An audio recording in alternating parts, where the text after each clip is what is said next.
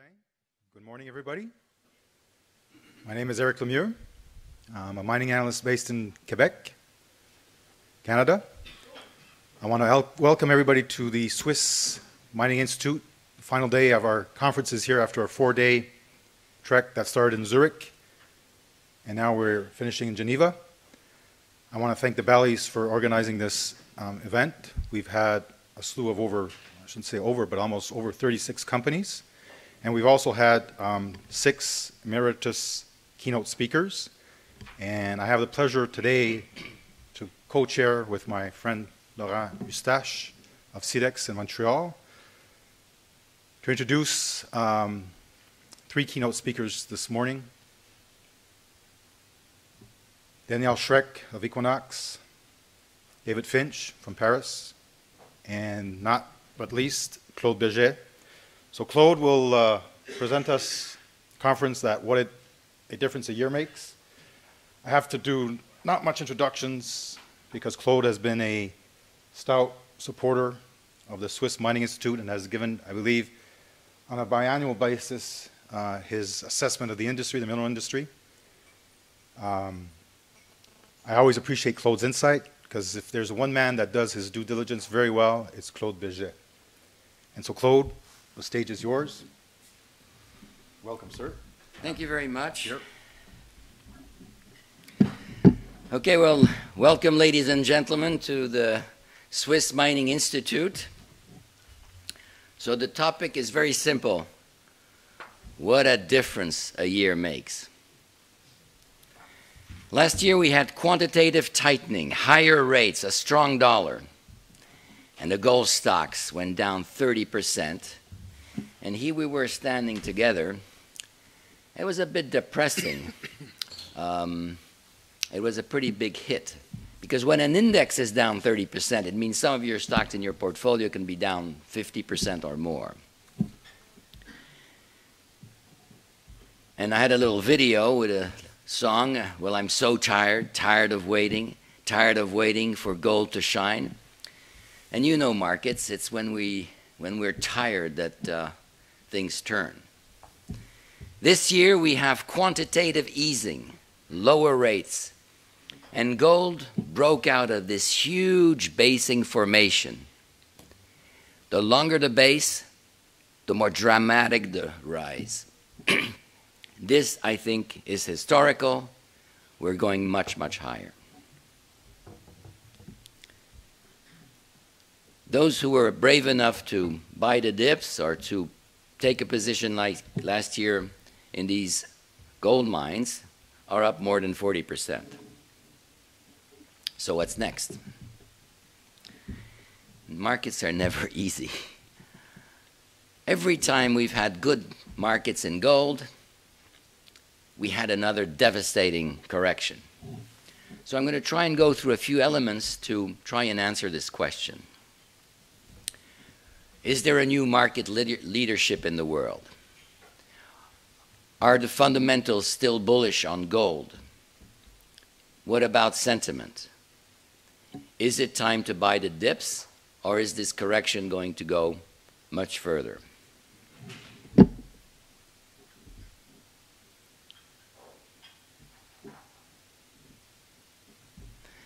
New market leadership. There's a rule in technical analysis. Don't think, look.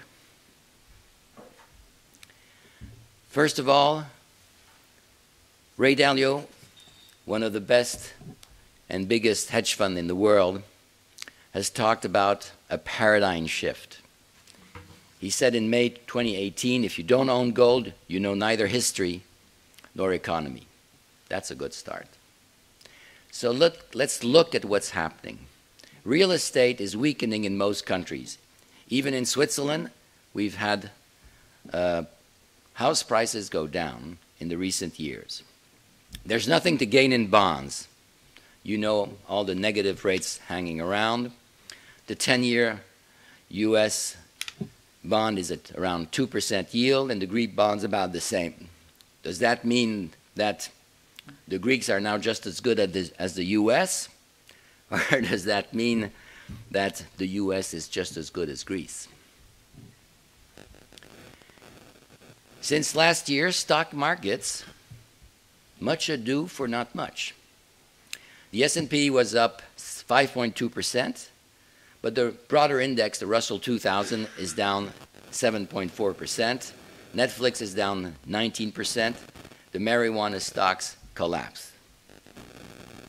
Russell flat, marijuana down, gold up. So where do you want to be? In the markets that are doing nothing or in the markets that are more dynamic? Gold is up to all-time highs in some currencies like the Canadian dollar or the Australian dollar. Be your cell phone close. Thank you. Gold and other currencies like the Swiss franc are near their all-time highs. And those who were brave enough to buy in November 2018 have been nicely rewarded. So what's next? Are the fundamentals still bullish? I think the fundamentals have never been as bullish for gold. The Fed has been tightening for a year and a half, reducing the liquidity by $50 billion a month. These are huge amounts, and that's probably why the stock markets fell in the fourth quarter last year. But since September 9th, everything has changed. The, the Fed is back to money printing. In the week ending September 19th, they printed 23 billion. The week after, 58 billion, 83 billion, 17 billion, 03 billion, 23 billion, 32 billion. This is a very, very important change. This will help us. With, this will get the gold price continuing to rise. World, money, world monetary aggregates, M2, have risen 180 times faster than world gold production since the 1900s. If you want to cover the US monetary base, you need $12,600. So gold is not as expensive as expensive as many think. Debt is piling up everywhere. No ceiling to debt. What does that mean? That means no ceiling to gold. US debt 106% GDP. China increased its debt by 26% in one year. This means that high real interest rates are today impossible. And as you know, if you have low real interest rates, that's a very big positive for gold. So basically, the world is going the way, in terms of currencies, the way the assignats did during the French Re Revolution, rather more down than up. Recessions are unavoidable. Today, no economist predicts a recession within the next three years.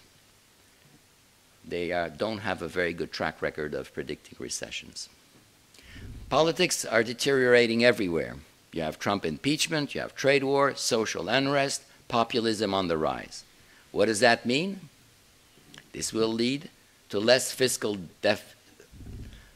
less fiscal discipline. The US budget deficit is now nearing $1 trillion. On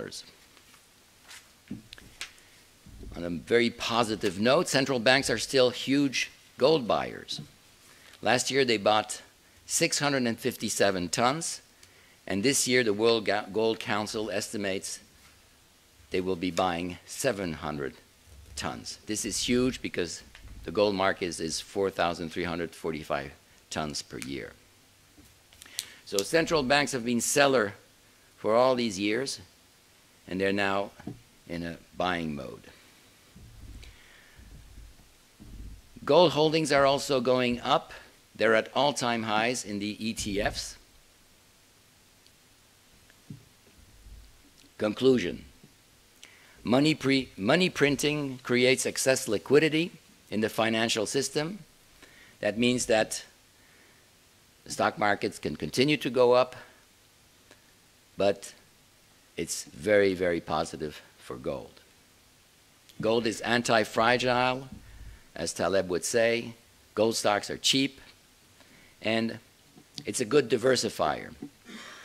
When we had a big correction in the stock market last year, stock markets were down some 20%, but gold was up 8.1%, and gold stocks up 13.7%.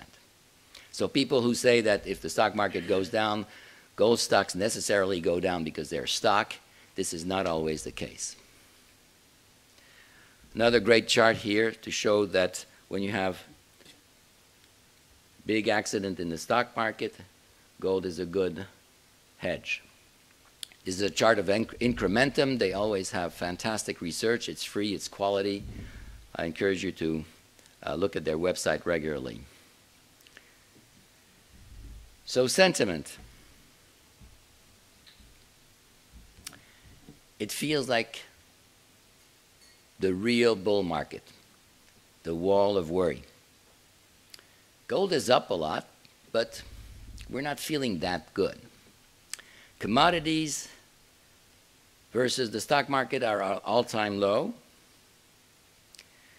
but gold stocks are cheap, price to cash flow around 10 times, but very often these stocks can trade at 15 times, 20 times. Enterprise value per ounce of resource in the ground, very, very cheap. Most important for the companies are, which are here uh, is that these smaller gold companies are trading at big discount to larger companies. So that is where you have the best opportunities for outsized gains. Since 2000, there has been 1,492 mergers and acquisitions. That will continue. A very important element is after having seen costs rise dramatically till 2012, the industry has improved tremendously and costs have stabilized. What does that mean? That means if you buy a gold stock, a producer, and gold goes up, you will have a huge leverage as you should. And usually, as you know, gold stocks go up three times more than gold.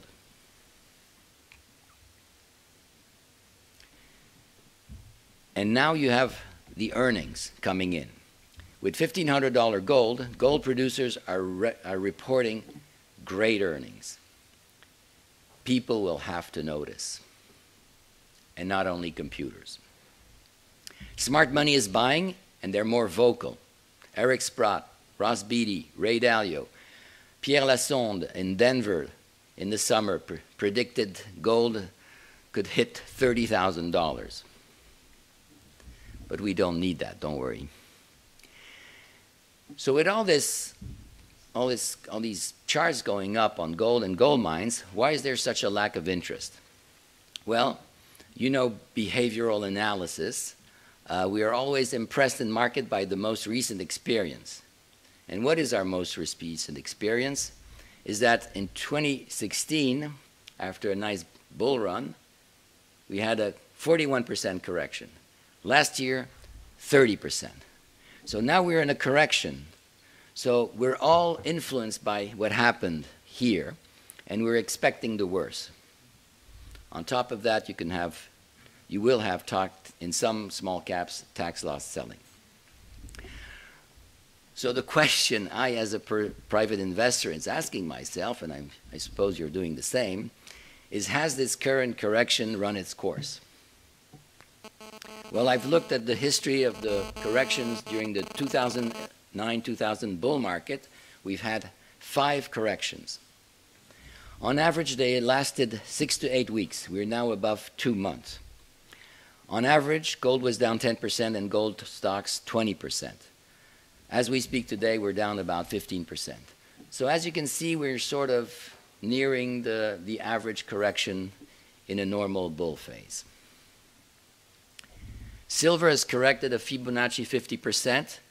So I believe that, I believe and I hope that uh, this bottom will hold, that we've seen the low. Same thing for silver stocks. If you look at the chart of gold, it's a mellow correction. It's a sign of strength. The gold stocks, same thing. We're correcting, so this is a buying opportunity. We are in a bull market, so even if we don't hit the bottom of the correction by buying at the low, which we usually don't achieve. It doesn't really matter because we'll be bailed out of our mistakes.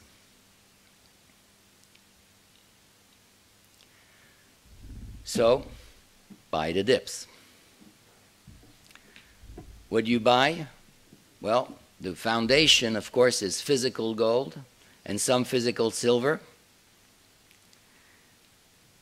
And as you know, silver always goes up more than gold. Gold funds, you have great funds here in Switzerland. Uh, Erich Meyer did a fantastic presentation. He showed in his, uh, in his presentation that his fund was loaded with stocks which were much cheaper than the average. So he will do, I believe, much better than the index. An interesting situation is the Golden Prospect Precious Metal Fund. It's run out of London by CQS. They have a good track record. They're solid analysts. They buy uh, low cash flow single assets. And they're trading at a 28% discount to NAV. Producing company, as we saw, since they are not increasing their cost of production, the leverage will be enormous. And last but not least, of course, more speculative, but that's where the real value is, is the people who have huge resources in the ground and the small caps who are trading at significantly lower valuation than the big caps. Last year I recommended Equinox Gold because the chairman is Ross Beaty. He's a serial winner. The stock has doubled. It still will go much higher. Same idea. Let Rob, Rob McEwen run your portfolio with McEwen Mining.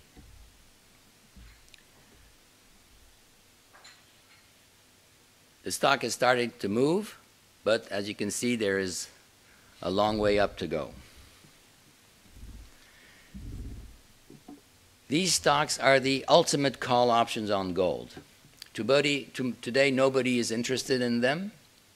It might be a bit early to buy them, but they have huge resources. Here you have the number of ounces in million. Seabridge has 63 million ounces of gold. The price of the valuation in the market of these ounces are very, very low. It's difficult to compare one to the other, so you should buy a basket of those you particularly like. Um, Vista Gold will certainly be a mine, Western Copper and Gold also. But in a bull market, people will want the leverage and will go to these stocks. You know, I've always liked these silver stocks. Here you have Mag Silver presenting, great company. They still have huge exploration upside. Fresnillo, the best producer in the silver space, will bring him into production. Excellon, huge leverage to silver, Fortuna Silver, Pan American Silver, this is a big cap. And there are plenty of reasons for which this stock could go much higher. Today, the quality of the companies here are outstanding. And if you buy the companies you like here, I think you will do really well. Why is that? because small caps are still very, very undervalued. Today, you're at the beginning of the bull market, so only the better gold companies can travel abroad. Why? Because they have cash and they have a dynamic management. And most importantly, we're at the early phases of the bull market for small caps. Some stocks that are here that I own Aurion, market cap $130 million. They have a major discovery in Finland. And most importantly, Dave Lotan, who is here, is the chairman. The stock is owned by Eric uh, Sprott. It's owned by Ross Beaty. If these guys own this stock, we can too. Sun Metal, major discovery. It's uh, 60% copper, 40% gold, so you have to be bullish copper. They have great exploration in British Columbia in Canada, safe jurisdiction. The stock has been uh, correcting quite a lot. It might be a good entry point. Fiore, market cap $40 million. They have huge production growth coming, huge exploration company, great management. I doubt if this stock doesn't go up some 10 times. So here we are together. 2019 is uh, still a stock picker's paradise. So enjoy your conference, do your due diligence, and buy the dips. Good luck on your investing. Thank you very much.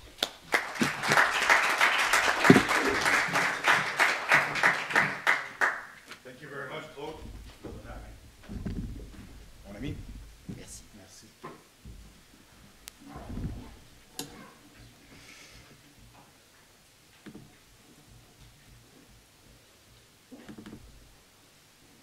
So I have the pleasure, pleasure of introducing our next speaker, Mr. Jean-Marc Lacoste, President and CEO of Monarch Gold.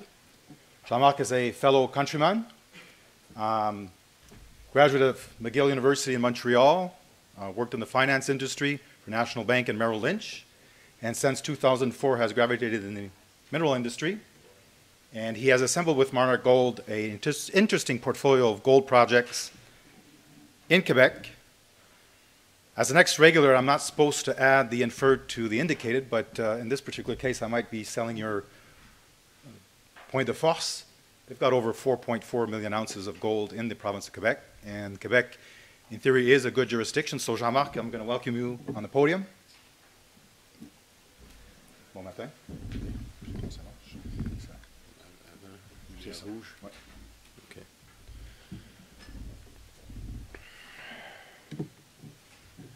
Bon matin. Mon nom est Jean-Marc Lacoste, président de Monarch Gold. I will be doing the presentation in English, of course, and uh, I'll be able. Uh, I know you don't do questions, but if you want have question after, I can do it in both language, of course. Monarch Gold. It's fun to be presenting this company right after the speech you got from Claude, because I think that's exactly what we built in the last seven years. We took the opportunity of uh, probably one of the worst bear market in gold to build a tremendous uh, portfolio on one of the best place in Canada for gold, which is the Cadillac Fault. So basically, when you look at Monarch, you ask yourself, why should I invest in Monarch? Well, our goal is to become 100 to 200,000 ounces a year gold producer, and we have a main focus for that. We have the main asset called Wasamac Gold uh, project that released the feasibility in December 2018. And next week we'll be uh, announcing the launch of the permitting process. Wasamac uh, published a uh, 24% IRR feasibility study a year ago. Just to give you an idea of leverage, we're now sitting at $2,000 gold or close to in Canada, and this IRR is now sitting around 33%. The NPV, same thing, it's at 522 out of the gate when the feasibility came out in December last year. We are sitting at $800 million NPV on the project. Just that project alone, $800 million, doesn't, you know, barely reflect the current $60 million market cap of the company. Uh, the feasibility of Wasamac will produce 140,000 ounces a year of gold at a low cost of $550 US per ounce underground. And it, all this was based on a $1,300 gold in the US. As we know, we're flirting around uh, 1500 as we speak. We continue adding uh, valuation to the company. So we spent the last seven years building the portfolio, which I'm going to show you in a minute, in a map. But it took us seven years to go from nothing to one of the biggest land package on the Cadillac break. And I'll show that in a second. But we did that to continuous valuation creation, acquisition, and the latest, which is Fayolle deposit. We acquired that this summer. The main reason is very simple. It's an open pitable, six gram material, 75,000 ounces, and we got the mill right next to it. So why we did that? Because that could easily bring in 50 to 60 million, sorry. Do we have a technical problem? I guess so. Is there a techie in the room? Yeah, there's two. So as we wait for the slide to come back, I'll explain because I know my slide by heart.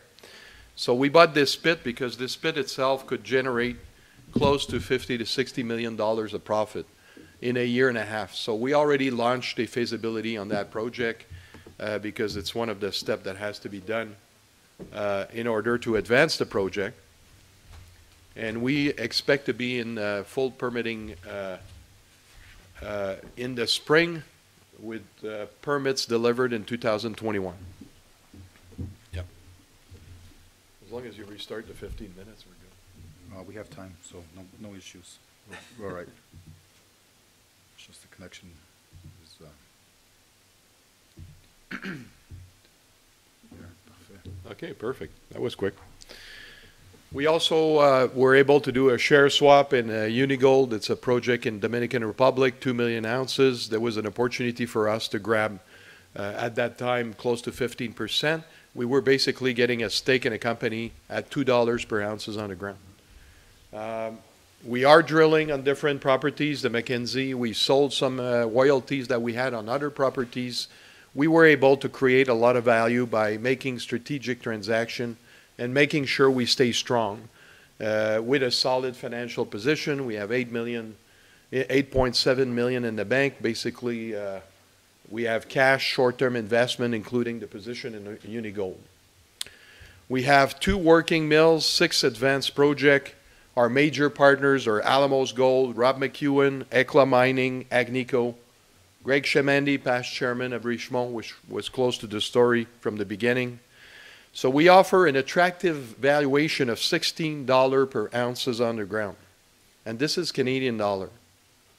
And earlier when Mr. Beget was talking about buying gold or buying good valuation, when he, talks about the small cap, what I like to think is you could buy gold at $2,000, you could buy, uh, you know, different mechanism, but when the market's going to go, you want to go and buy it cheap because this is where all the leverage is. So we're trading at a very low discount uh, to some of our peers, probably similar to some of the names he showed in the slide earlier.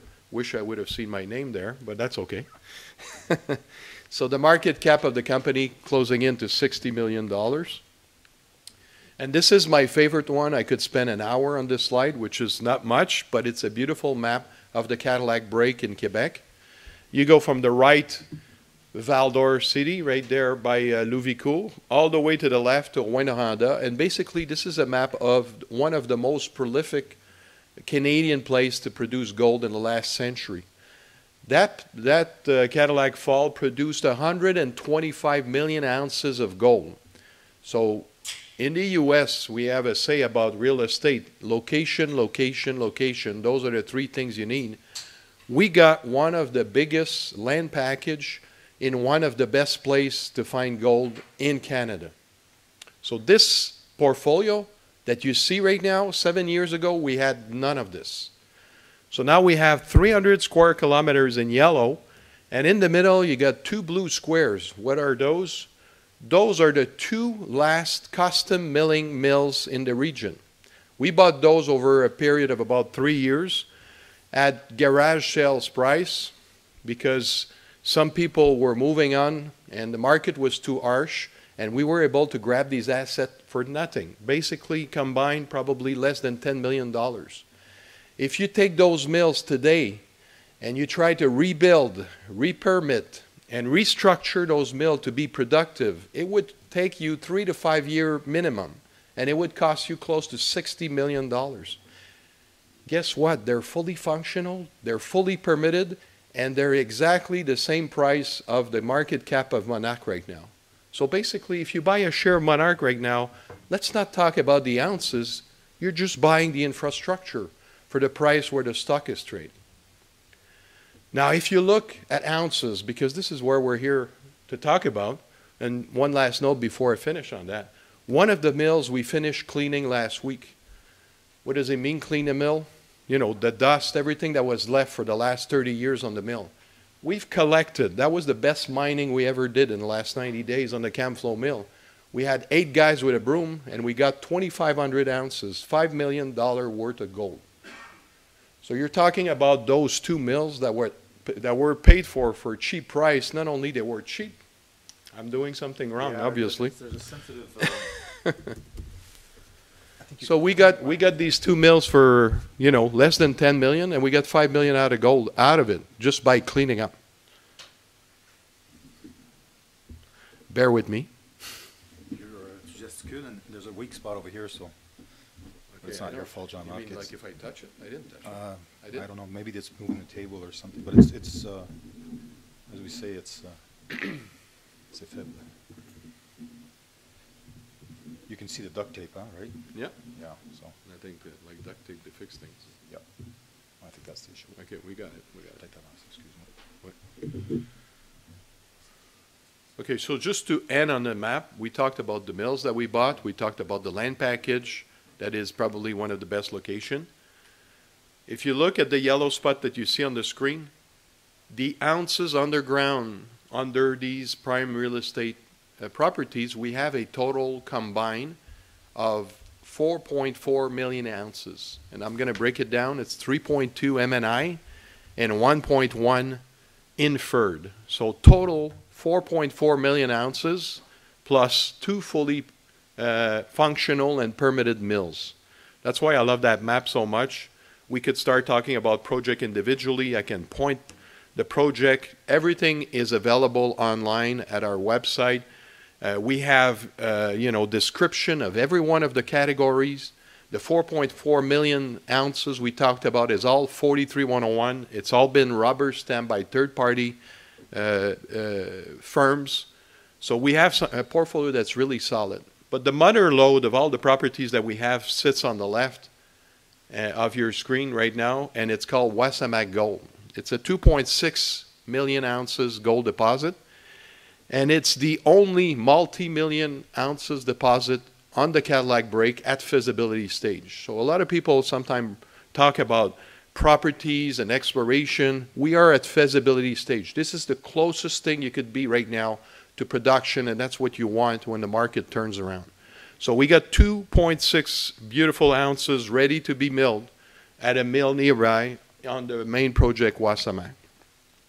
Again, what's Wasamac? You could see on the right-hand side, pictures are always good to look at. This is the ore body with the mining plan. You got a 3D uh, generated mill that sits right there by the Trans-Canada Highway, and it's literally 50 meters from the train track. So it's got some of the best infrastructure in the world, so does a lot of projects on the Cadillac break, but this is why it's so important to be at the right place uh, for this market. High return, 24%. As I said, it sits around 32, 33 as we speak. The NPV, 522 million. It's more like 800 million. The payback, this mine will operate for 11 years minimum, and the payback is 3.6. Those are all great numbers that people want to hear when they talk about a mega project. Low cost, 550 US, all in sustaining, 630. This is the type of rate you would get on an under on a open pitable uh, mine. This is an underground, underground, very bulk mining uh, on one of the best spots. The capex 464 million Canadian, probably 350 US.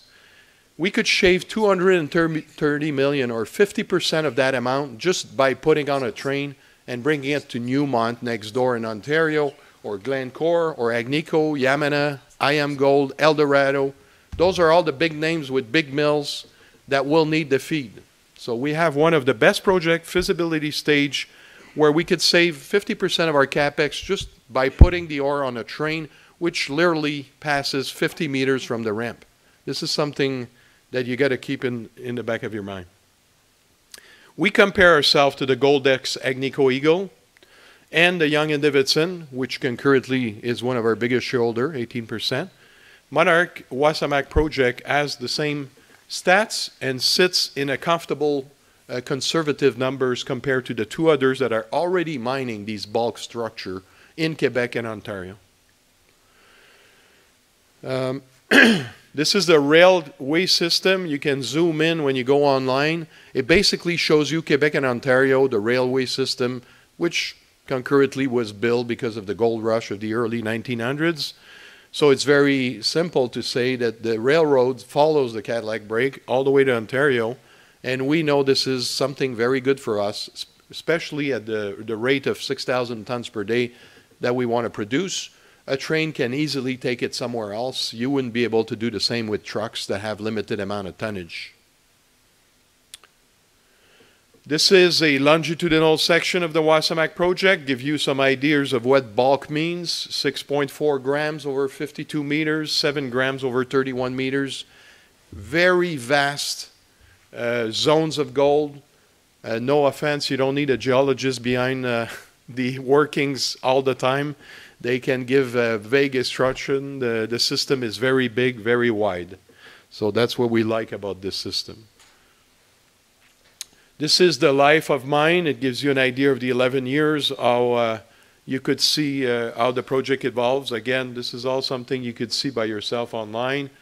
The valuation at 1500 US, 800 million of value. Uh, NPV, uh, sorry, the IRR around 31%. These are numbers people like to hear. The rest of the asset, and I mentioned at the beginning, you see some picture, top one, Camflo Mill, and Beacon Gold Mill. Camflo is the one that we were able to recuperate 2,500 ounces of uh, dust. Same thing with the Beacon Gold Mill. Look at those mills. I mean, this infrastructure will be worth so much money when this market turns around because there's no other place on the Cadillac break where you can go and do custom milling the way we do it. Everything else are the big guys and they're all full. So all these mines that you hear about coming up in Abitibi, they will knock at our door. They already do for bulk sampling and try to find out what they're going to do. So we have five advanced projects other than Wasamac. The Croinor Gold, it's a fully permitted mine, ready to go. We need 30 million. Looking for partnership. Fayolle, I mentioned the pit. McKenzie, we're drilling. We'll have results next week testing high-grade gold at below. Swanson, open, built, open pitable resource. And finally, Beaufor, which is something we didn't talk about, which is very important, which is a fully operating mine ready to go. We could bring an ounce to the mill within weeks. Uh, we put it on care maintenance in June, just before the rally in gold. We had a few repairs and a few things to do, including uh, cleaning up the mill. Croinor uh, Gold, which is a, a, secondary project of ours. Have a look. It's online. It's available. Uh, Beaufor mine, that's the one uh, that's been producing more than 1.2 million ounces over the last 25 years. It's still sitting at 800 meters, which is nothing, nothing in the region. We go down to 3.2 kilometers in Abitibi on some of the mines. And finally, but not least, the corporate structure of the company. We got 260 million shares outstanding. We trade at, like I said, 16, 18 dollars per shares uh, per ounces uh, underground. Our biggest shareholder, Alamos Gold, most of the Quebec funds are in, pension fund, government. Uh, they're a big shareholder. We got Agnico, of course, uh, Hecla, and Rob McEwen and Chamandy, who came in together as partners to help Monarch uh, spend its wings. Uh, and uh, the rest are annexes that are available on the presentation. You can grab some at my desk.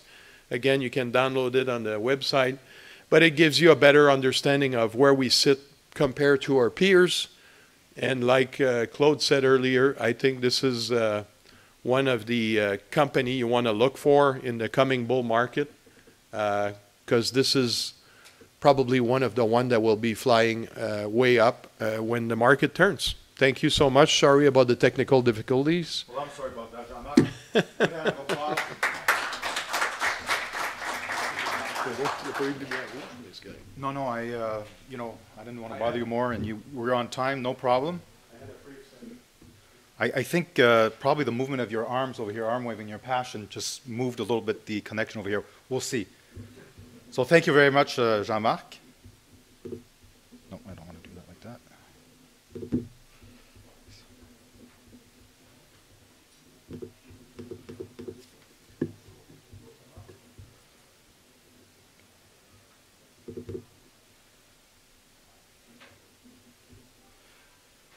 So, après le Québec, we're going to go to West Africa for the next presentation, more precisely La Côte d'Ivoire, Ivory Coast, where Sama Resources, symbol SME on a venture. Oh, excuse-moi. J'étais, euh, I can talk about BC if you want to. No, it's, excuse-moi, uh, Marc-Antoine, I, uh, I don't know what happened there, but. Oui, excusez-moi. Uh, Marc-Antoine Audet is the CEO of Sama Resources. He's a geologist with over 30 years of experience, uh, particularly with uh, Falconbridge and um, Xstrata Nickel. He is a nickel specialist. He will be talking about uh, the Samapleu nickel copper project. And so, Marc Antoine, merci. And the floor is yours, sir. Thank you.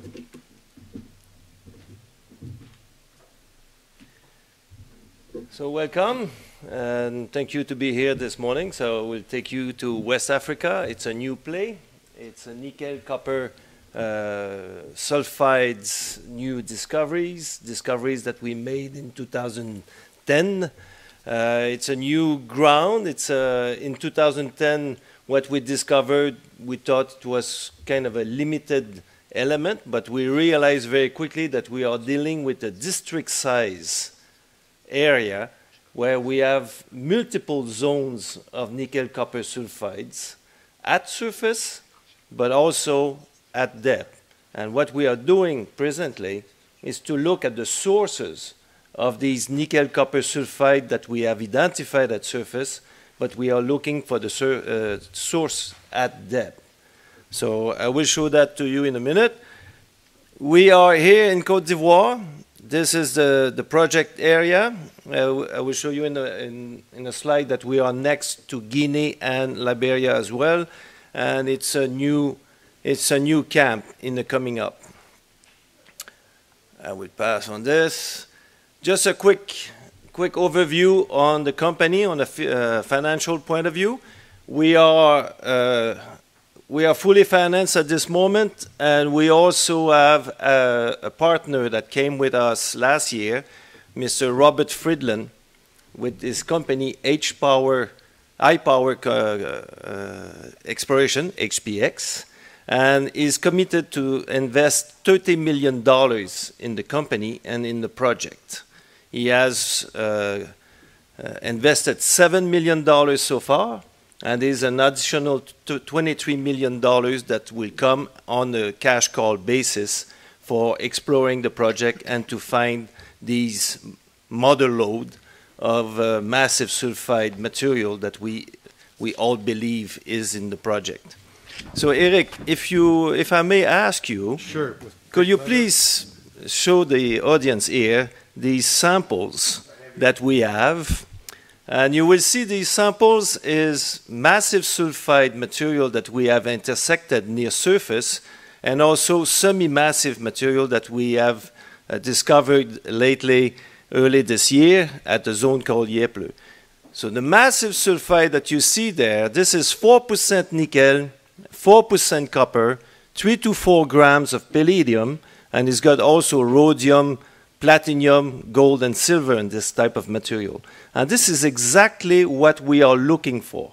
We have these intersect near surface, but we believe that the, uh, there is accumulation of this type of material at depth, like any other big camp of nickel, uh, nickel, nickel mineralization around the world. That's how it works. We have vein and stringers, and you do have massive sulfide accumulation at depth. So in the next four or five years, we will have access to almost $40 million uh, uh, as a potential uh, financial uh, to the company without having to issue one additional shares. And how we can do that is the $23 million coming from HPX here, plus we also have uh, holding in SRG Mining that currently sit about $15 million more or less that we have access at some point. So we are quite uh, financially sound and we will proceed with all our exploration. We have a very good board management. Uh, many of you know Mr. Uh, Benoit Lassalle is with us, is our chairman of Sama, uh, Resources. He built four gold mines in West Africa, and we, as you can see, we have very, very good uh, uh, people with us with great experience worldwide for building this project. Again, we are in West Africa here. This is our land package, 1,000 square kilometers of land package next to the border with Guinea, and this is Liberia. Uh, HPX just lately acquired the, property here called Monimba. It's the highest uh, iron ore deposit in the world. And so we are uh, all in this, this zone, and, and basically we have a, a very large holding uh, ground on the, uh, on the area. This is the location of the first discovery in 2010. This is the material, the massive sulfide that you have in your hands. And we also have sulfide at surface here. And this Yepleu, 25 kilometers away from Samapleu, is the first occurrence in 2013 of nickel copper sulfides outcropping at surface in West Africa. There's no other uh, uh, evidence of uh, nickel copper sulfides like this, and we have a front of almost three kilometers long with uh, outcropping nickel copper sulfides. And I will show you the importance of all of this in a minute. So I have a, a small video here. It's, it lasts about uh, just three minutes. If we, oh, no, it didn't work. Let me try again. Okay, doesn't, ma doesn't matter. We, uh, you can find this video on our website, and it's also on YouTube. And it, it, I will take the summary here of, uh, of what you will see in the video. Our target here is to find at massive sulfide at depth, like this example in Norilsk in Russia, where near surface you have stringers of massive sulfide with disseminated sulfide near surface, and they took about 30 years in the mid, mid uh, 1930s before finding the huge model load here. So technically, we're a little bit on the same situation where we are sitting here and we are looking for similar situation here. This is Eagle, where you have accumulation of massive sulfides in traps and embayment. So all of these sectors around the world have similar characteristic of what we have at Samapleu. And, but the difference, we are the start at Samapleu. It's a new area, and we are sitting at surface, and we're looking at depth. This is uh, the, the model that we want to apply, that we, we have set since 2013, uh, 2010 and 13. This is the, this is the vent of a large magma system that came from the, the mantle that came up right to surface but stop about 25 kilometers in the cross and generate a huge magma chamber here assimilating all the country rock and precipitating sulfur like this disseminated sulfur with vein and stringers but also accumulation at depth in embayment of massive sulfides and that's exactly our targets. This is what we are looking at. Currently sitting at Samapleu, we here, from surface to about 150 meters, we have stringers of uh, massive sulfide, exactly the material that you have in your hands. And this is what we are looking at now for the accumulation of massive sulfide. Samapleu, 25 kilometers away, we just we intersected at 550 meters at depth the semi-massive material that you have in your hand, and that we intersected that early this year. And this, this should lead us to the large accumulation at depth, still to be discovered. So this is a type of material we have. Massive sulfide, as, as you can see here, sharp contact with the country rock, here we have an intersect near surface of 8 meter, meters of a massive sulfide grading 4% nickel and 2.4% copper. So beautiful material, pristine like if it was in place yesterday. But this is 2 billion years old and is exactly the same age as the Bushveld system in South Africa. Again, this is our land package, the 1,000 square kilometers. In 2013, we flew an airborne EM survey that actually gave us an indication of the, the conductivity of the ground in that area. As you can see, we have all these warm color mean that all these zones have potential for nickel copper sulfides. The Samapleu is only this one. This is the small one. This is the, the area we, we, we just, we, we had our first discovery. We worked out uh, resources there, and there's a, an open pit potential resources, and we are working on the, uh, P, uh, the, the PEA, the preliminary economic assessment, and it should be out in the next few weeks, one month. So the conclusion of that. So this is the Samapleu open pit, but all of these other area have all the same potential as this one. And look at the Yepleu sector here. From the airborne survey, you can see this is a 24 square kilometer area where we have nickel copper sulfide at surface. And this is where at 50, 550 meters at depth around here, we intersected the material that you have in your hand. So there is a large potential here. And this is the area of the vent. Actually, that's where the hot spot is for the magma chambers. And Bunta, it's another interesting zone. We just completed the, the, uh, the geophysical at surface. And this is a zone where we have lenses of massive sulfides as well at surface up to 2% nickel.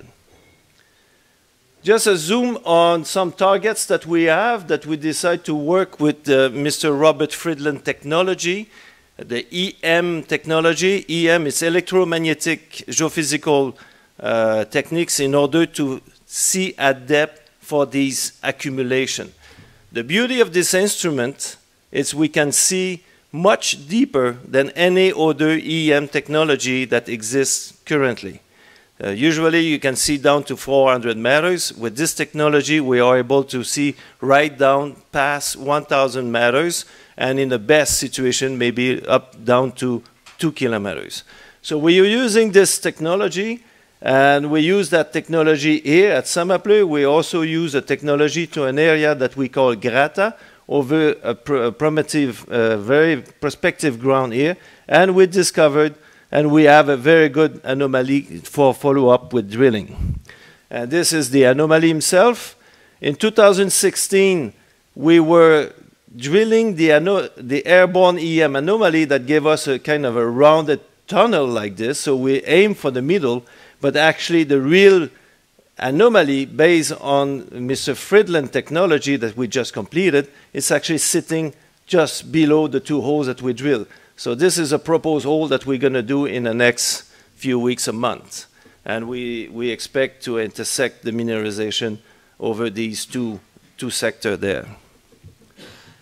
Another zone that we have uh, completed with this technology is at Samapleu we have we we we found a very good conductor plate here at 700 meters from surface below our open pit potential zone here.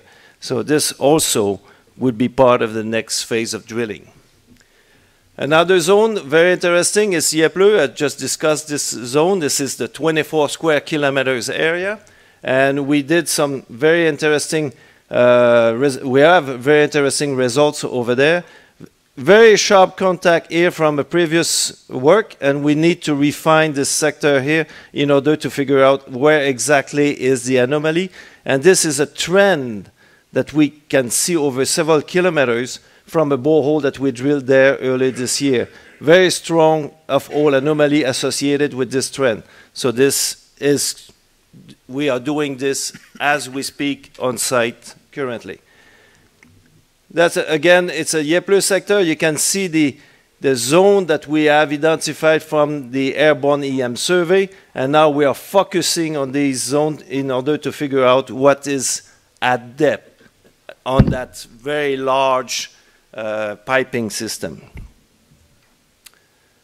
Again, this is uh, one of the, the zone at Yepleu. Some of the intersect here very, very good uh, intersect here, but it's 550 meters from surface. We expect this to be the edge of what we really look for at depth with the massive sulfides. Some of the material here. Uh, so this is the next catalyst for the, for the company. We're going to complete the feasibility, feasibility next year, but now uh, the preliminary economic assessment on Samapleu open pit, this should be out uh, in the next uh, four or five weeks. And we continue with, uh, with, some, uh, with HPX on the exploration. They are investing $30 million in the project. The drilling program will be to test the Grata, the Samapleu, the Yepleu, and also the Bunta. And just to, we're very proud of this. We received in October 26 from the hands of the Mr. the uh, Prime Minister of Cote d'Ivoire the award of uh, one of the best managed company in Cote d'Ivoire in, in the area where we are. So we were extremely pleased with this, this uh, award. Again, two ministers came to visit the site. Lenses of massive sulfide near surface. This is 2% nickel here in the gabbroic environment, right at surface. This is Grata. This is the discovery outcrop at Yepleu, where we have 2-3% copper and also nickel. And this zone run for 3 kilometers right at surface. Here are the representative of HPX on site. So this is where we where we are with our project. The next 12 months is basically execution. We have access to the technology. We have access to the drilling. We, have, we are fully funded. And now the next 12 months is to cover all the zone that uh, I showed on, this, on the presentation with the technology, with the EM uh, Typhoon system, and then to follow up with drilling. So we, we have a good 12 months ahead of us. Thank you very much.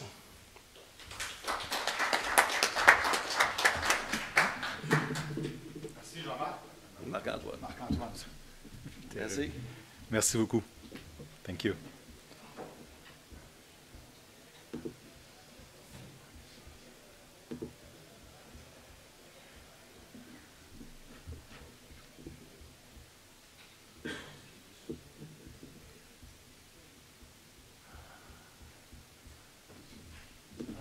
I'm going to find it.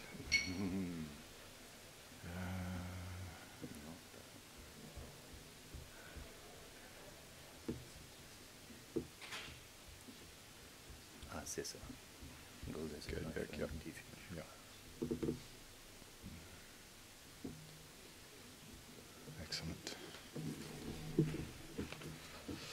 So I have the pleasure now of introducing our second keynote speaker of the day, Mr. David Finch, CEO of Ixios Asset Management. David is head of portfolio management and has a long and recognized track record. I'm pleased to have him as my keynote speaker, so I'll keep it short. Cheers. Cheers. Thanks very much.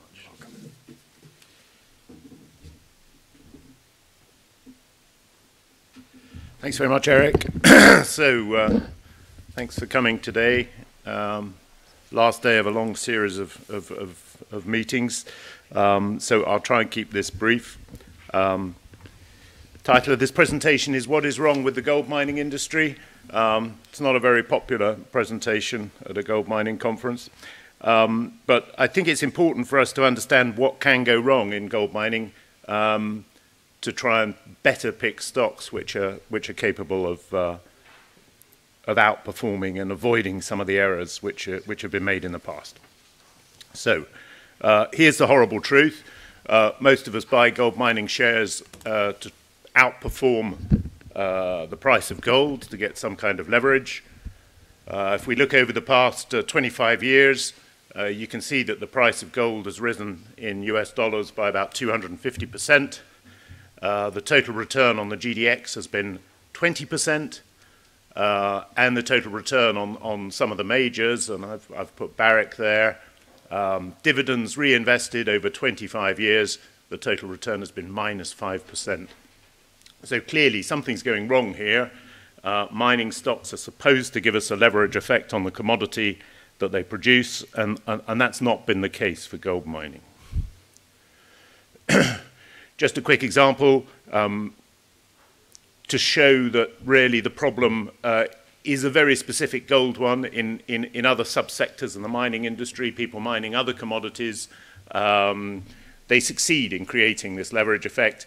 Here's a chart of Antofagasta versus the copper price over the past 25 years, and you can see uh, copper's up um, just under 100%, and Antofagasta, which is a mid-tier pure copper miner, uh, has given a total return of about 410%. So clearly the leverage effect is there uh, in other types of commodity.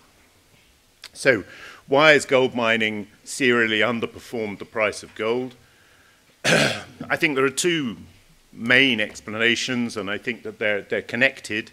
Um, and the first one's a, a, a, geological reality. There's not a great deal anybody can do about it. Uh, we find gold in relatively small quantities. That's why it's precious. That's why it's valuable. Uh, but it does mean that the mines tend to be much smaller and therefore they have much shorter mine lives. Uh, and there you can see, I mean, the average life of a gold mine today in the world is about seven years.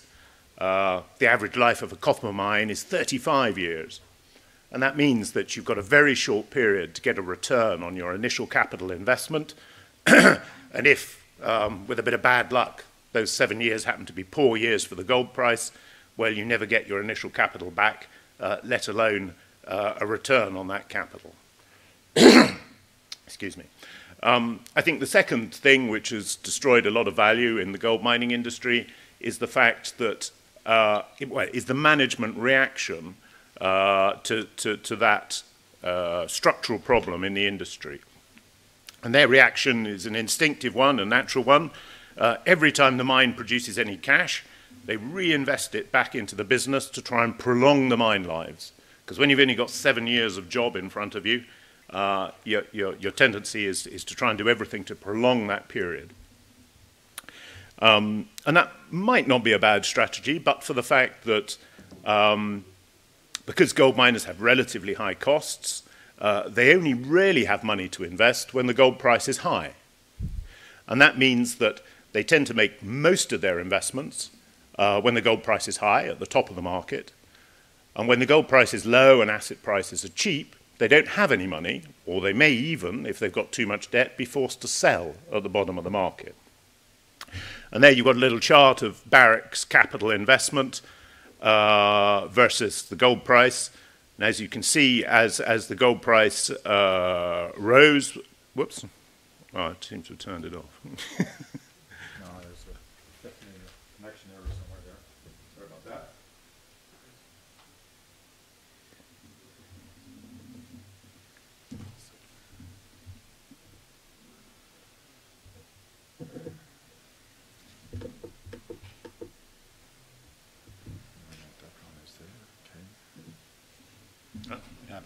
You got the baby seal back? Yeah, I got that back. Secret code. Was secret.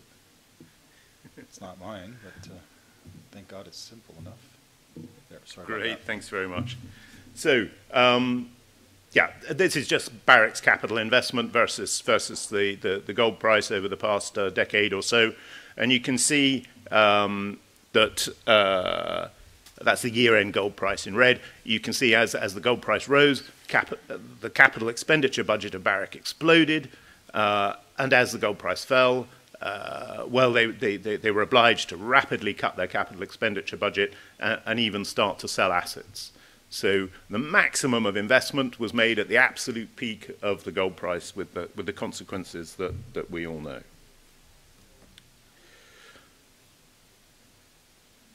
I think um, the other thing which has, has, has, destroyed a lot of value for uh, shareholders in gold mining companies over time has been um, a kind of uniquely poor uh, corporate governance which has prevailed in the sector. And I'm not quite sure why this has been allowed to happen by shareholders, but it, but it certainly has.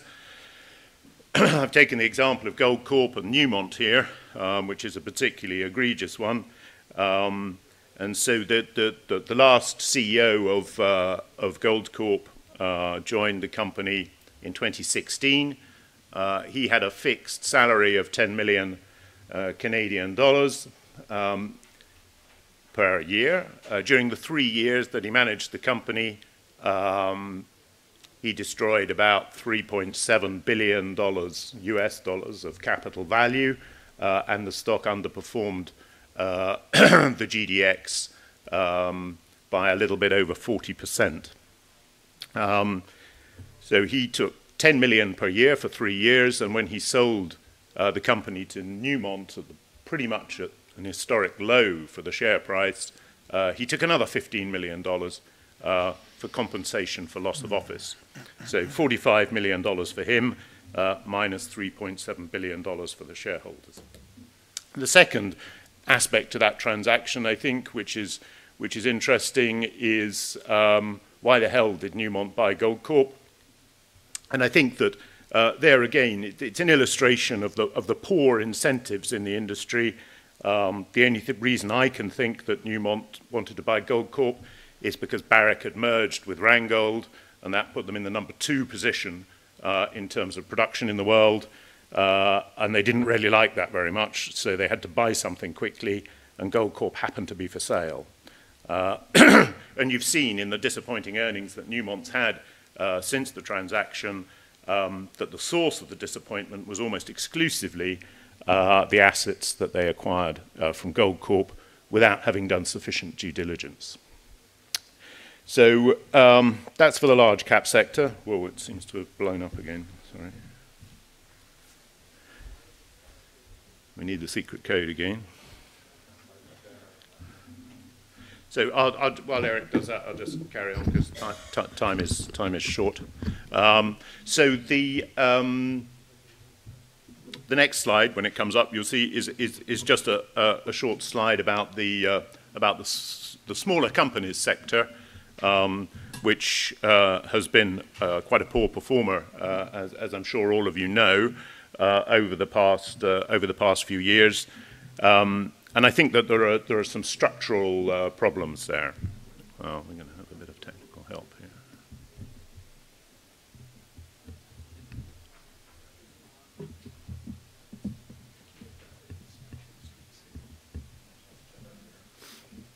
Okay, so what I've put here is a chart of the performance of, a, of uh, six um, uh, sm smaller uh, companies in the gold mining sector. They're not bad companies at all. I've, I've held some of these in, in, in, the past and hold some of them still today. Um, but you can see since, uh, uh, so over the past two years, uh, these stocks have seen absolutely swinging declines in their, in their, in their value. Um, here, I think we have a structural problem as well. Um, there's over 2,500 mining companies quoted in the world with market caps under 5 100 million, and 2,000 of those 2,500 are, are precious metals companies. So there's a huge dispersion of the effort and the capital in the sector. Um, and having so many small companies means that they're in massive competition with each other for capital. Um, because their shares are illiquid um, and they're often single asset companies, uh, they have a very high cost of capital. So many of these companies trade at 0.2 or 0.3 times net asset value, and when they need to raise equity capital, they raise it at a discount to that already hugely discounted valuation. And if ever they try uh, and uh, use, use debt to finance themselves, uh, then they pay absolutely uh, uh, unbelievable interest rates on, on, on that debt, which destroys even more value. Um, and I think the fact of having so many uh, companies trying to do the same thing means that there's, there's kind of a shortage of skills in the industry. I think, um, you know, are there really 2,000 teams of top-notch uh, precious metal geologists in the world? Well, probably not. So uh, the, the, the, the, pool of talent in the mining industry is spread far too thinly uh, in the smaller companies sector. Um, they're largely irrelevant to institutions because they're too small and too illiquid. Um, many, many of these companies have no analyst coverage, so there's, there's no really reassuring or efficient or impartial distribution of information about them.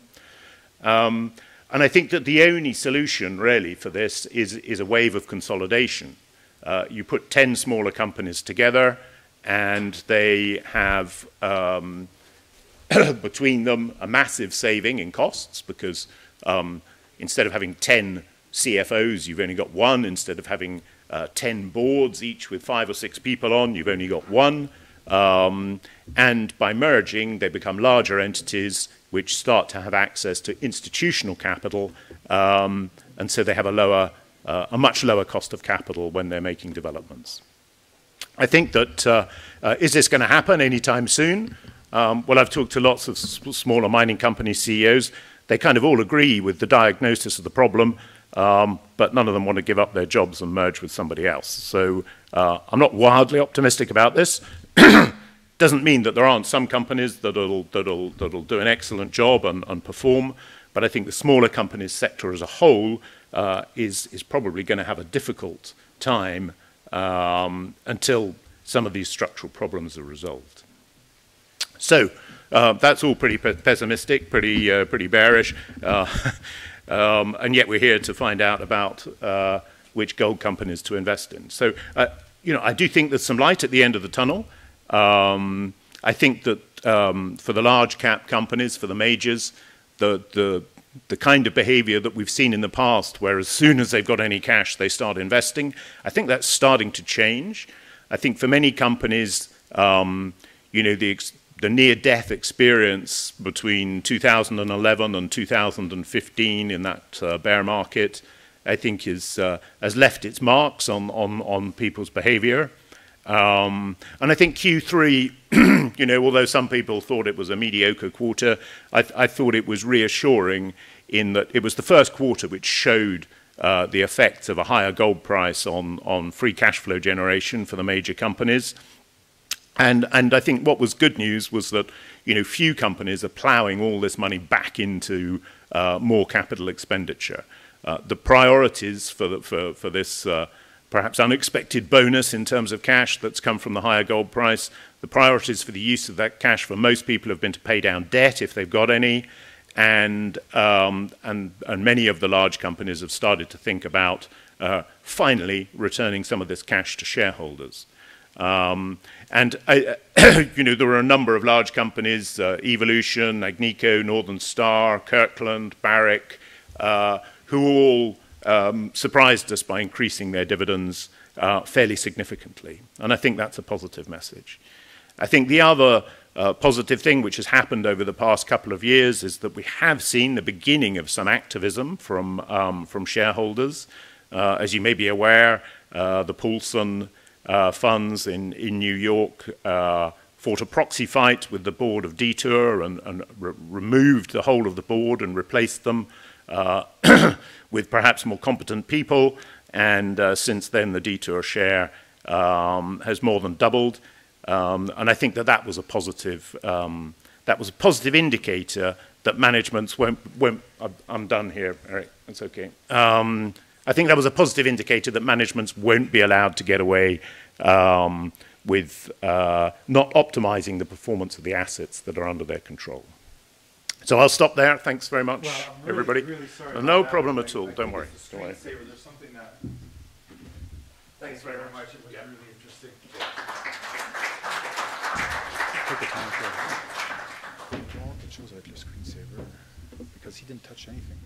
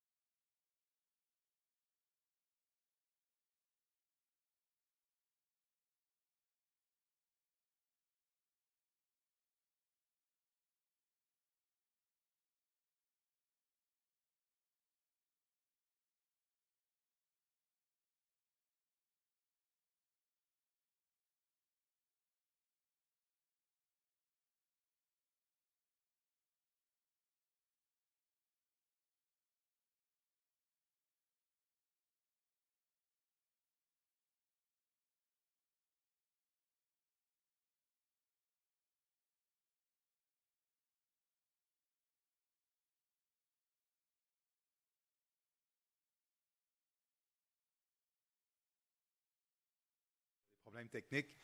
Je pas un informaticien et puis bon, euh, très dommage. Um, Claude Beget mentioned uh, Aurion Resources and mentioned David Lotan. David is effectively the chairman. I am honored to um, have him come to the podium. Uh, David is a veteran portfolio manager. I believe he also he um, um, did the Ontario Teachers Pension Fund. I met him a few years when I was an analyst way back, uh, uh, and I think he was managing a, a, a portfolio uh, that started to get interested into the, uh, the mining industry or the mineral exploration industry. And so I believe he's very passionate. Um, he's very intelligent. And so, like I said, I'm very honored to have him on the podium and present Aurion Resources, um, ticker AU in the Toronto Venture, and he uh, will present stuff in Finland. So, sir, hopefully it's going to nice. Yeah, well, let's find out. Yeah. Suspenseful. Okay, so it's working. I'll make some forward-looking, I'll, I'll make some forward-looking statements today. So, David just got off the stage. I followed him in Zurich as well, and I, I like to follow David because uh, the last point he makes is all about corporate governance, or the second last point, anyways. And uh, it's important uh, when we talk about and when we assess investments to think about whether or not management is aligned with shareholders.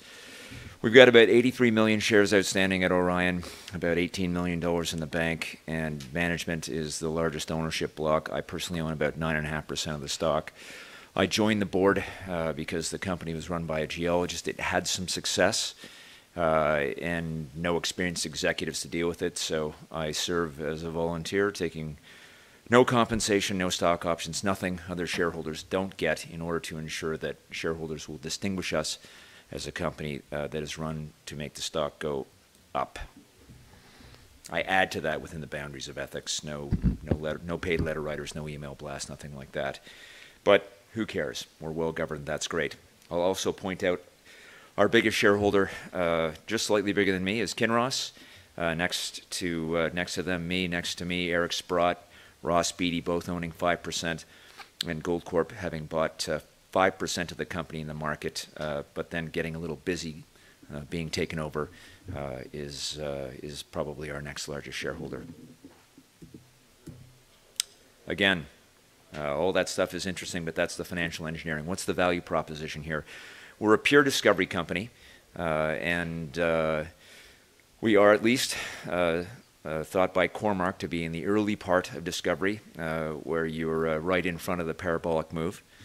May they be right, but you can see that that discovery uh, exploration companies can yield stunning returns. Uh, Aurelian to forty dollars, Great Bear from 50 cents to $9 this year. Dia Met, uh, way back, way, way back in, in the 1990s, uh, on the slave craton, going to $70 a share at one point, uh, and all with satisfying conclusions for investors.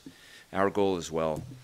Now, uh, the opportunity, of course, is generated by all the things that David talked about. Cycle after cycle, large extractive companies and natural resources, uh, engage in, in, in uh, gigantic acquisitions at the end of the cycle, take on a lot of debt, often to do so.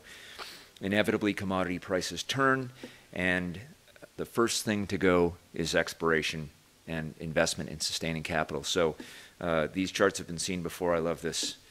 I love this comment by Ian Telfer uh, that uh, all the great gold deposits have already been discovered.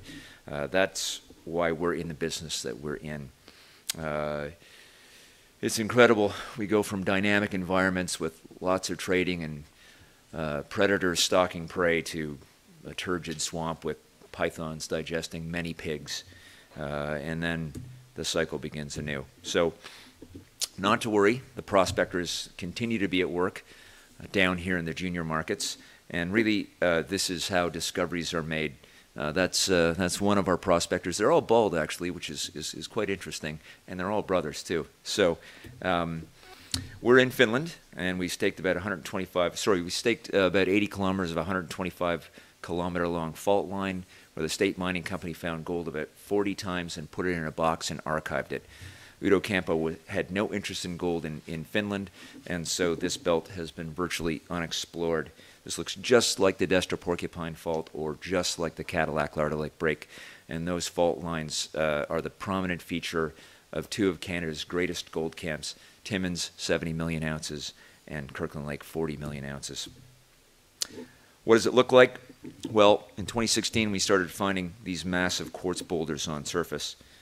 You can see them here, and you can see them on the cover of the presentation. I like that shot a little bit better. They're a little more revealed there.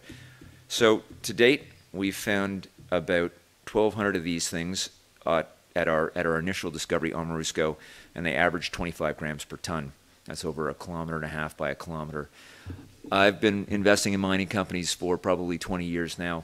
Uh, maybe own 400, maybe looked at a thousand, and I've never seen a surface expression like this in my career. The footprint of mineralization is over 15 kilometers, and it would comfortably fit Kirkland Lake or Timmins into it. But again, who cares? It's all on surface, but you've got to find it in the ground. Uh, it took a little while. We drilled into the boulders, it wasn't there. We figured out that probably they were a remnant of mass wasting and scarper scarpertite. So this rugged hill that you see in this slide was probably uh, twice as tall and twice as fat, and it's just worn down over the years. And those big boulders were over your head millions of years ago, not under the ground and frost heaved up. So we uh, we hit it finally last year. The first uh, the first dis- true discovery hole was three meters of 800 grams, followed up by four meters of 40, about five meters of 24, uh, and uh, 12 and a half meters of, uh, or sorry, 12 and a half grams over five meters. And then uh, to start the season, we moved our drills over to the other side of the boulder field, which you see on the left side of the slide. And our first two holes this year were uh, 31 meters of three and a half grams and 28 meters of nine and a half grams, uh, with gold in the quartz, gold in the sediments. And in fact, we've encountered gold in almost every kind of rock that, that we have here. We've got gabbro sediments, volcanics, and of course lots and lots of high-grade quartz veins. You can see that beautiful wire gold wrapped around uh, part of the discovery hole, and you don't see that even in many of the great gold camps on Earth. So, why is this here?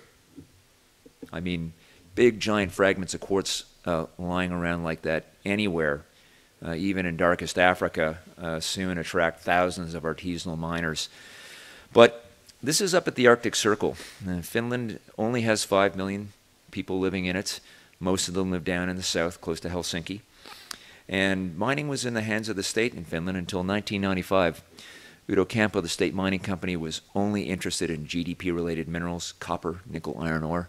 They're a publicly traded steel company today. And so they would find gold, as we mentioned earlier, uh, and archive it, put it in the public databases, free for everyone to see. Uh, but uh, but um, never followed up. So they joined the European Union in 1995, and by stipulation of the treaty, had to begin making Finland more hospitable to foreign investment. Of course, Bre-X happened two years later, and there was very little capital available for the juniors who do most of the exploration work in this business. And uh, in the tiny window between 2002 and the financial crisis, uh, a high grade vein discovered by a construction, a road construction crew, uh, went to Riddarhyttan, a little Swedish company. They drilled it out to 2 million ounces, uh, and it is now Europe's largest gold mine being operated by Agnico Eagle. You can see it in the bottom histogram there, and the central Lapland greenstone belt is the gold one. No coincidence. And if this was any other greenstone belt, the Abitibi or the Norseman, for instance, what you'd see is this sort of smooth, log normal distribution of gold deposits where you have a couple of really big ones, five or six pretty big ones, seven or eight big ones, and then the frequency will will increase as the ounces go down. So why is there just one eight million ounce gold deposit in Lapland and, and just a few small ones? Well, it's not true. Uh, I think we've demonstrated already that there's going to be a lot more gold found there, and we're only in the incipient stages of it. So, there's another interesting reason. Uh, the uh, the Canadian markets, the Australian markets are very efficient. They don't give capital uh, to to capital intensive exploration programs. And if you were at this latitude in Canada, uh, you can see in the lower picture there, that's uh, Committee Bay. Uh, it's, uh, is just pure tundra. There's no trees. Uh, it's a four month exploration season. You need a fly in, fly out camp. You've got to position diesel fuel. And just to get people there and keep them alive costs about $6 million a year. And then additional expenses, millions of dollars often in aviation expenses. So we uh, are, uh, thanks to the Gulf Stream, in a much better place. Same latitude in Canada, but we fly commercial to Helsinki. We fly commercial to Kittilä. You drive on this paved road to within eight kilometers of the Discovery, and you drive on that logging road right to the Discovery. The underlying landowner is Metsähallitus, the state forestry company.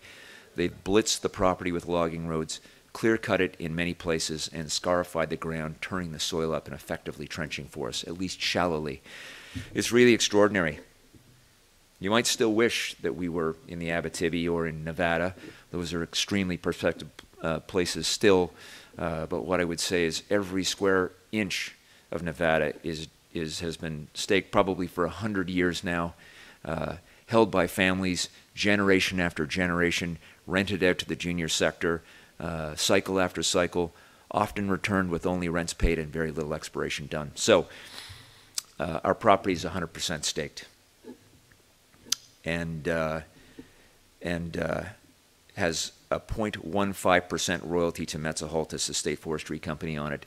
Again, really without precedent to find all this gold on surface, to be able to stake 80 kilometers of a major fault line, to find physical gold, sorry, to find to find high-grade gold in quartz lying all over the surface, and to have it without a royalty in an area where exploration is extremely economical.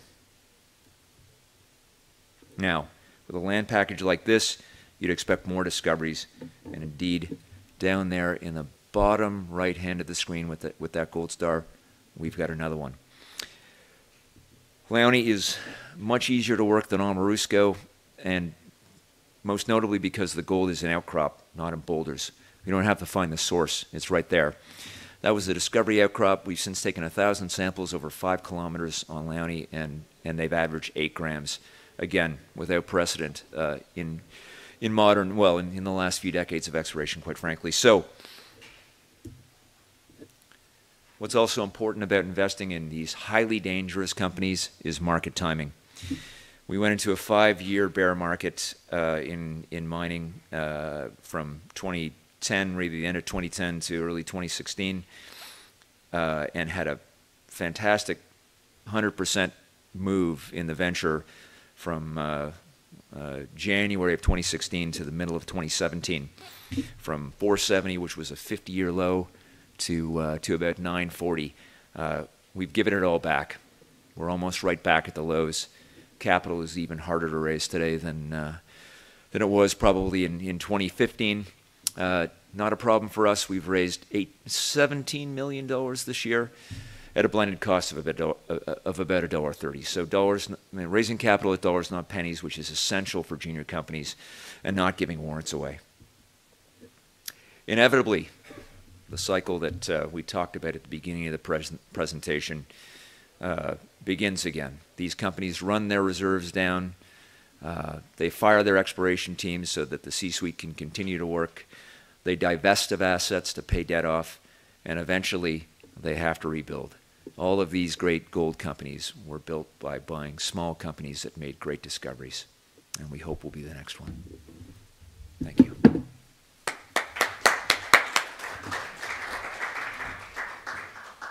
you very much, David. An excellent presentation, sir. Cheers. So we did not have any screen problems. It appears to me, my hypothesis is that, oh, I was afraid that something happened there when we're too long on one same slide, it just seems to go to sleep. So I don't know if the IT guys have a solution to that. So having said that, hopefully we won't have these recurrent problems. So I'm going to go now present our next speaker, Mr. Gabriel Pindar, who is the COO of Neolithium Corp, NLC on the Toronto Stock exchange. So this is a PDF. Control L. So Gabriel is an experienced, uh, I would say, um, developer I appreciate his experience in the lithium industry. He's very knowledgeable, but also is aware of the cost of, uh, or the estimations of cost and the cost of building um, world-class operations or even mines. So I believe his acumen and his, uh, his insight is most interesting. So he's going to present us uh, the Cuadra Ras lithium project in Argentina. So Gabriel, hopefully everything will go right. Good morning. Any advice I shouldn't touch something here? I think uh, if, don't move this, because this is the sensitive part. Okay, excellent. Well, good morning. Um, I, I always listen with a lot of interest um, gold projects, and, and, and I find it interesting um, how people want to invest in gold, and they, they want to find an angle, and they want to find um, gold projects that are uh, better grade and everything. But sometimes they miss out other opportunities that are providing better returns. So I'm here to present you one of them. Um, this is our Tres Quebradas project um, in Argentina. It's a lithium project. Um, just to, to go quickly, I mean, you probably heard, and I mean, lithium is uh, was the one of the preferred commodities a year and a half, two years ago. Not the preferred commodity today. Um, lithium price has come down because there is quite a bit of supply on the market, which is great. Um, that's exactly what the market wants. Uh, they want cheap lithium so you can have actually a cheap battery, so you can have a cheap electric car and not a $100,000 or $200,000 car.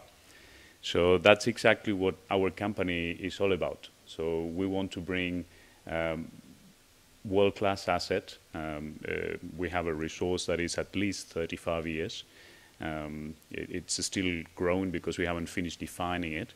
Um, so the reserves that we have identified today are 35 years. The resource is probably good for 100 years.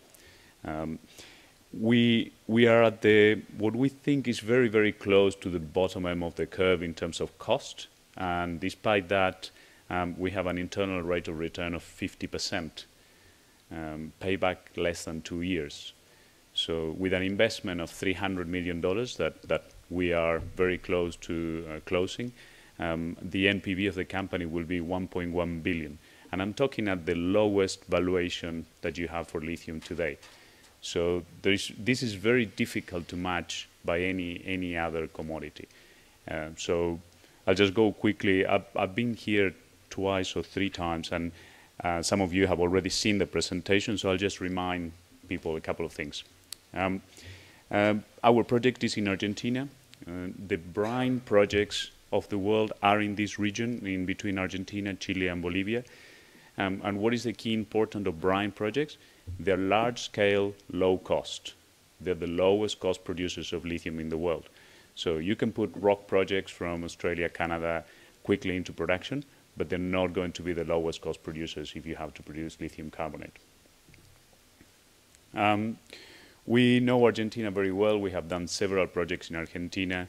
In a, we we own 100% of the of the property. Um, we are fully permitted, so we have uh, complied with almost all the requirements from the government so far. The last part the government is asking is for us to complete financing before they grant us the final permits. They don't like approving things without you having uh, final financing.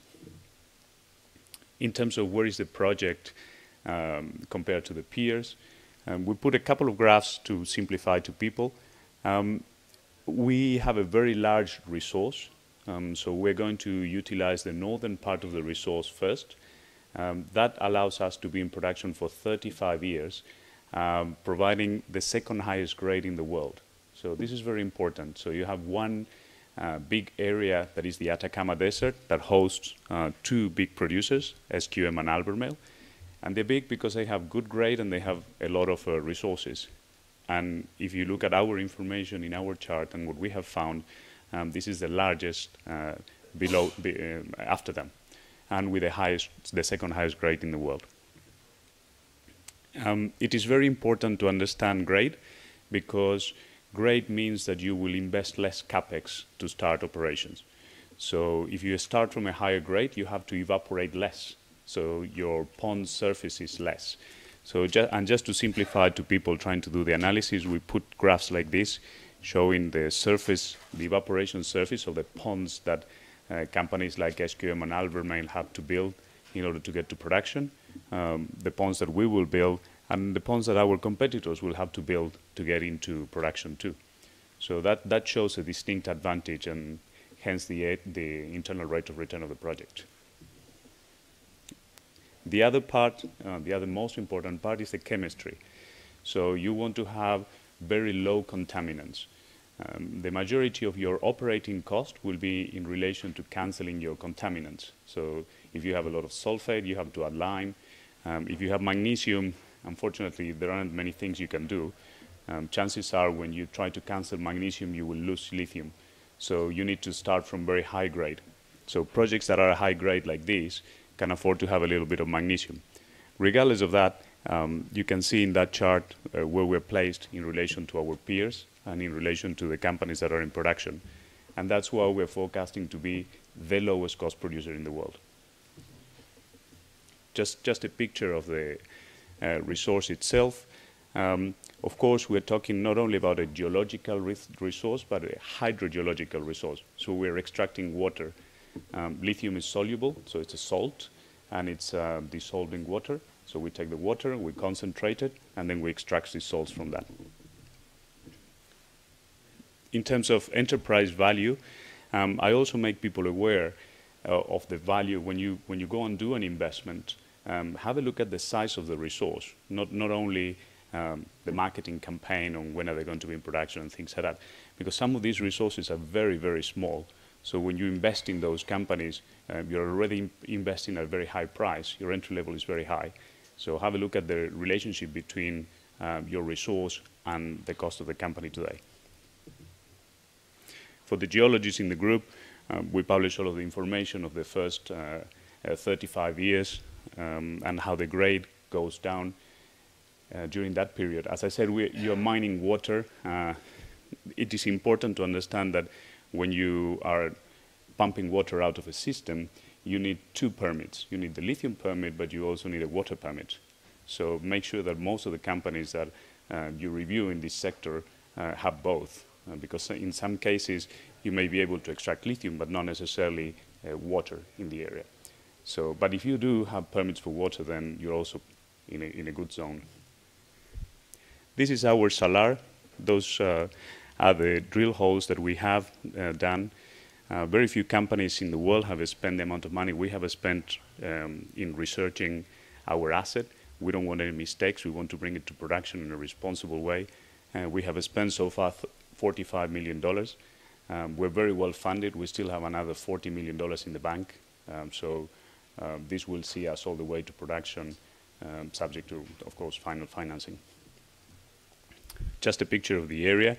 This is not fresh water. This is brine. So if you just imagine you're looking at a, at a brine surface, so, so this is salt water, um, has a pH of 4, it doesn't have any value, so you, you cannot drink it, no animal can drink it, you will not see a plant, you will not see anything. This is acidic water, um, very, very uh, high in all kind of salts. It has a lot of potash also. Um, we're also going to look at uh, potassium chloride as a, as a sub-product of, of lithium in our site just the work that we have done lately. So you're extracting water, so you want to prove that you can extract water at the right rate, so you can keep your ponds full and you can keep the evaporation rates. Um, so that, that's what we have achieved.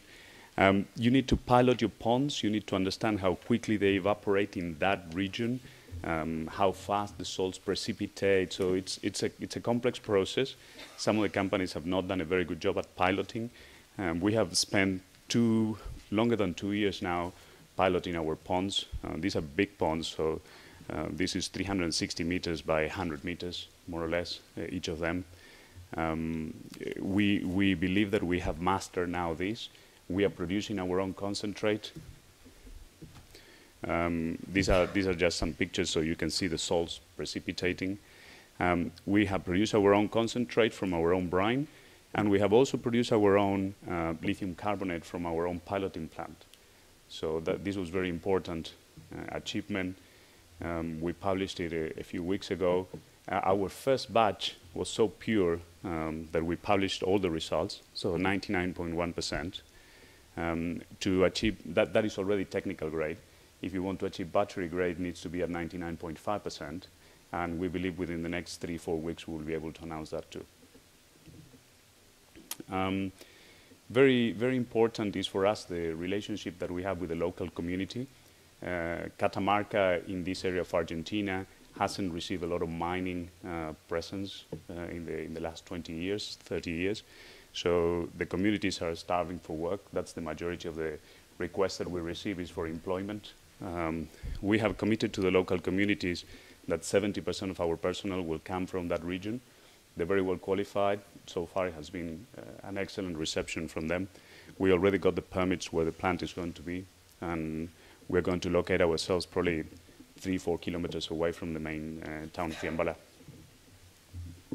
So as we said, very impressive numbers. Um, very, very low capital entry because of their high grade and very good chemistry. So $320 million. Internal rate of return of 50% almost. Um, 1.1 billion NPV at today's price, so at the lowest part of that curve. Uh, if you start putting prices from a year ago, that goes very quickly to $2 billion. So this is what I was talking about being the lower cost producer. So we're forecasting to be the lowest cost in the world uh, today. Um, and you can see the brine uh, projects being in the lowest quartile and the rock projects being in the highest quartile. So what we, have, what we have achieved so far, um, we have completed our pre-feasibilities, we have established the reserves, we have done three drilling campaigns, we have more than 35 years of resources, so we're not looking at five years or 10 years. Um, this is already a reserve of 35 years, and we believe it's going to be a lot larger in the future. Uh, the resource is, is, like I said, for almost 100 years. Um, our next step is to achieve financing. Um, we are in the final steps of that. Of that. Uh, we will JV with a, with a company that has similar objectives to us. Uh, we, we don't really prefer uh, customers. Um, we would prefer to partner up with a mining company or a chemical company um, that, that is more aligned to our objectives, and that's what we have been pursuing. So what can investors uh, expect? There are two companies in the market that have achieved what we're about to achieve. Um, one is Orocobre, that has already started production, and the other one is Lithium Americas, that is going to start production next year. Um, these are the only two brine companies in the world um, that have achieved that. And you can see the multiples on the moment they started, um, the lithium market price, and from the moment they achieve financing. So usually these, these companies get really appreciation once you um, announce that you are fully financed to construction. So that's, that's what we can expect in the next few months. Um, we have very good and patient institutional shareholders. Um, BlackRock and JP Morgan have been there all the way through. Um, we have um, RB Mackenzie's brought as, as other uh, key uh, investors into our group. Um, our management team still holds 16% of the company. Uh, we don't want to dilute ourselves, um, so we're protecting shareholders' interests. And as I said, we're expecting financing at um, JV level, so not through capital raising. Um, history and timeline. I think our team is, is, is quite experienced in many ways. Um, Waldo Perez was the creator and founder of uh, Lithium Americas initially. Um, myself, I have been working in the, in the mining industry for the last 27 years. Um, I work for engineering companies like Bechtel and Fluor and Hatch. Uh, and then I work for owners team like BHP Billiton and ArcelorMittal. Um, what we have found is really a world-class asset, and that's why we're working to develop it. So that's the team. Um, Constantine, our chairman, is very, very uh, well known in the market. Uh, he was the creator and CEO of Molycorp, um, very well connected in China. Uh, those are key connections if you want to develop this project to the future. So uh, in summary, um, I, I, know most of you would probably prefer uh, gold, uh, but this is a quite interesting commodity. I think if you get in at this stage, you are getting it at the bottom, so you can only see the upside uh, going into the future. If you have any other questions, I'm happy to see you. I'm out in the booth. Thank you very much. You, It worked. Thank you very much. Cheers.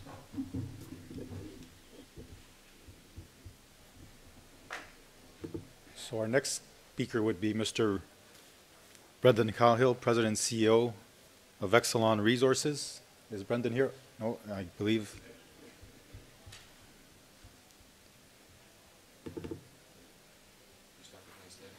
Right.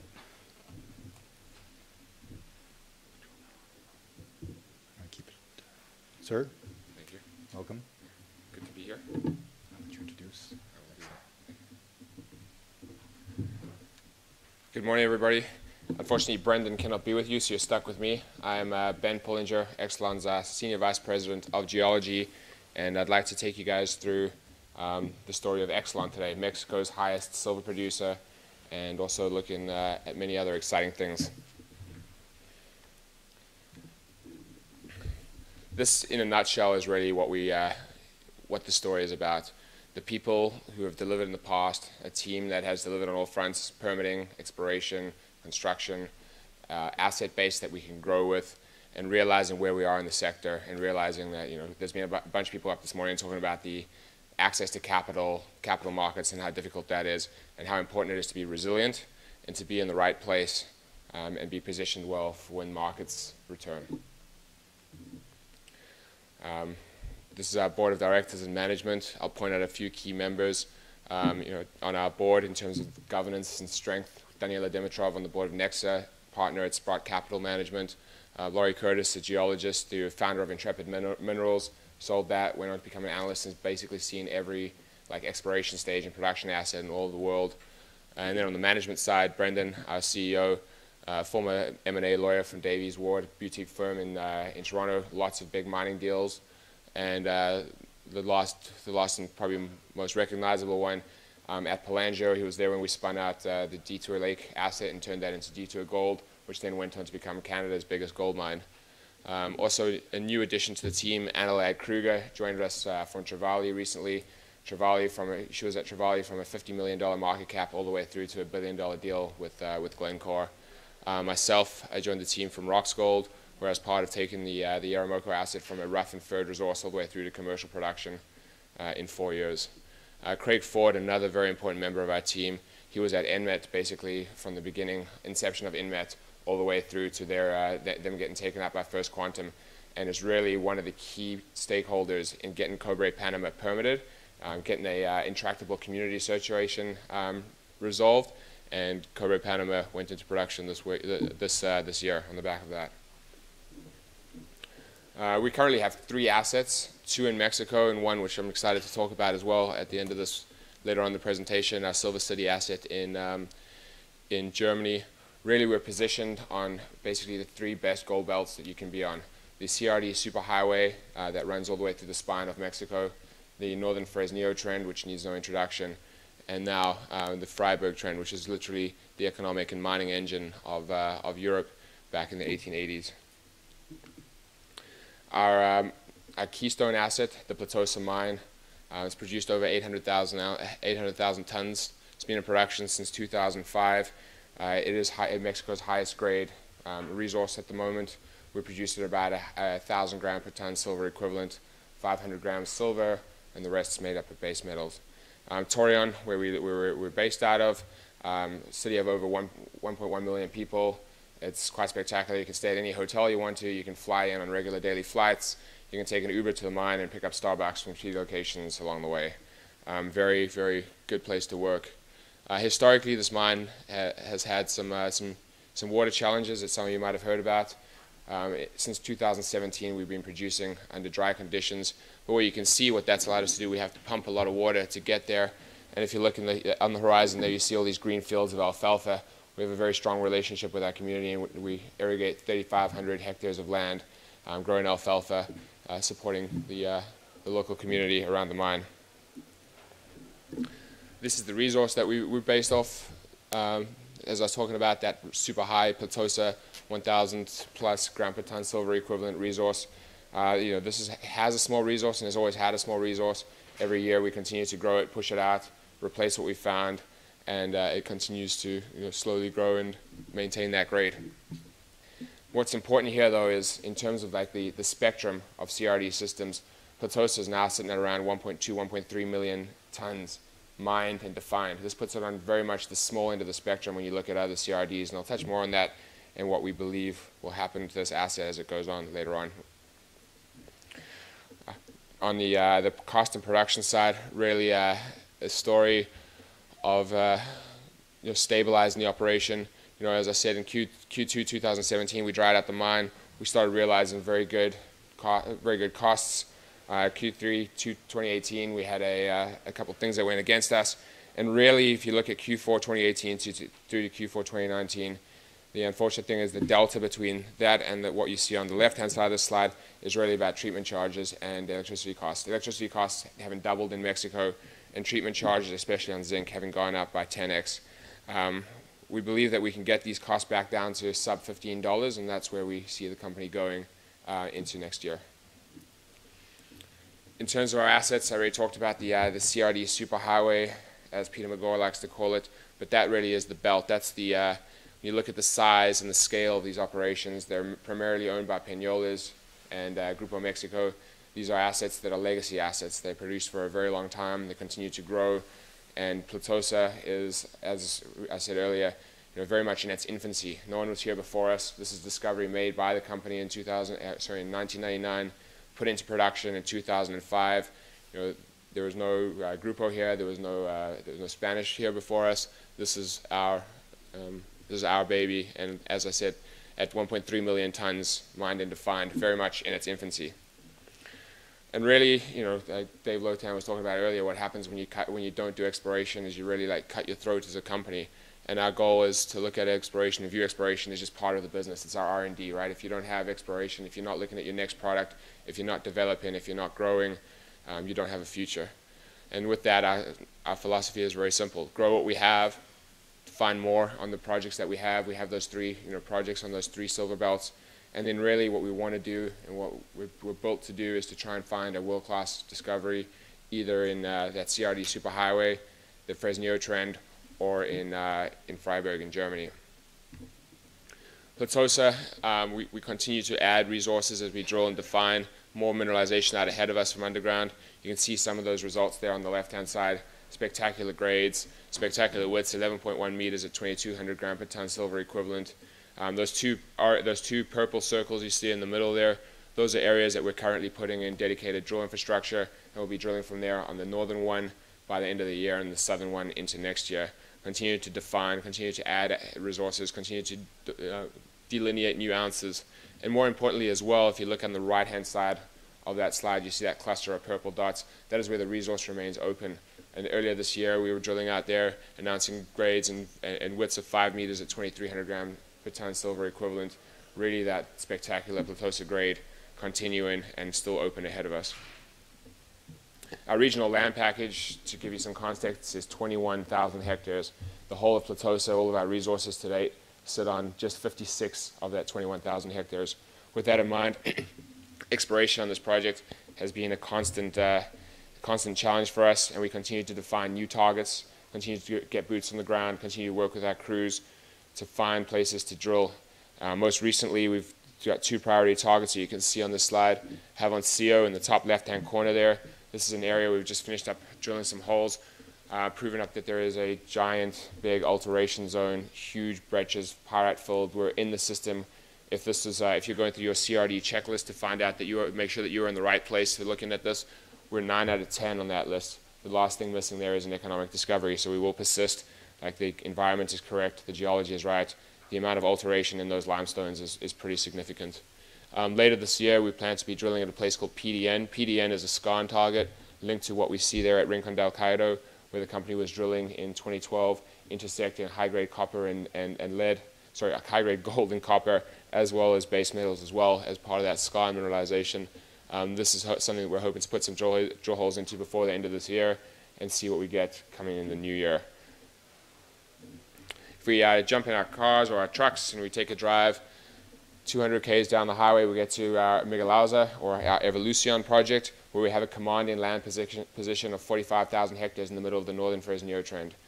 Uh, the, Fresnillo Trend needs no introduction, 5 billion ounces mined to the south, you know, basically from San Luis Potosi all the way up to, to. Uh, what's very interesting though is once you get to the north of Fresnillo, this belt disappears into cover. It uh, pops up at a couple places, and you can see a few windows there. And where it pops up out of cover, they are generally projects. Um, where we are in the land package that we have and what we're seeing around us is mainly exploration under cover. And a really good example of the, the riches and what you can find in this part of the world is the, uh, the story of San Sebastian. San Sebastian was, is a Hecla mine. Um, Hecla put into production. It has been their top cash flowing asset. And uh, it was found a 10 kilo per ton silver vein under one meter of soil in a farmer's field. This is the riches, and this is what we're, taught, we're looking for in this part of the world, and this is why we have that, that land package there. As well, on top of that, we have a, a former producer, a 30 million ounce uh, resource that we're busy working on growing, and we have our mill there, and uh, I'll touch on that and this, the significance and the strategy, strategic uh, value of our mill later on in this presentation. Um, to the end of last year and early this year, we started exploring around that historical resource. So that historical resource there came into the company in 2009 when Excellon took over Silver Eagle, who had just uh, started to build the Calvario vein or Calvario mine. Um, they ran out of money. Excellon acquired them for, uh, for, for $4 million of stock, got a brand new $15 mill, a whole bunch of losses carried forward in that 30 million ounce resource. We've gone back and been exploring in that area, and the result of that is we've started to intersect a very large bulk tonnage zone of mineralization, seeing stuff of consistent mineralization like 153 meters at 1.2 grams gold equivalent or 1.1, 101 grams silver equivalent with higher grade within that. We've currently got this zone defined to in excess of 800 meters along strike and in excess of 800 meters um, at depth. Just to give you though a bit of a bit more context, if you look at that historical resource, that's 30 million ounces. Um, that section across from the top of that to the top of those drill holes is 1.2 kilometers. This is a very big system, and we're busy testing to see how big it is, with the intention of hopefully being able to take it up to resource, where we believe it will underpin a, uh, a very big silver equivalent resource um, that is currently not reflected in our share price. Miguel Auza is, this is a, a, picture of our mill. This is the mill that we acquired from Silver Eagles, uh, Silver Eagle in 2009. We've done a fair bit of work on it over the years, but it's a very strategic asset as it is the only mill in that part of, uh, of the Fresnillo belt. Uh, we currently have a toll milling agreement with, uh, with San Sebastian as they ramp up and develop their underground, their sulfide ore, um, we are taking uh, delivery of that, toll milling it for them. We're currently in a bulk, uh, bulk sample stage and hopefully rolling that into a full commercial agreement with them next year, which will be about three to five million dollars US um, attribu attributable to us as part of that deal. Uh, last but certainly not least, um, I'm going to pause here and just uh, sometimes remind myself this. There's not a lot of places in the world that you can go and find a 164 square kilometer uh, intact gold system and pick it up with nobody else around you as we have done here. Um, Saxony, um, probably very little known but very mining friendly jurisdiction. Um, the dots that you see there, those are all mining projects and various commodities between private and, and junior companies.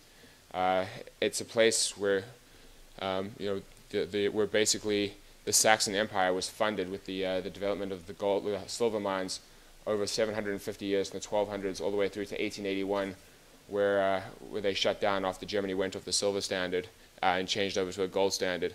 Coincidentally, and uh, very interestingly, a lot of these guys left Freiberg, where they were mining, uh, headed over to North America and Mexico, and actually ended up modernizing and industrializing the, uh, the Mexican silver mining industry. But this is where they came from. These mines have been um, in production for hundreds of years, produced over 400 million um, ounces of silver, and they're very, very far from done. Um, a lot of them shut down with the, uh, the decline in the silver price due to water pumping and just lack of economics. But these things only went down you know, 80, 100, 200 meters at depth. And what's very important and very, very cool about this project is the amount of information that we have in it. The University of Freiberg is located five kilometers away from this project, and it's been, it is the world's oldest mining technology institute and university. Um, for hundreds of years, they were collecting samples from each of each one of these mines, keeping them on archive, and we have we have access to those samples, so we know what the veins look like, we know what the mineralization looks like, we know what the mineralogy looks like. You know, the University of Freiberg has done petrographic and fluid inclusion studies on this, so the amount of information that we have before we go and put our first drill hole into this is already well ahead of the game and, and pretty staggering. Um, you know, we have lots of records as well from these mines, knowing that they produced anywhere from a half meter at you know 3,500 3, gram per ton silver, not being not assaying for gold or zinc back in those days, um, up to some, some areas where they shut down in uh, 10 meters of 1,000 grams per ton silver. This is a spectacular silver district and uh, it fits very well into our portfolio. We're hoping to be, uh, we're in the process of putting a, a, work plan together and look forward to drilling here uh, hopefully by the end of Q1 Q2, or into Q2 next year. Again, just can't talk more about the, uh, can't talk enough about the, uh, the support and infrastructure in this area. In addition to the University of Freiberg, there's also the Helmholtz Institute of Freiberg, which is a higher technology institute funded by Brussels and Berlin with the purpose of bringing investment into technology and investment into mining into Saxony. Uh, this, is, this institute is uh, located like very pretty much next door to the university, the, the Freiberg University. They share resources, they share students, and uh, you know this is a mining city. This is a mining town. Very proud of its mining heritage. Just to wrap it up, this is our, uh, our capital structure. Market cap sitting around $100 million at the moment. Um, it, in uh, August of this year, we closed an $11.5 million um, deal. We have about $9 million at the end of the quarter in working capital and very well supported by strong shareholders. Um, about 35% of our float is out of Europe. And then Eric Sprott, who is our major shareholder, owns 20% of the, uh, of the company. Um, good, good, uh, good volumes, good liquidity as well, and good coverage out of Cantor, Cormark, and PI Financial. And with that, I'll leave you on this final slide. This is really what it's all about for Excellon when it comes down to it. Our vision and what we want to do in life is create wealth for our shareholders, for our management, for the people that work for us, for the stakeholders, for anybody that comes interact, in, into interaction or interacts with Excellon. This is what the, uh, the ultimate goal is. Thank you very much for your time. Thank you for listening to the story Excellon. Thank you very much. Very good presentation. Yeah, and uh, indeed, uh, Ben, I find the Silver City asset most interesting, and to me, the message I get from there is that you know, this is a past producing district, historical, in the heart of Europe.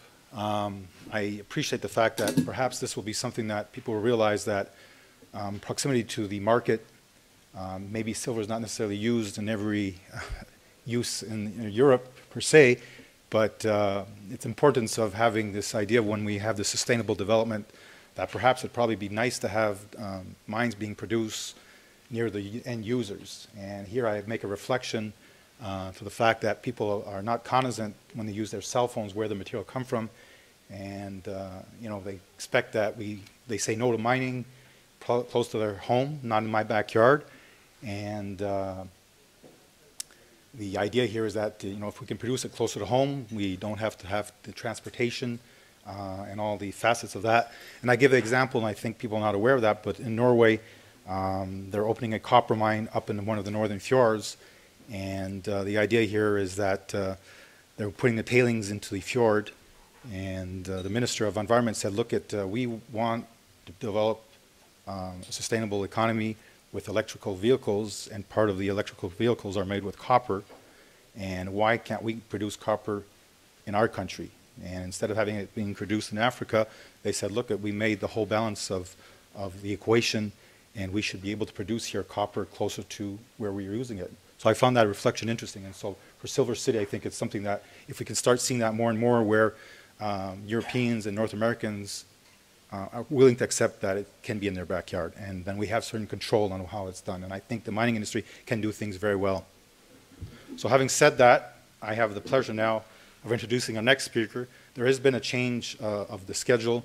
Um, Integra Resources were supposed to uh, pre present, but unfortunately uh, they were not make, able to make it over here.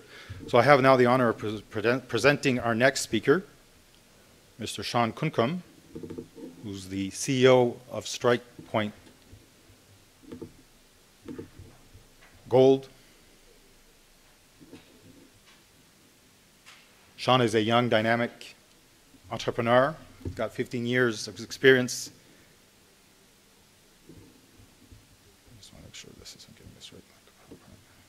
in the um, mining industry. He's passionate. Am I getting this right? Excellent. Based out of Vancouver, and StrikePoint has assets in the uh, Golden Triangle of northwestern BC and also in the Yukon. So Sean, Floor is yours.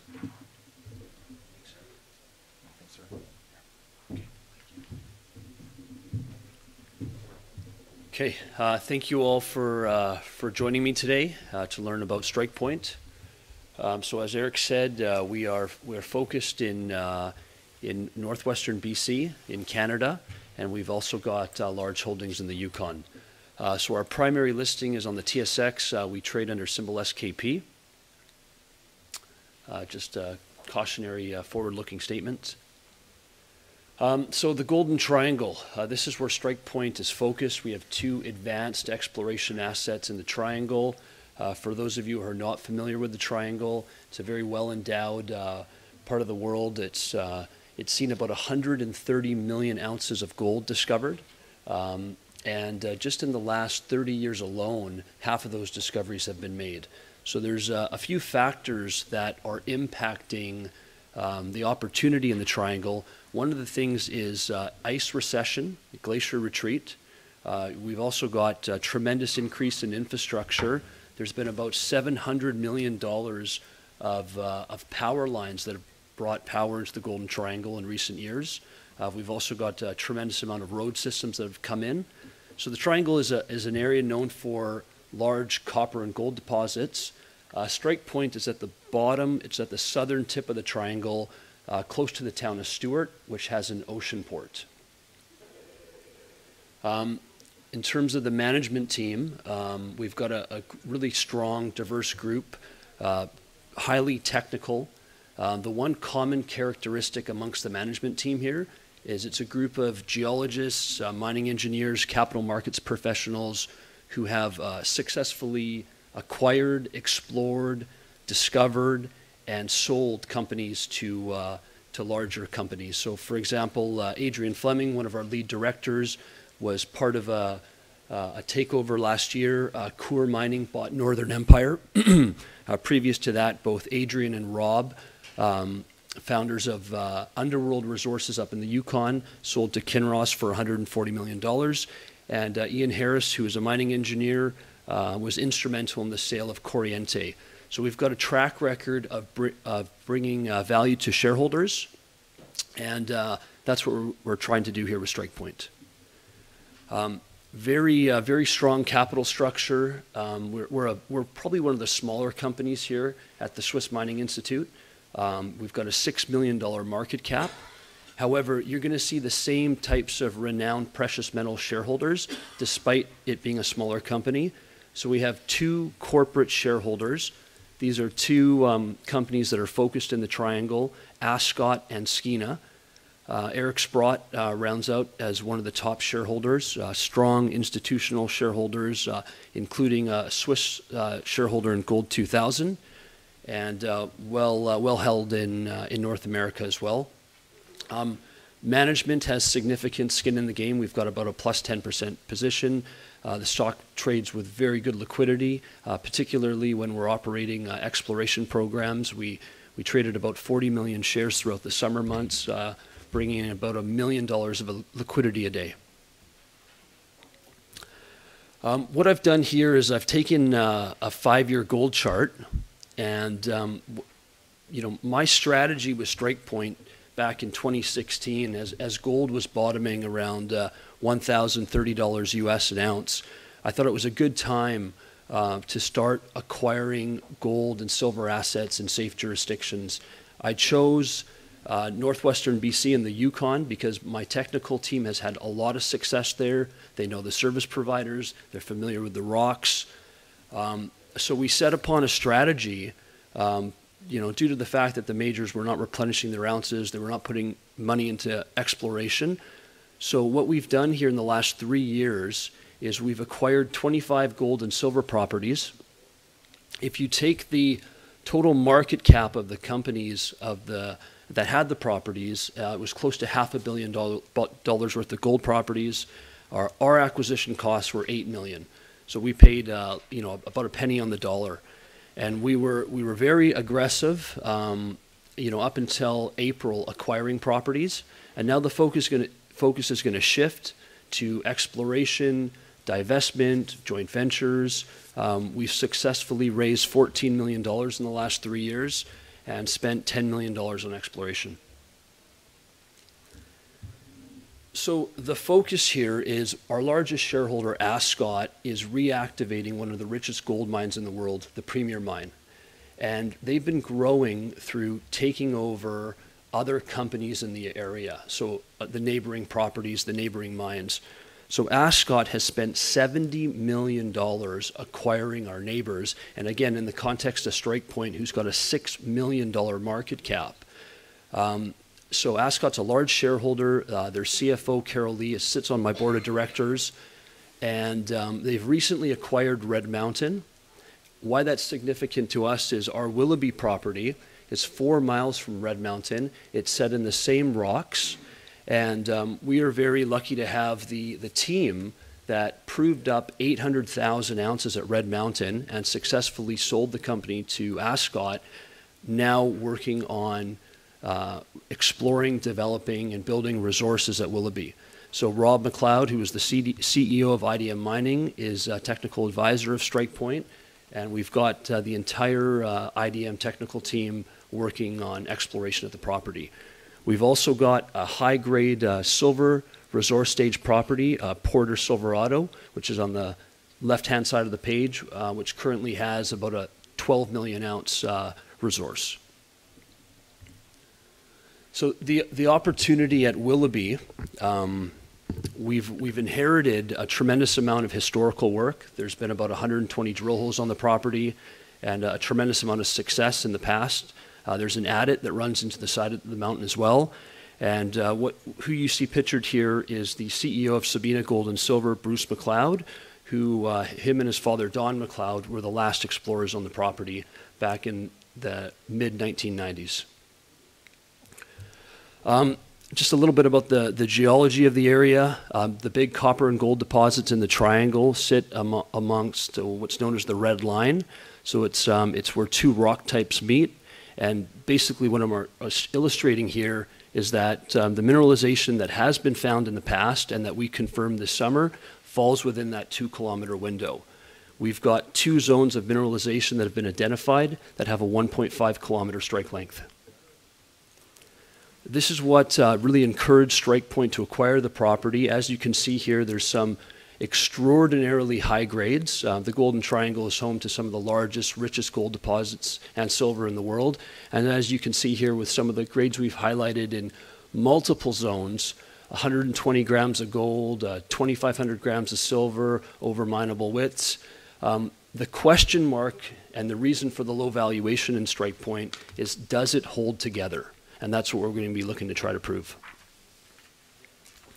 Um, with our maiden drill program this year on the property, we drilled 2,000 meters focused on uh, two areas on the property. As you can see, this is rugged, steep terrain. Um, we've got some of the best exploration IPs that are built for, for projects um, that, uh, that have these types of challenges. And this is quite common in the triangle, looking at uh, successful operations like Brucejack, uh, some of the other uh, very successful projects. They, the, you know, very, very similar uh, types of terrain. Now, this is just a drone image here, um, just giving you a look here at uh, drill pad. Um, let's see here. Oh, going back here. Okay, so this is what we accomplished this summer. So if you can see here in the center of the page, a lot of the historical work was in the center.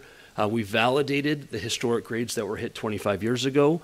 But more importantly, if you look at the right-hand side of your page, we stepped out 100 meters and hit 26 grams of gold, 95 grams of silver over four meters. So we're successfully, you know, with just a, a very small drill program, um, successfully expanding the known area. Uh, we've also got um, three holes to report from the phase one drilling, so we've only reported 50% of our drill results. And the second phase, again, we're finding gold in every hole, ranging from one gram to 100 gram gold, uh, and we've got another three holes to report from the second phase. In addition to the drilling, we did a tremendous amount of surface work, understanding some of the controls of the property, uh, the surface, um, the surface program was focused on the margins of where the ice is melting and receding. Uh, we're finding, you know, we're the first humans to walk these areas that are newly exposed. We're finding gold values and silver values up to 70 gram gold, up to 300 gram silver. And um, what we have pending is we have some, we took a rock saw into the property and we've got some channels that are pending. In addition to Willoughby, we've got uh, the Porter Project, which is two past producing silver mines. It overlooks the town of Stewart. It's two kilometers from Stewart. Exceptional high grades. Uh, the opportunity here is this sat in a private company from 1978 to 2016. We acquired the property from Skeena Resources in 2018 as they're focused on Eskay Creek. And the opportunity here is you had two independent groups that were producing from either side of Mount Rainey.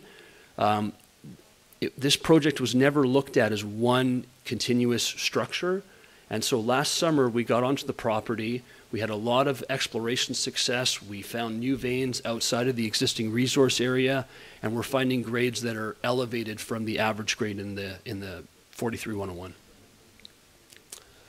Um, lastly, in addition to the advanced stage exploration assets in the triangle, uh, we've got a very, very famous portfolio of properties.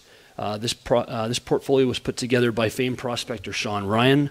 Uh, Shawn Ryan uh, was the prospector behind uh, the Golden Saddle deposit, which was acquired for $140 million, um, behind Coffee, which was acquired for half a billion dollars, um, what this portfolio represents is 22 of Shawn Ryan's properties that have seen about $32 million worth of exploration grooming. So we are truly in elephant country here. Um, if you look at some of these projects, they're you know 80 kilometer by 20 kilometer trends. Um, on the Golden Ollie package, we've identified eight intrusion-related gold systems. So what this gives Strike Point is it gives us optionality, it gives us opportunities to joint venture, divest. We've got large holdings around where Victoria has recently taken a mine into production. Uh, we've got large holdings south of the White Gold District. And the nice thing about this portfolio um, and being in Canada, um, it's in good standing for the next 10 years based on the amount of work that was done in the past. So we don't have to spend any money keeping this in good standing. And then last slide, uh, we, you know, we truly have uh, a commitment to the local communities, the First Nations, uh, the town of Stewart. Um, uh, you know, we've got a, a, very, very, very strong ties with the uh, local workforce. So, I, again, just in closing, I want to thank you for the opportunity, and I just want to stress the fact that, you know, in, in my in my history, in my opinion, in a normal market, um, you know, I know a lot of the companies here are undervalued, but if you look at just the acquisitions we made, we're trading below those acquisition costs. Uh, we've got cash in the treasury, um, and uh, you know, just I, I think it, it, the the current share price, the current valuation is uh, just tremendous opportunity. So, thank you, Eric. Well, thank you, Sean. Thank you.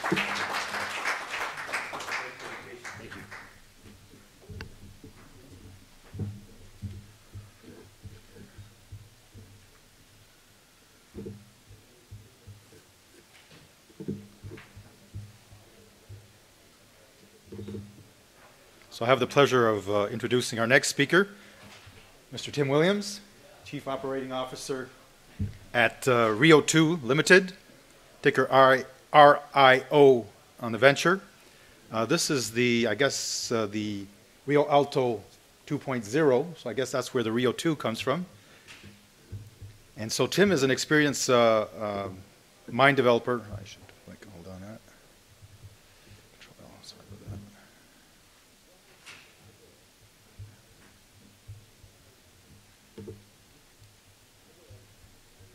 Okay, I think I got that right. He's got 20 years of experience, particularly in Australia and Peru and in Africa. So very experienced. And uh, this is in the operations uh, sector. So, Tim, floor is yours. Thanks, Eric.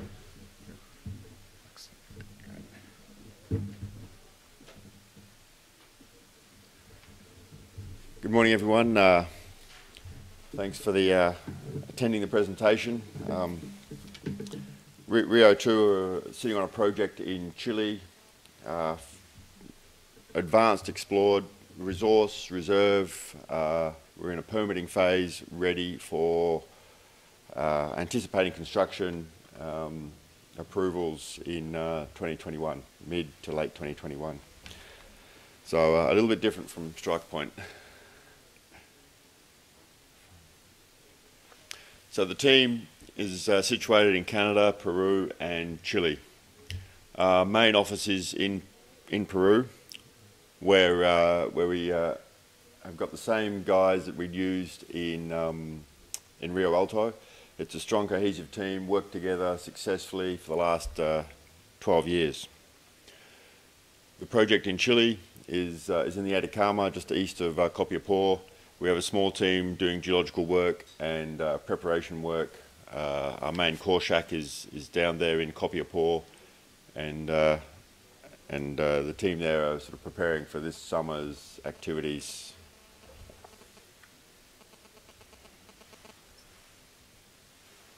Oh, there we go. So, um, so the argument for Rio 2, I guess we like to centre it around the uh, the oxide gold resource we have, one of the largest in the world, five million ounces in resource, uh, relatively uh, comfortable location. It is at altitude, but the terrain is very workable.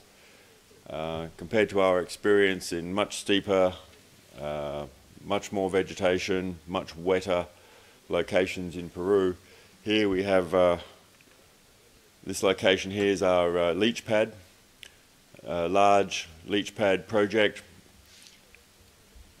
The mining uh, mineralized zone up in the top of this hill, uh, it's a volcanic breccia and crushing station, conveying to leach pad. The, the construction will be cheap, the construction will be quick and very simple. To that end, uh, we've proposed a fast track. Um, our recently um, published PFS study has a reserve of 1.8 million ounces of the resource of 5 million. Um, we, have kept that reserve at that number so that we can fast track permitting primarily being in the Atacama, water is a major uh, um, bottleneck or an issue to, uh, to develop mining projects. Uh, we have a, a, solution to that that uh, hasn't involved any uh, environmental permit requirements. Uh, our PFS, typically we're, we're mining engineers, we don't like to be wrong. We've been fairly conservative in our PFS. We've used cost structure probably uh, significantly higher than what it will be.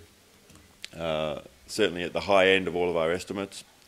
We've used the recovery values uh, middle of the road for all of the metallurgical test work we've done. And uh, uh, we think our PFS is probably in the low end of what our outcomes might be.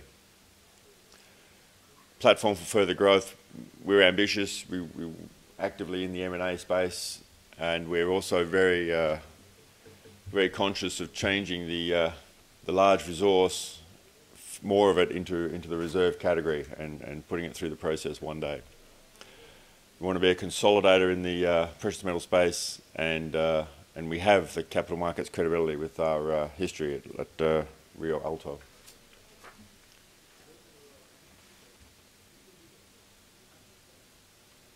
Batteries might be fading on me.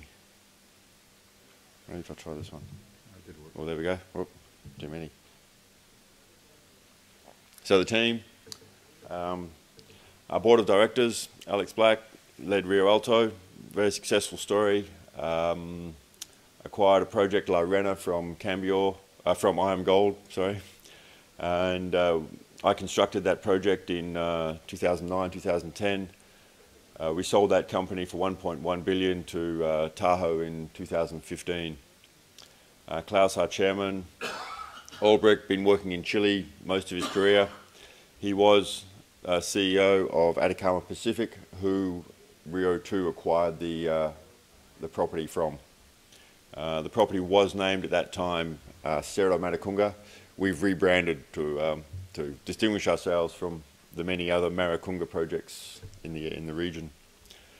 Uh, Drago Kisic, um, an economist uh, based in Peru, in Lima, uh, Sydney in uh, Toronto, lawyer, Ram in Toronto also, um, governance, um, was chief of uh, Ontario Tax Commission, and um, Dave Thomas, mining engineer. A good spread, good diversity in our board. Um, a lot of history together with this team. Uh, all of us the same group that built the uh, La Arena and Shahuindo projects in Rio Alto.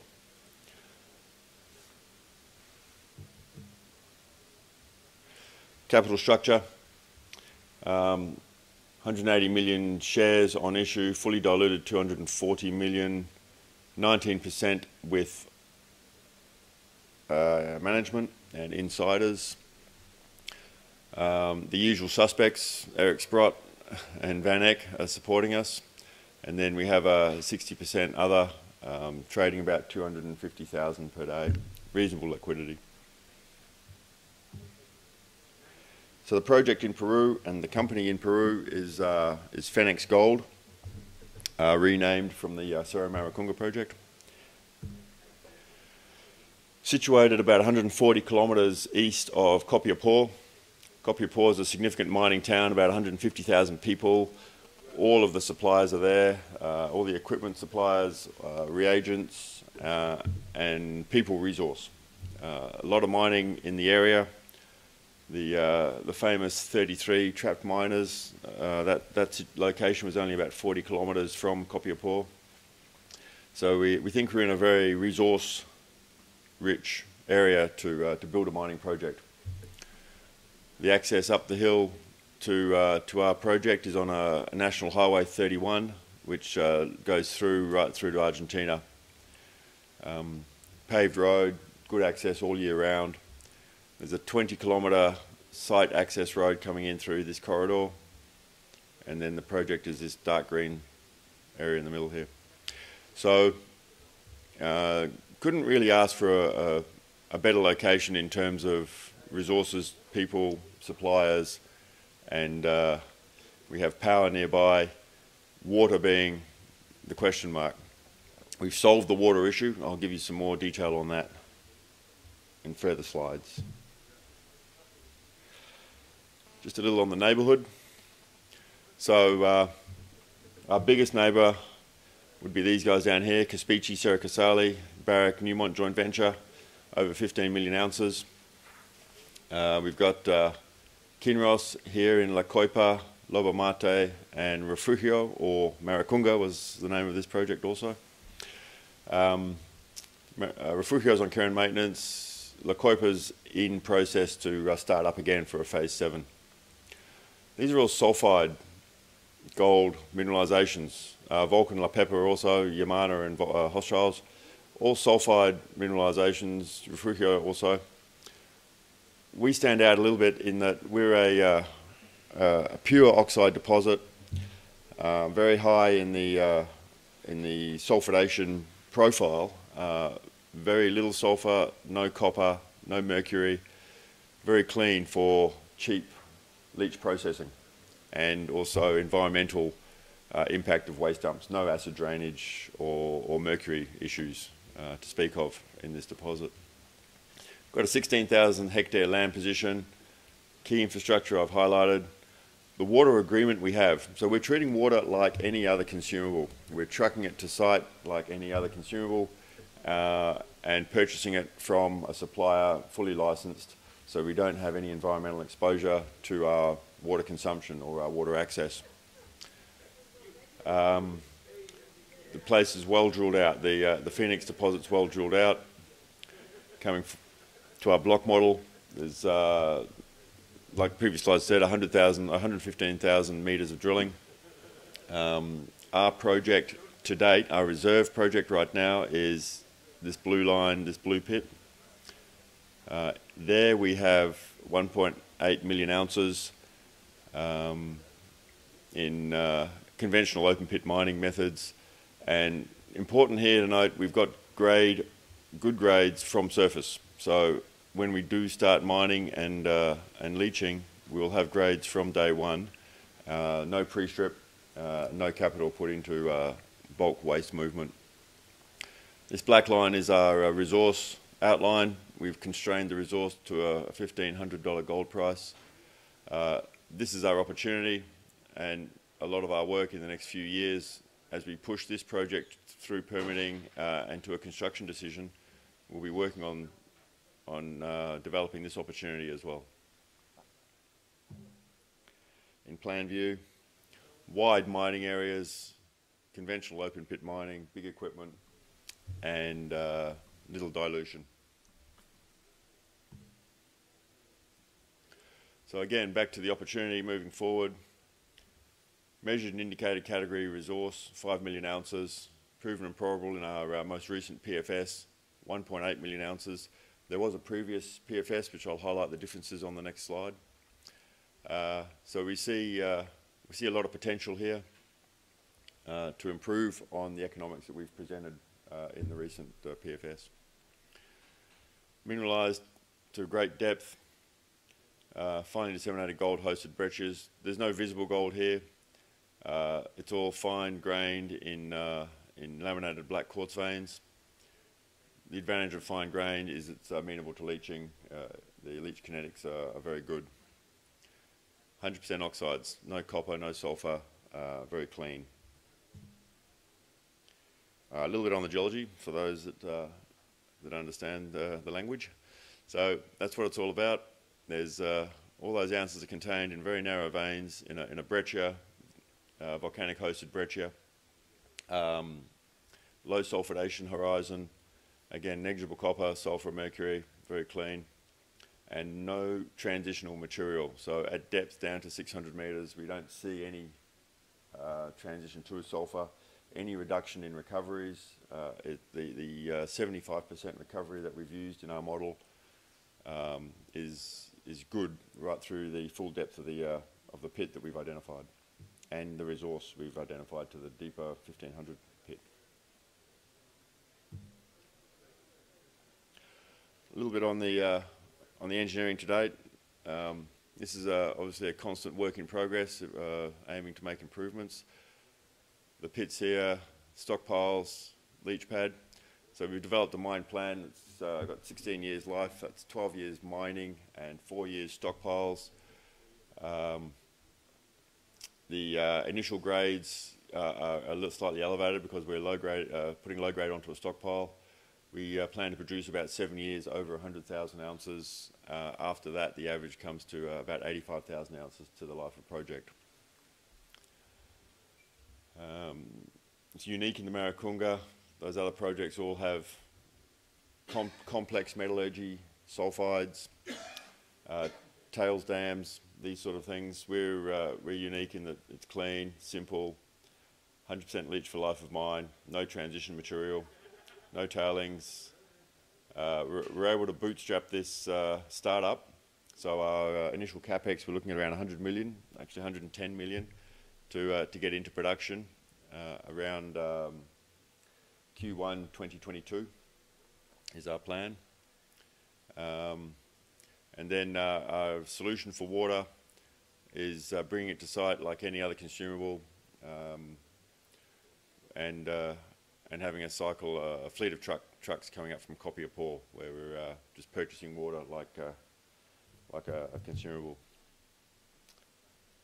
The, um, I'll get, I'll get into some of the benefits or some of the upside work that we've been doing to, to improve on these numbers. But So historically, 2014 there was a PFS uh, a large project was identified, 300 million tonnes with a 400 million capex, producing about uh, 230 million, uh, 230,000 ounces per year.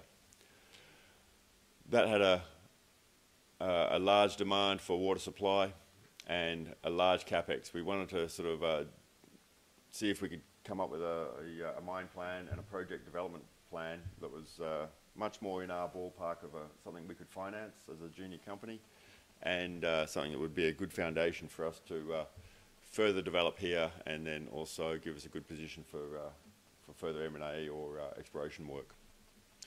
So our project, as uh, recently published, 115 million tonnes higher grade from 0.4 to 0.49 overall, lower strip ratio, uh, 0.81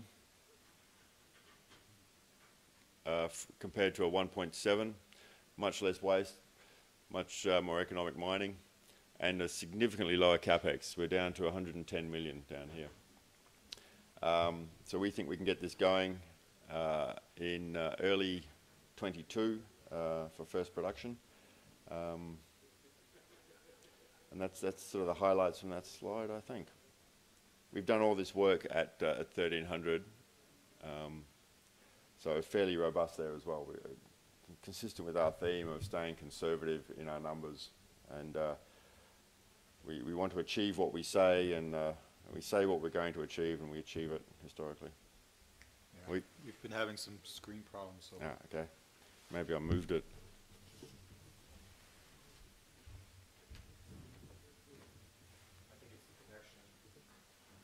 Right at the best bit. Sorry about that. That's all right. Yeah, it's really a screen connection, because I can see the stuff over here. Yeah, I think, I don't know, touch that anyways. We'll- No, I did, yeah. Yeah. That's what it was. So I definitely think this is the, uh, the issue. So what, it's very important.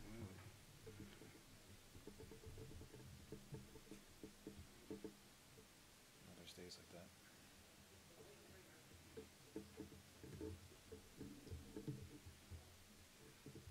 Oop, Something, something stopped, huh?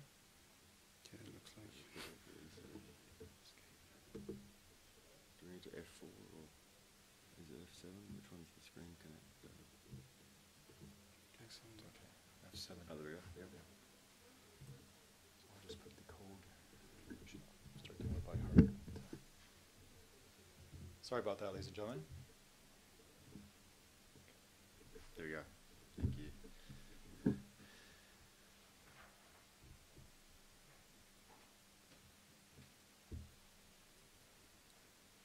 Alrighty. So you might.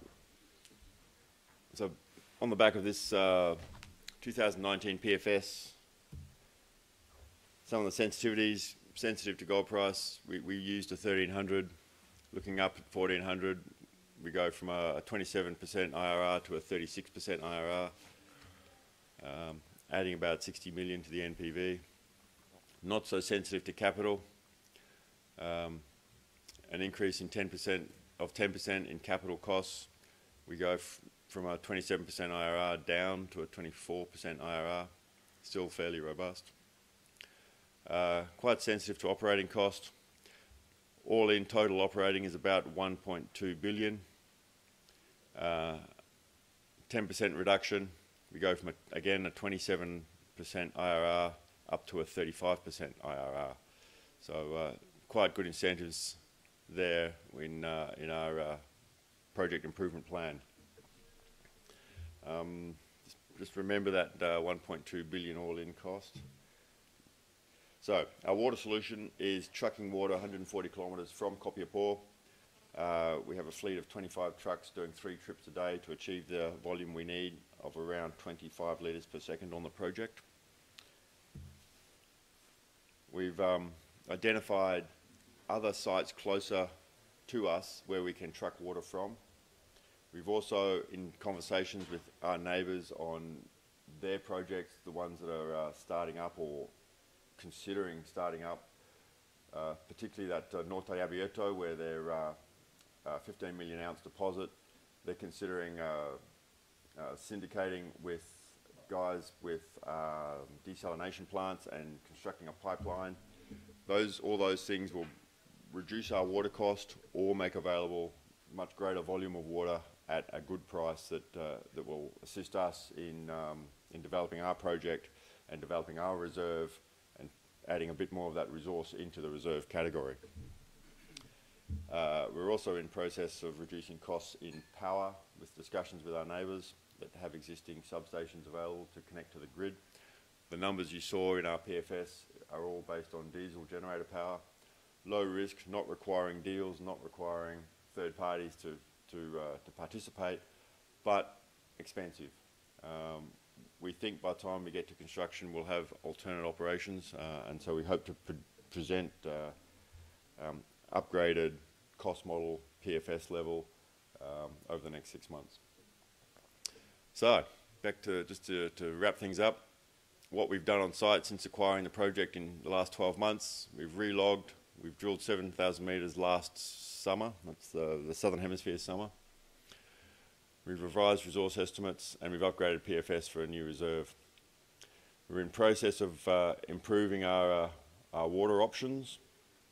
We've completed our baseline study and we've prepared, we're in process preparing the environmental documents for submission in February 20, uh, 2020.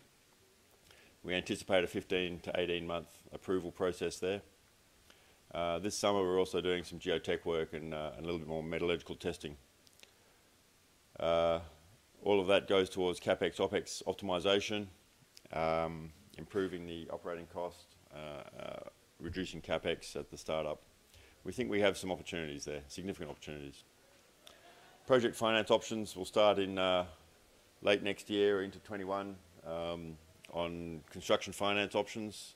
We'll start uh, strategizing and, uh, and seeing how we'll do that and also who wants to be involved with us. Permit activities, permitting activity is always ongoing. Um, so far, we, we, think we've got a fairly straightforward project, easy for the authorities to understand, very conventional open pit. Chile's a mining country. Uh, we've had preliminary meetings with authorities in the, uh, in the local province and at the national level, um, and all the indications are very positive. So I think, thank you very much. Any Thank questions? You very much, Tim. Thank you. That's all right. Yep, cheers. So ladies and gentlemen, this concludes the uh, morning session. So it's the coffee break, and we'll reconvene at 11:15. So thank you for your attention.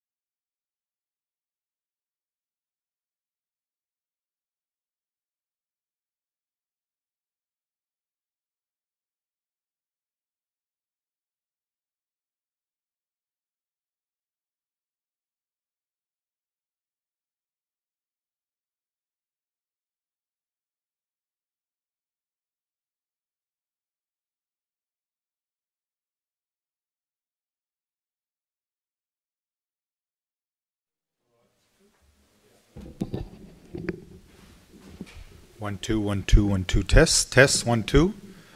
My name is Eric Lemieux. One, two, one, two, test, test.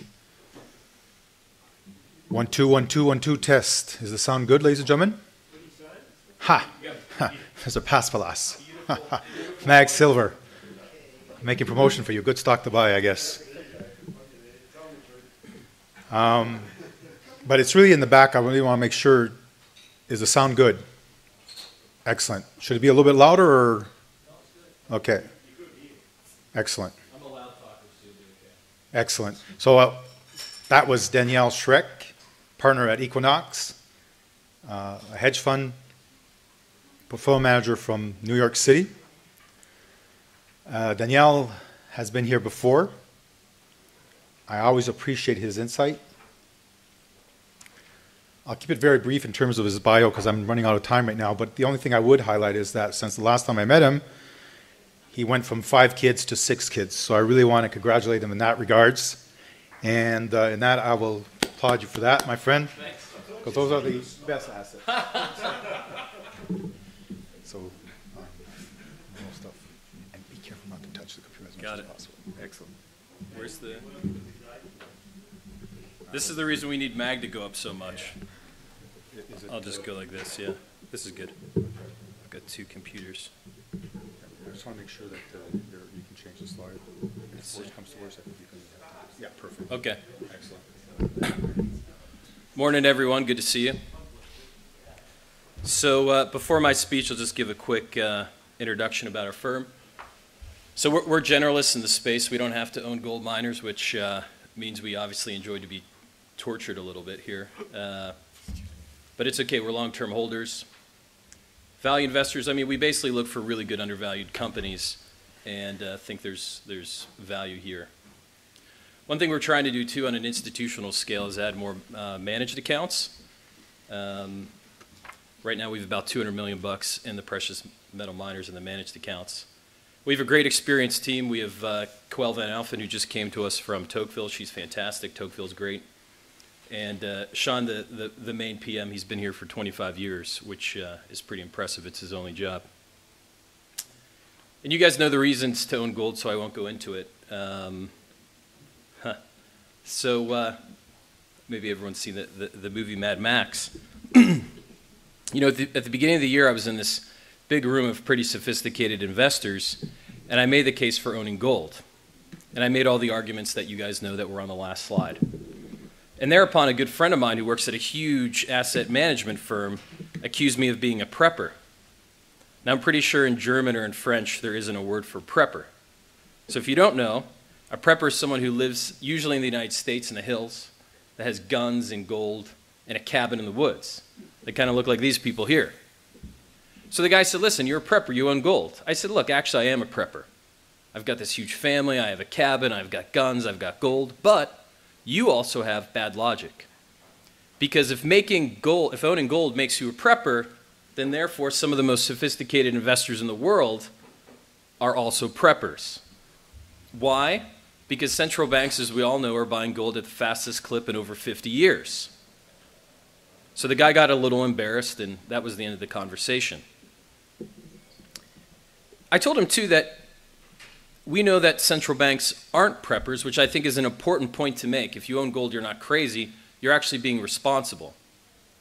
And it's ironic that those that are creating fragility in the financial markets, namely central banks, are also the ones buying gold. Now, in our prior speeches at the Swiss Mining Conference, we discussed gold as the monetary future. We spoke about memory, imagination, and the miners. Prince Rupert's drop as a metaphor for the disruption of fragile financial markets. And finally, political disruption upending the status quo of these fragile financial markets, which I must say has happened pretty recently. Now, the consistent theme throughout all of these speeches has been that of the mirage of stability. When overpriced securities and a massive debt load are sustained by accommodative central bank monetary policy at a time of disruption, eventually something has to snap, just like the Prince Rupert's drop. And like a seductive bird of paradise, it's a pretty cool bird, we're lulled into a delusion Gold, on the other hand, a non financial market monetary asset, provides stability and serves its definition in times such as these. And as we've stated various times to our investors, it's not that we believe the end of the world is coming. We are not preppers. But instead, we believe that the current architecture of the financial system is not sustainable. While the famous Charlie Munger, who's Warren Buffett's partner, thinks you're a jerk if you own gold, that's literally what he says, he thinks you're a jerk. We just think that you understand gold as a necessary diversifying asset for our times. And as I said once again, it's ironic that those responsible for the current fragility are also the largest buyers. Now, I presume most of you have seen this from the Dutch National Bank. You're not supposed to read from a slide, but I will. This was in October. This is unbelievable. They say a national bank for the Netherlands. Shares, bonds, and other securities are not without risk, and prices can go down. But a bar of gold retains its value even in times of crisis. That is why central banks, including DNB, have traditionally held considerable amounts of gold.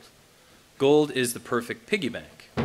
It's the anchor of trust for the financial system. If the system collapses, the gold stock can serve as a basis to build it up again. Gold bolsters confidence in the stability of the central bank's balance sheet. It's pretty unbelievable. It's quite an admission.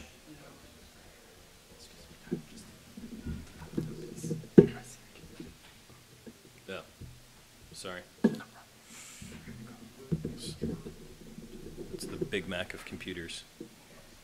So, let's turn next to ETFs and passive investing. I'm going to tie these two themes in together. I call ETFs, by and large, the big ones, the new activists. Of course, in times gone by, an activist of the old type would build a position, not too big, usually in a specific company, company lobby for change via proxy, groups, moral suasion, and hopefully gain a board seat as he or she attempted to optimize the company and make it more profitable for the shareholders, including themselves. While this was sometimes painful and about 50% effective, usually it hit the bottom line, it was great. Large index funds, on the other hand, are the new activists. But unlike the old activists, they're interested in entire sectors rather than just one company. This is a super important point. Passive funds are the index.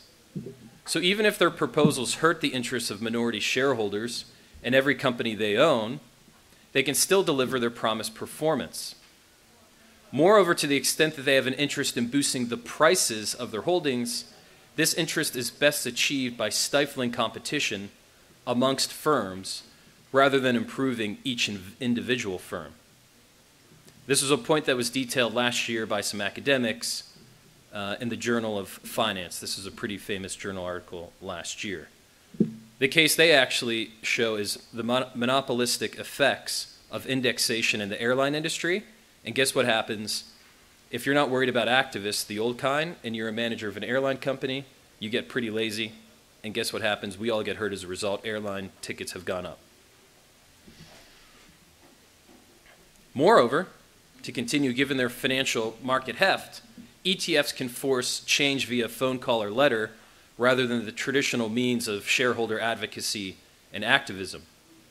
As John Coates from Harvard posits in his problem of 12, it's likely that in the near future, roughly 12 individuals will have practical power over the majority of U.S. public companies, end quote. So, whatever cookie cutter ESG criteria these 12 posit will become gospel truth to the market. That's a lot of power. And public markets, in my opinion, were never meant to function this way. Finally, when we add factor based investing into the mix, we have to seriously wonder if the end of stock picking is dead altogether. Are we therefore, as active managers, the real preppers, preparing for the end of our world? I don't think so. As this graph shows, the dispersion of the mining ETF is massive. This is the GDXJ. It's much more, twice as much in fact, as the S&P despite having far fewer companies. Thus the application of active stock picking is at least the theoretically greater. And factors, the classic Fama French factors, simply aren't applicable in this sector at all. So again, to point this out, this is quite unbelievable. If you get the worst performing stocks in the S&P, sort them from least to greatest. There are 500 stocks in the S&P, obviously, just about. And the dispersion of this index, the GDXJ, that's only one-fifth the size, is twice as much. It's pretty cool. And this is where I think we need to redefine what ESG is. Hold on. Uh-huh. You know, we're not talking about things which don't add to competitive advantage when we say ESG, and we're not saying it just to raise a bunch of money. But it's needed because the industry is technical and involves qualitative assessment, involves a non homogeneous process. Also, the motivations of governance and the managers are pretty darn important. It's not just your grade and tonnage. So, therefore, in conclusion, when we couple the current tailwinds for gold, the miners' undervaluation, and the new activists' indexation of financial markets, which leads to the mirage that active managers are the new preppers, we get an incredible opportunity in precious metal miners. This is why we think it's good, at least for our firm now, to expand our managed accounts. Here's one of the companies we own, which George calls the son of Mag. So I don't have to go through it, but there's Silvercrest. It's a pretty well known company. So, one final note, a little bit of encouragement don't be afraid to be called a prepper. Gold's one of the few assets that inversely correlates when needed most, and it's no one's liability. So the fact that those adherents of modern portfolio theory don't buy gold says more about their motivations and their weakness. The fact that they don't have a position therein is just a manifestation of the first human tendency in philosophy, which is to keep your job. They don't want to get fired. And it has nothing to do with the assets itself. And, and of course, the, the miners are a cheap proxy for the ownership of gold and have yet to incorporate higher metals prices. This makes the long term ownership of gold miners now more compelling than ever. Looking at the classic adoption curve, therefore, we are the innovators who see the future. We're being responsible. And when we cross the chasm, few will be left to cast aspersions on our investment acumen. That's it. If you have any questions, what happened to the green? Did I go over? Well, because we have computer problems, we have to switch Nice. stuff, so, no, you're, you're I could have perfect. gone for 30 minutes, Eric. And I would have liked to have the time to allocate for that, because that was an excellent presentation. Thanks, guys.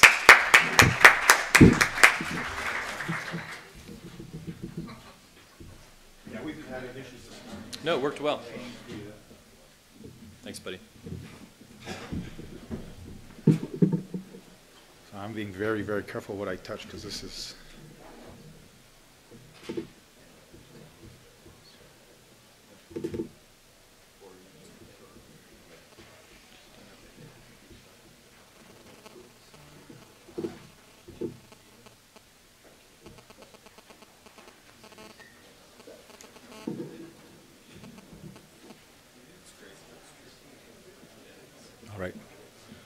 Okay, um, I have the pleasure of um, introducing our, our next speaker, Mr. Paul Harbridge, President and CEO of GT Gold Corp., ticker GTT on the TSX Venture. Paul is a geologist with over 20 years of experience, probably more than that, but in mining and in development. He most recently served as Senior Vice President of Exploration at Goldcorp. We had met in fall of 2016 at the Beaver Creek Show. And uh, with the uh, acquisition of Goldcorp by Newmont in April 2019, well, he decided to get into a new uh, opportunity here. Um, what I appreciate is that he, uh, as a geologist, realizes that the, uh, the devil's in the details. And I think that's something that Goldcorp, uh, unfortunately, in their um, track record, did not do it, apart from giving a lot of money to the CEOs and et cetera. So, sir, podium is yours. To advance, and the red light over here. Okay, so that's, I can point with that, can I? Yes. Yeah, perfect, okay, thank you. Thanks very much, Eric. Uh, good morning, everyone. It's great to be here in Geneva to be able to give you an update on GT Gold. I think what differentiates GT uh, from the rest of the junior market is that we've made a major new greenfields exploration discovery as opposed to working historical projects or just prospecting in the hope of finding something. Here's a um, cautionary statement, as we will be making forward-looking statements. uh, in the presentation. This is a summary of the key points uh, which I'll be discussing this morning. We've completed the prospecting phase, which has resulted in the saddle discoveries. A high-grade precious metal-rich vein system and a gold-rich copper porphyry with multi-million ounce gold and multi-billion pound copper potential. The discoveries have all the ingredients of a major mineralized system, married together with great infrastructure and significant exploration upside, as well as being in the Tier 1 mining jurisdiction of British Columbia, Canada. The project lies within the prolific Golden Triangle, which has seen over 150 mines operating in the region since prospectors first arrived in the 19th century. The Red Chris mine, another gold-rich copper porphyry, which began commercial production in 2015, is our nearest neighbour in terms of operating mines. We are blessed by excellent infrastructure. We've got the main north-south paved Highway 37, um, 10 kilometres from the project, as well as a high voltage hydro power line, which offers the cheapest business power in Canada at 4 cents a kilowatt. You also note um, it's fairly um, sort of rounded mountains. We're on the eastern side of the main coastal belt. We, we receive less snowfall than a lot of the projects in this part of the world. And at the project scale, we're at about 1,200 meters elevation. And with the glacial action in the area, we've got a, it's basically a hanging valley. This is important because it will facilitate potential underground infrastructure, as you'll see when we talk about the deposit itself. There's also the deep water port of Stewart close by for shipping out concentrate.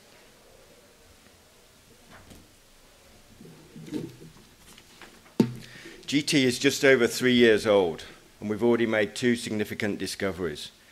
The initial, as I mentioned earlier, is this high-grade precious metal-rich vein system, Three kilometers to the east is the Saddle North target, which, is, which was poorly exposed, covered with uh, glacial debris, and was discovered via geophysics. In 2017, the first hole was, uh, showed the potential for gold and copper mineralization. And then in 2018, we put about 10,000 meters in 10 holes. And it's been really this year where we've put in a further 25,000 and really delineated the potential for this high grade copper porphyry. This image shows a plan view of the drilling. As I mentioned, we've now got 35,000 meters into this target. we've confirmed a broad envelope of gold copper mineralization 0.25% copper 0.3 grams per ton gold which measures 700 meters in strike length 600 meters true width going down to 1600 meters vertical. Um, it's still open and within that we've got a high grade core which is 1% copper and more than 1 gram gold that measures 400 meters in strike length is approximately 200 meters in true thickness and is, extends over a 1,000 uh, meters. You'll note there's four section lines delineated on this map, which I'm going to show you in the, in the next slides. So that drilling has confirmed continuity of mineralization from surface, as I say, down to 1600 meters depth, hole by hole by hole, and section to section. You can see in blue that's the outline of the mineralized envelope, and the red is the is the higher grade. And again, you can see the continuity of, of the high grade within that mineralized envelope. As I say, section to section. Um, this is an oblique section, so actually the mineralization is plunging out towards you as, as a cylinder of mineralization. But again, you can clearly see that core of high-grade mineralization. And here, here we have it in three dimensions. So basically, it's an elongate cylinder of mineralization. It's been really well defined, really coherent. You can see that it's amenable to bulk mining, both in terms of you know open pit potential and, and underground. And as I say, it is, it is open in a number of directions. We've taken an initial uh, 100 kilogram uh, composite sample for across the main um, envelope of mineralization for metallurgical test work, and we've also taken a further 50 gram sample for the high grade, from the high grade core for metallurgical work as well. Well, it's early days. It's interesting to make some comparisons. As I say, this is a gold-rich copper porphyry. And what are the others that are similar? We've got um, Newcrest's Cadia mine, which is their flagship operation in New South Wales, Australia. That produces uh, just over a million ounces a year. And then uh, uh, neighbor Red Chris mine, which Newcrest bought earlier this year, for, or they bought 70% from Imperial Metals for $800 million. What I want to point out here is that's over 30 years of exploration work. And at Red Chris, this is on and off over 40 years of exploration and drilling. And the other thing to point out is when you get these systems, you don't just get single, single porphyry, porphyries, you get multiple of them. And so you can see, you know, in, in two years, you know, we've gone from discovery hole to defining significant mineralization and we haven't drilled outside of that mineralized envelope, and we still have a lot of exploration runway here that, you know, it's within an overall more than three kilometer geophysical anomaly, which uh, remains to be fully tested. We've had some recent analyst coverage coming out, initiating coverage, and um, they've taken our, you know, the uh, public data and have plotted it up in terms of both open pit and underground you know, we sit very well with, with our peers, but I mean, the thing to point out here is you look at the jurisdiction that some of these uh, places are. And, you know, again, pointing out, you know, how uh, being in British Columbia, very safe uh, and secure, whereas when we see the troubles that are happening, uh, you know, in Papua New Guinea, in, uh, down in South America as well. Where we really stand out, though, is on the underground, and those, those high grades, both in gold and copper, really stand out against our, our peers and show the real value potential of this project as we go forward. So in terms of you know, exploration upsides, I said here's the precious metal rich initial vein discovery. There's a value proposition here. It's uh, probably half a million to a million ounces. It's open pittable generate some upfront cash flow to be able to then stage develop the bigger porphyry through both open pit and underground. And then, as I said, there's the exploration upside. You can see this uh, large geophysical anomaly, the drilling that we've completed to date. There's a hole drilled between the two zones of mineralization. Hole 64 came back with significant gold and copper mineralization at the end of the hole within a porphyry and hasn't been followed up. The other area that really excites me as a target is Quash Pass. That's approximately eight kilometers from the saddle zone. And oh, this is, it's a seven kilometer long soil anomaly, continuous soil anomaly, anomalous in copper, gold, and silver, as well as uh, a very significant geophysical anomaly. And you can identify these circular features in the geophysics. And our thesis is that we've got a number of these porphyries that are coming up. Um, and so feel that we've got very significant exploration upside as well as what we've already defined to date. We've got a dual strategy. Firstly, it's about putting all of the technical data together into a coherent geological model. And the other thing that really struck me was the quality of data that's being collected by GT. We've got age dating, we've got hyperspectral work from CoreScan, obviously got the assay data, we've got four acid digest multi-element, we've got whole rock, we've got thin section, all our holes are orientated, and so we've got collectively all of this information that will be pulled together into that geological model, which will form the foundation for an initial resource estimate in June next year. So the model will be complete by uh, March. Uh, resource, resource preliminary and we expect inferred. There may be a portion of it indicated by June and then a preliminary economic analysis uh, about this time next year. The second part of the strategy is the ongoing exploration and having a separate team to start following up, integrating all the data layers from the summer field program into prioritizing targets for the 2020 field season.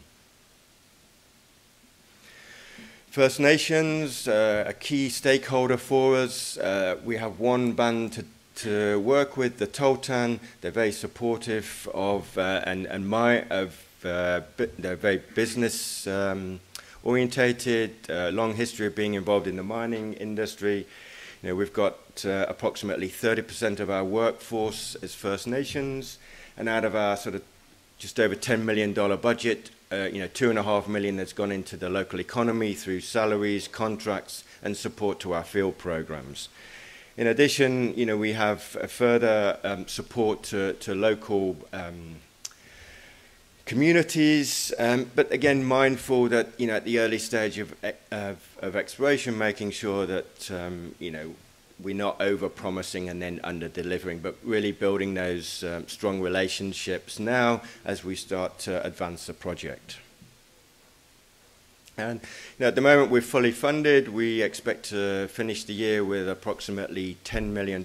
We had a budget of $10 million. Um, that's more than enough to, to fund our program for next year. But as always in the junior market, you know, if the opportunity comes, we would look to, you know, bolster our, our treasury at some point in the future. Um, we've got a good balance of shareholding, both, um, you know, institution, as well as you know Newmont Goldcorp came in earlier this year. You know, and I think that's um, you know one of the issues in the industry. You know, at the moment, people are very focused on debt reduction, uh, cleaning up the balance sheet, and um, and free cash flow. But the reality is, if you look at the majors, they have no pipeline of projects, and there's also a lack of good greenfields discoveries out there. And I think that's you know where we really stand out. As I said, there's um, really positive um, analyst com coverage coming out on us at the moment, and um, you know that's help helping to support the story that we're talking about. And so, in terms of news flow, we've got the remainder of the uh, of the uh, drill holes. That we've got approximately 11 holes, 8,000 meters of drilling to come by the end of the year. As I said, then it's into quarter one with the metallurgical results, together with the geological model, the initial resource, ongoing exploration, and the PEA. And thank you very much for your attention this morning. Thank you, Paul. Um, I just, there would be time for a question, a quick question. Would there be anybody? Sir.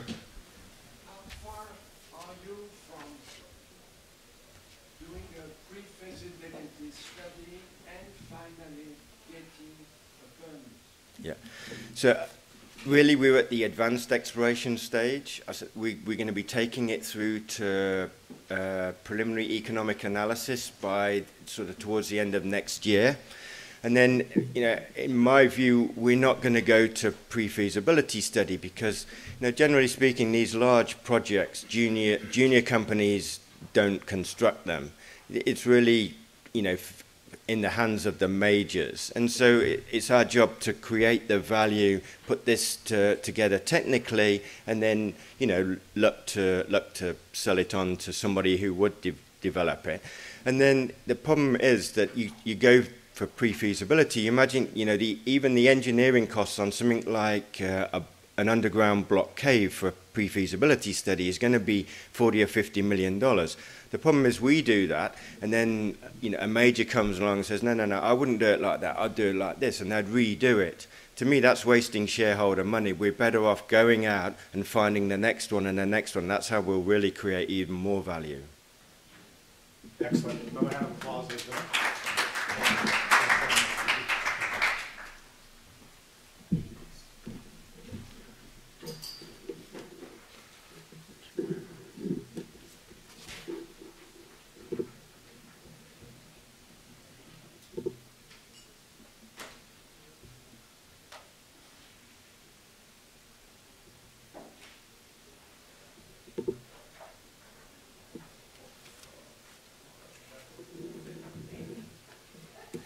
All right, well, I have the uh, pleasure of introducing our next speaker, Mr. Mark Jarvis, President and CEO of Giga Metals Corp.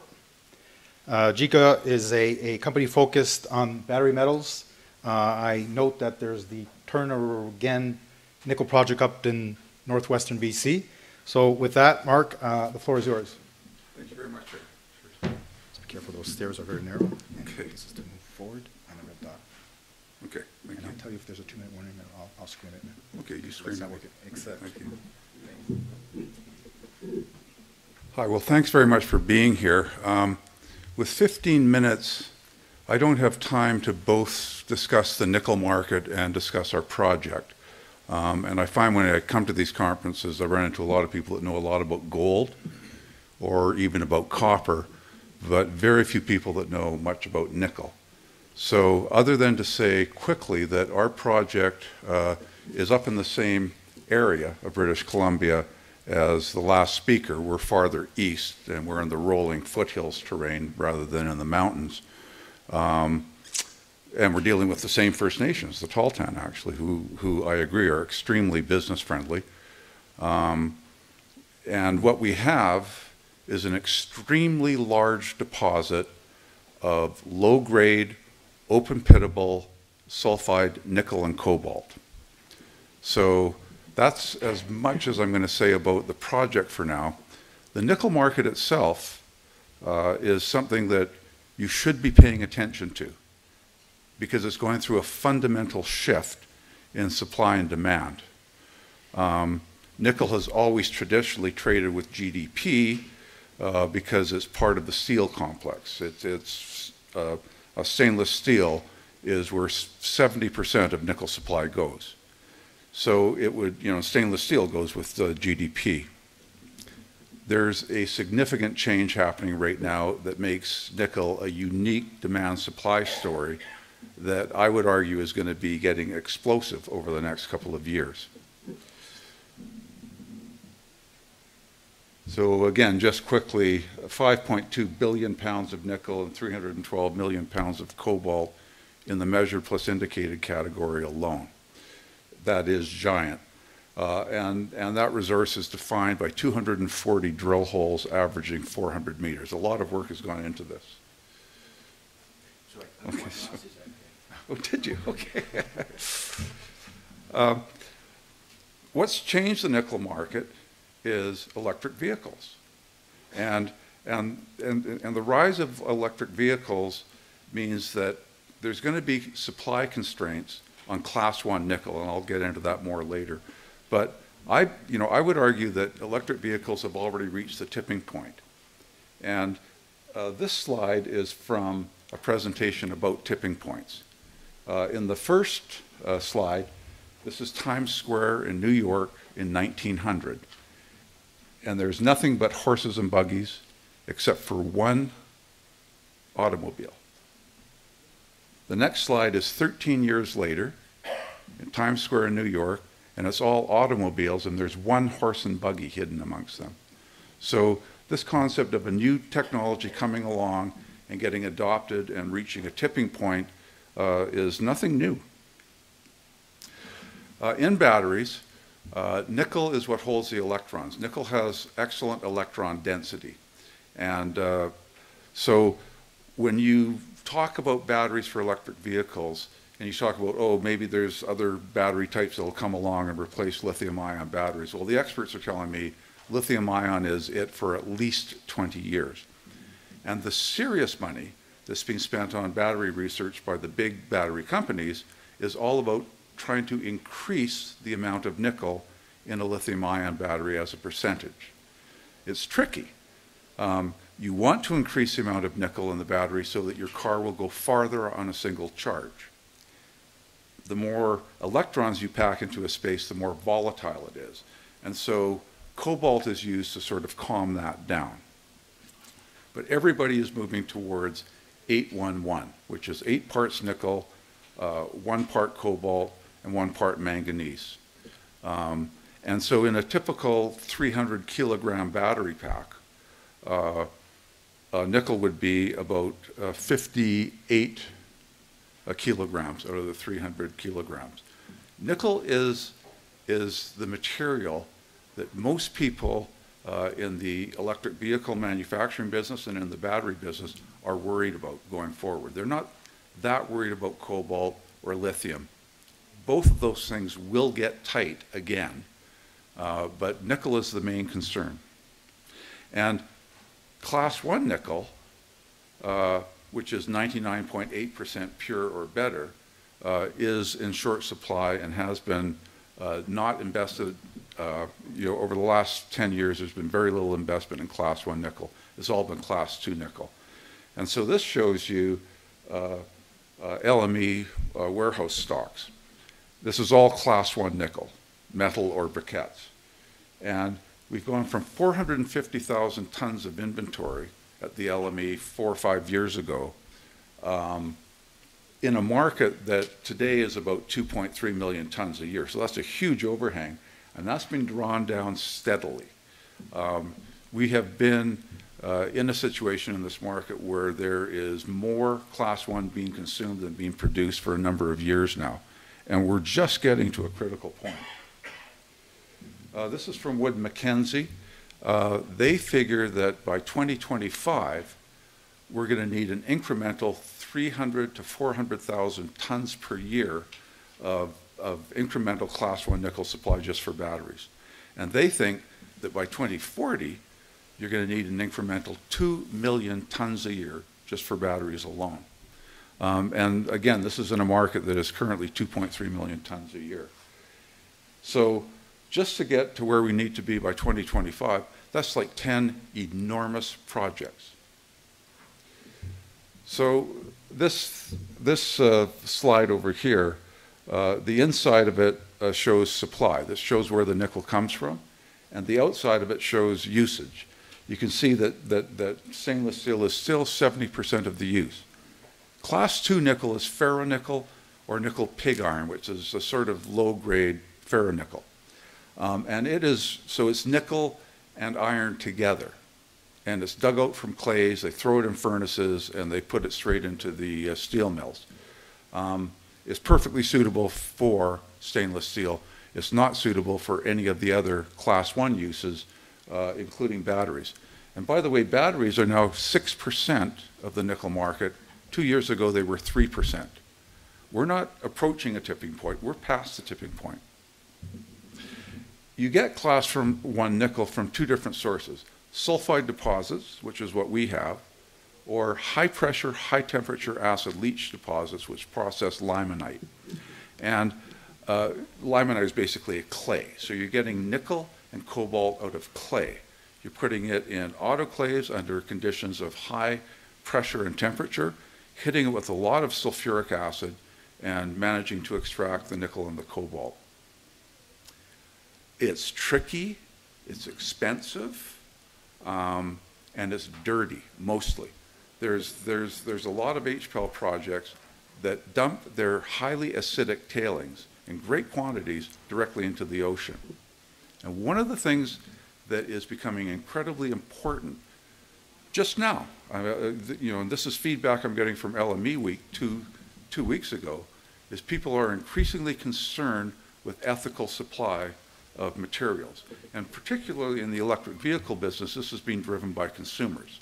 In North America and Europe, if you're buying an electric vehicle, you're wealthy, you're educated, and you're environmentally responsible. And you're showing your view on the environment by the car that you drive. You don't want any supplies in that car that come from, you know, child labor. You don't want anything in your car that's coming from dumping acid directly into the ocean. Um, so this whole concept of ethical supply is becoming increasingly important in the industry, and it is being driven by consumers. So this is uh, an opportunity to talk about a bit of history. How much time do I have left? You got seven minutes. Seven minutes. Fantastic. This was put together for me by Lyle Trytten, who's an engineer I hired from Sherritt, uh, 25 years in the business, just a brilliant engineer in his career, he's looked at and done due diligence into every single large undeveloped nickel deposit in the world. And he put this table together for me. If you look at uh, the bottom line, it's capital intensity. This is how much capex you spend per ton of annual production. And you can see that HPAL, and this is HPAL to take to an intermediate product, so it's a valid comparison, is 75 to 90,000 uh, dollars per uh, annual ton of production in capex. We've expressed ours as a range because we're redoing our engineering. When we did our engineering report in December of 2011, uh, it was about $45,000 a ton. And then NPI, nickel pig iron, the range is ten to $20,000 a ton. Nickel pig iron came along and destroyed the nickel business because nobody can compete with that. That is cheap.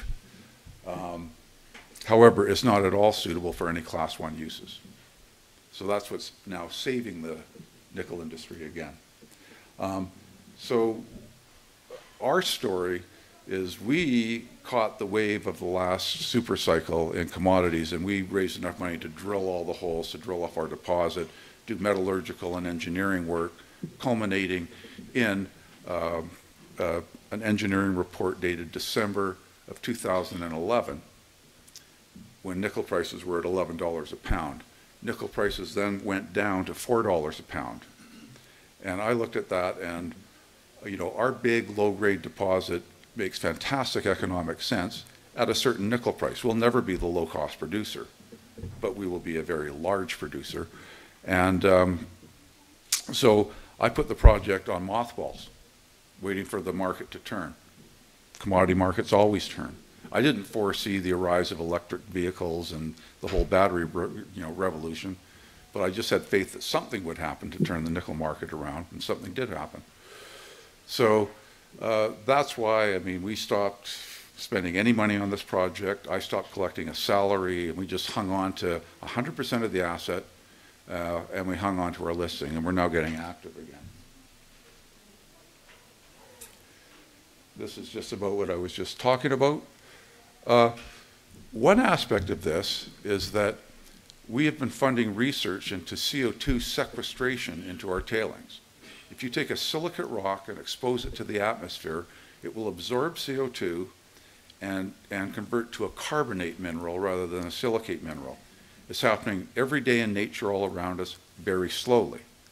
Now you take those silicate rocks, grind them up to 80 microns, extract the sulfides as much as you can from them. Now you've got a silicate residue at 80 microns. You spread that around, it's absorbing CO2 very quickly. And we're working with a professor named Greg Dipple at the University of British Columbia who's developed a methodology over the last 16 years to measure the CO2 uptake in the silicate residue. So we want to produce battery metals for a clean future, and we're also going to be sequestering CO2 as we do it. There's a real possibility we could be a carbon neutral mine. So if you want a large, long-lived, ethical source of nickel and cobalt, you have to talk to us. Uh, this is interesting. Uh, this is from Wood Mackenzie. It's a bit of a busy slide, but um, I'm mostly looking at... Two minutes left. Okay. I'm mostly looking at their incentive price to develop large new projects. They say that the incentive price, and it's mostly HPAL projects, because there's a lot of limonite in the world, is $12 a pound to incentivize building large new nickel projects on average. And their definition of incentive price is a 15% pre-tax internal rate of return. That's a very low bar, uh, but it's sort of an acceptable thing. That's, that's, that's what uh, Woodmac explained to me for large, long life projects. They'll take a lower IRR. Well, I looked at that and went, well, that's interesting because usually my, uh, my, you know, my personal uh, definition of incentive price is a 20% after-tax internal rate of return. But I took our model, and let me caution you, this is December 2011. It's out of date. It's a valid model, but we have not built in cost inflation or anything like that. So this is just indicative. I want to give you sort of a, you know, a rough sense. I took our model and I calculated backwards. Pre-tax IRR of 15% uh, at, a Cana at a Canadian dollar at 76 cents and a long-term cobalt price of $20 a pound, which I think is a reasonable long-term price for cobalt. And I get 685 a pound as the nickel price I need to compete with the HPAL people who, who, who need $12 a pound. Now with cost inflation, let's call that roughly $8 a pound. And then for fun, I ran it at $12 a pound, and I get a 29% after-tax internal rate of return and uh, you know, $2.8 billion of uh, depreciated net present value at a discount rate of 8%. So maybe that's a 24 or 23% um, uh, after-tax IRR we're still very, very competitive with the HPAL project. And the last thought I want to leave you with is leverage. When you have very large uh, uh, resource that is marginal in terms of it won't be the low-cost producer, it needs a certain price, it needs a lift in the price to make it economic, that's where you can make many, many multiples of your money if you're right about the underlying commodity. If you're wrong, it's risky. So if you like the nickel story and you want to be conservative buy Norilsk, you'll do very well. If you want to be uh, uh, take more risk for more upside, take a look at us. Thank you very much.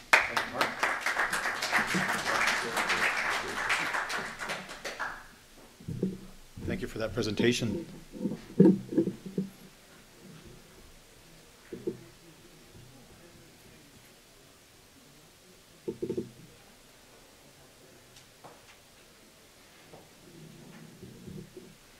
So I have the pleasure of introducing our next speaker, Eldur Olafsson, who's the founder and CEO of AEX Gold Inc., previously known as Alopex Gold.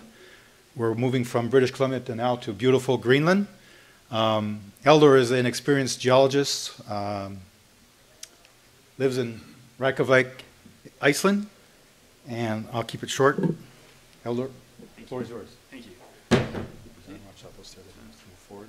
Red light over here. And I'll give you a two-minute warning because I like this. Right, okay. Thank you. Hi, everybody. Thanks for that introduction, Eric. I'm pleased to be here. This is my third time in this conference, and what I wanted to do this time around, I want to give you a good heads up where we stand in our project, what we have been doing, and what our future plans are in the next coming years. Um, so, to give you a bit of a background, we are based here in South Greenland. Um, this is um, in a gold belt which is called Nanortalik Gold Belt. Uh, these, this is a Nanortalik Gold Belt. We have consolidated uh, three companies or, or uh, assets from three different companies into one company, into AEX Gold. Our uh, most advanced asset is the past producing mine Nalunaq, which we will focus in starting production again next year through a bulk sample, and then in full production in, in two years' time. Furthermore, we have all of our exploration licenses uh, here and around. The more advanced one are the yellow one called the Vagar licenses. And then we applied for new licenses here that have been explored and developed by other people. Uh, all of our licenses uh, uh are, um, are uh, uh, set up that they all have outcrops of quartz vein, granodiorite, sulfides on surface, high grade. And we'll go through that a little later. So our opportunity is we are high grade. Our resource is at 18.7 gram per ton, so our all-in sustaining cost should be fairly low. We have significantly de-risked it since we acquired the asset in 2013 by doing exploration and development on infrastructure. We have strong cornerstone investors, both in institutional funds, sovereign funds, and family offices that have be, been behind the project ever since we started it, in a way that every single person has invested in every single round. The management is our large investors uh, themselves, including myself, which I will uh, explain in a bit, of, uh, bit later. We have significant infrastructure in place. This includes harbor, uh, a 12 kilometer road, we have a processing plant, we have 11 kilometers of underground mining. This means that once we go back into production, we have to spend significantly less than you would find with other uh, developers. Um, we have uh, understood the structure of the deposit, where it is heading. We don't, uh, uh, and we have um, um, a fairly clear idea how, how that looks like. So we have a significant research expansion within us. We built our team since 2013 and they are based, I'm based in uh, Reykjavik, but uh, all of our team, financial team and operational team is, uh, executive team is based in Montreal, Canada. Um, and we have always uh, managed to um, uh, uh, get our targets and, and, and be uh, under budget. Um, we are in the uh, we have the opportunity to produce hydro and wind on site that we can both use for our mine and for the local community that is a town that is called Nanortalik. So we can produce clean, ethical gold on site and process it fully. Greenland, give you a quick uh, overview of Greenland. In Greenland, you have 50,000 people who live there. It's a tier one jurisdiction. It's under a Danish flag. Uh, they have uh, they built their mining laws based on both Scandinavian and Canadian laws. Um, they uh, um, they are currently getting uh, subsidies from Denmark, and they see mining as one of their new um, um, revenue stream to get further independence from Denmark. Okay, so they're really pro mining. Secondly, all land in Greenland is owned by the government, so uh, you don't have any land issues or anything like that. And thirdly, where we are operating, we're not in anyone's way. There, there is no one who lives there. Uh, the south coast is open, um, open all year round, so there's no sea ice that clogs up there. This is more southerly than Iceland, so to give, give you an idea where we are, it's, this is more southerly than, you, uh, than Iceland, where I live. So currently the guys are working on site. Uh, we have some little amount of snow, but they're still drilling. Okay, so the Gulf Stream comes up here, heats up this area. There are big fisheries out here and here, so you would have the same latitude as Helsinki, Oslo, and other areas there, like that. Um, um, our so current price is 41 cent. We got listed on 50 cents, so we're a little bit under under our listing price at the moment. Uh, we have uh, not much volume at the moment. That's due to the fact that you have a large portion of the stock is held by these larger funds, which are supporting them every single time. There's no debt or anything like that. So far, we raised 15 million since we got listed. Uh, we just raised 5 million in, Ju uh, uh, in July. And that, uh, the largest uh, contribution there was the Danish Growth Fund and Greenland Venture Fund, which are growth funds slash sovereign funds of Denmark and, and, and, uh, and Greenland. Um, we have, I own 12% myself, and Graham Stewart, our new chairman, he owns 2% himself. Uh, and we have, um, uh, our incentive is to make sure that uh, our capital is sp- spent mostly into the ground in building the project rather than any kind of a too high salaries or anything like that. Cyrus Capital is our largest uh, shareholder on 20% uh, share, and they're a, a $4 billion fund out of New York. Um, so our team, uh, my background is, is that I've been in geothermal, oil and gas, and now mining. I founded my first company back in 2011, which is called Orka Energy. Uh, we built up district heating networks in China and in Southeast Asia.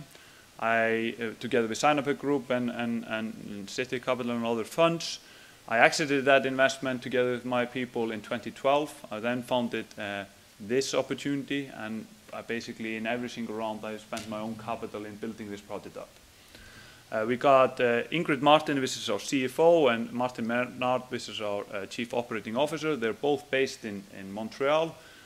It's very much important to us to do everything on a high standard in a way that uh, we think is uh, the best way to do it.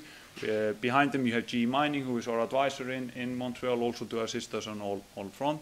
Joan Plant is our corporate secretary. She was with our predecessor, who, and, and she is involved with all day-to-day dealing with both the government and uh, licensing, etc., etc. If I didn't say it earlier, we're fully permitted also in the Nalunaq mine, which is important as well to, to start production. We then have Graham Stewart, which is our chairman. He uh, uh, was the CEO of Faro Petroleum that just got sold in, uh, uh, or it, was a hostile takeover in, in, in, um, in February this year for 800 million. So we have people who have built up companies, developed them, and executed a sale on them, which is important. Furthermore, we have dif uh, different uh, skill set in our board. Giorgio Quinti is a lawyer. Robert Menard is a, our, our, our mine builder who's been with Cambior, Newmont, and others. And George Foley is our, our corporate director.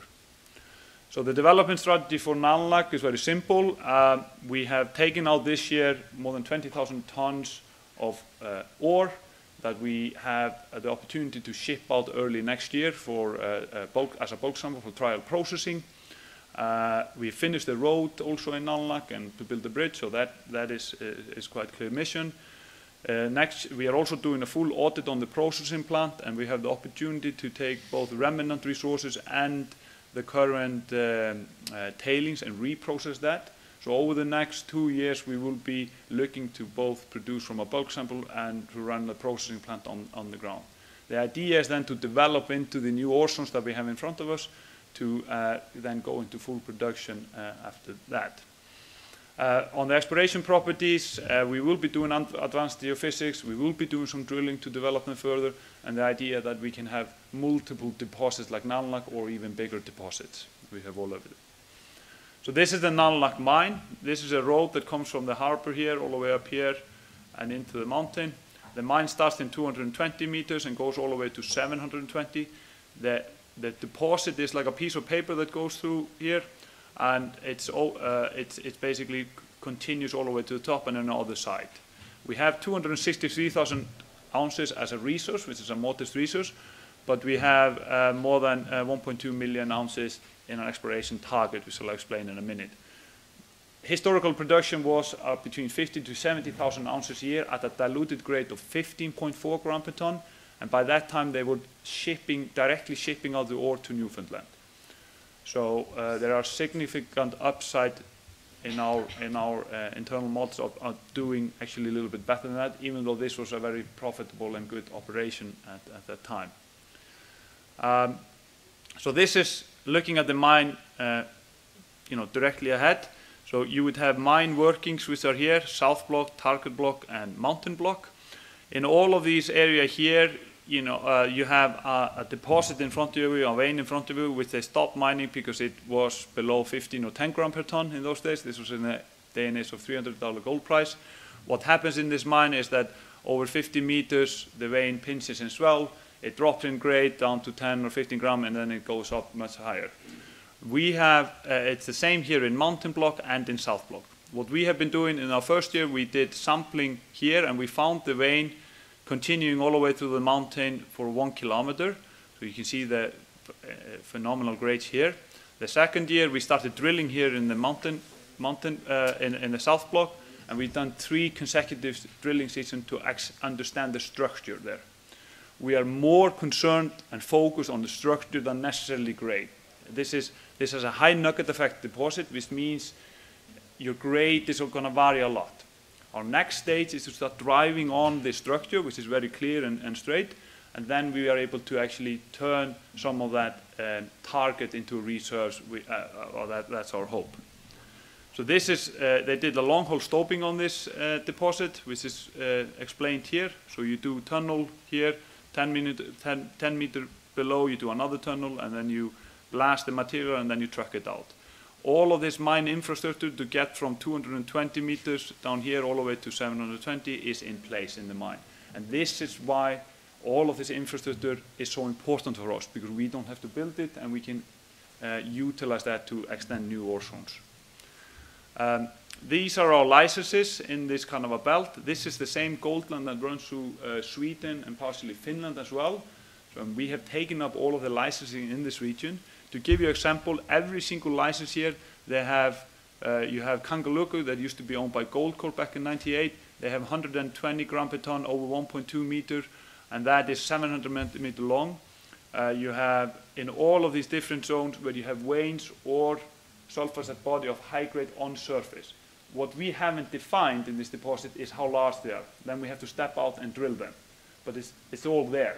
That's, that's the, the beauty about it. The most advanced one is called amphibolite ridge, which I will show you right now, just to give you an example of how Greenland is perspective. This amphibolite ridge, we have three veins, uh, which are similar to Nalunaq that goes through here, and they are running on, uh, you know, the highest sample taking from a quartz vein here is is uh, 2,500 gram per ton.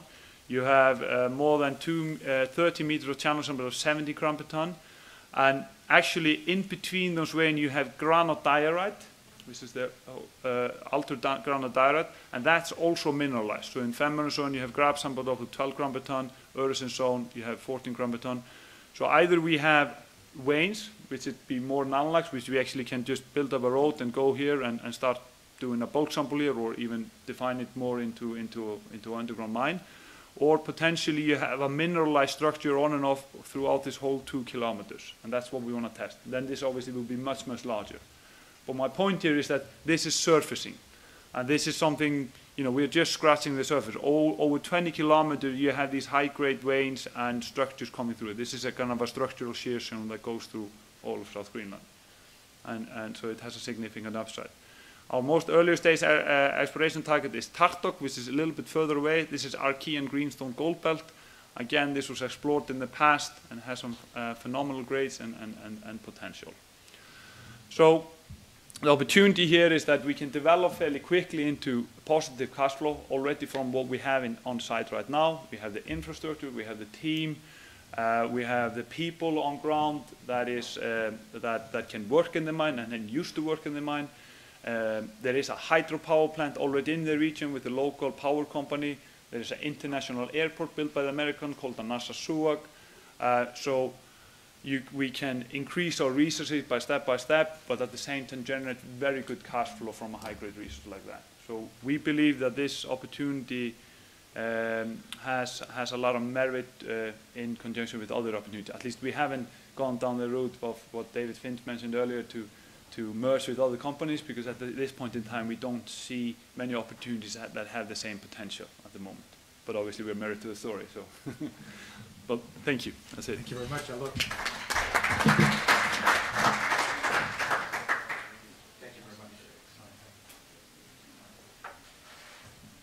Perhaps some, uh, perhaps some full disclosure. I um, do cover AEX Gold. So do you, if you do go into their website, you'll see uh, the analyst Eric Lemire, and you'll have access to my February 2017 initiation report.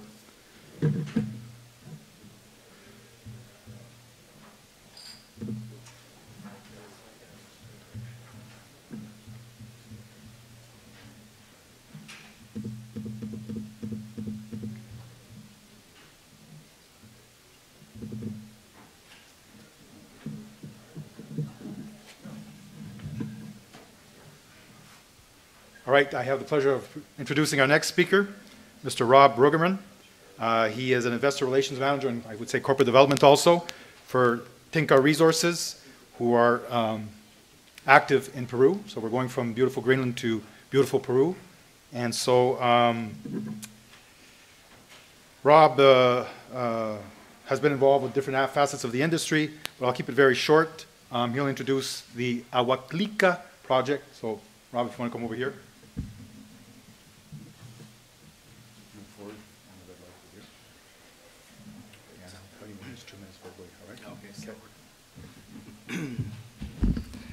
Hi, everybody. I apologize for my voice. I came down with a cold at the beginning of the week, which is untimely.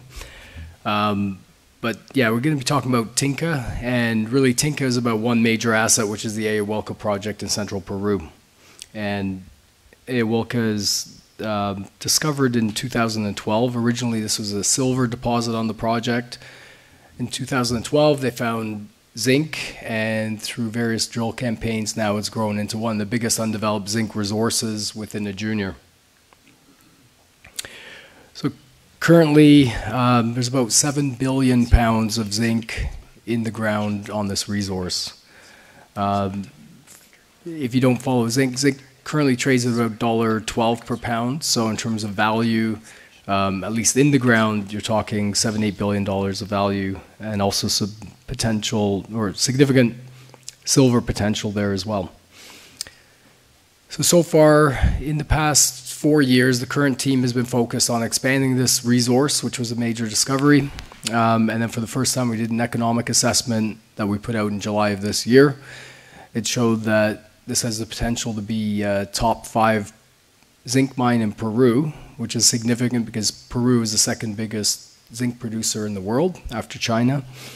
Um, but yet the capex on the project is quite reasonable at $262 million, and that's because there's excellent infrastructure there.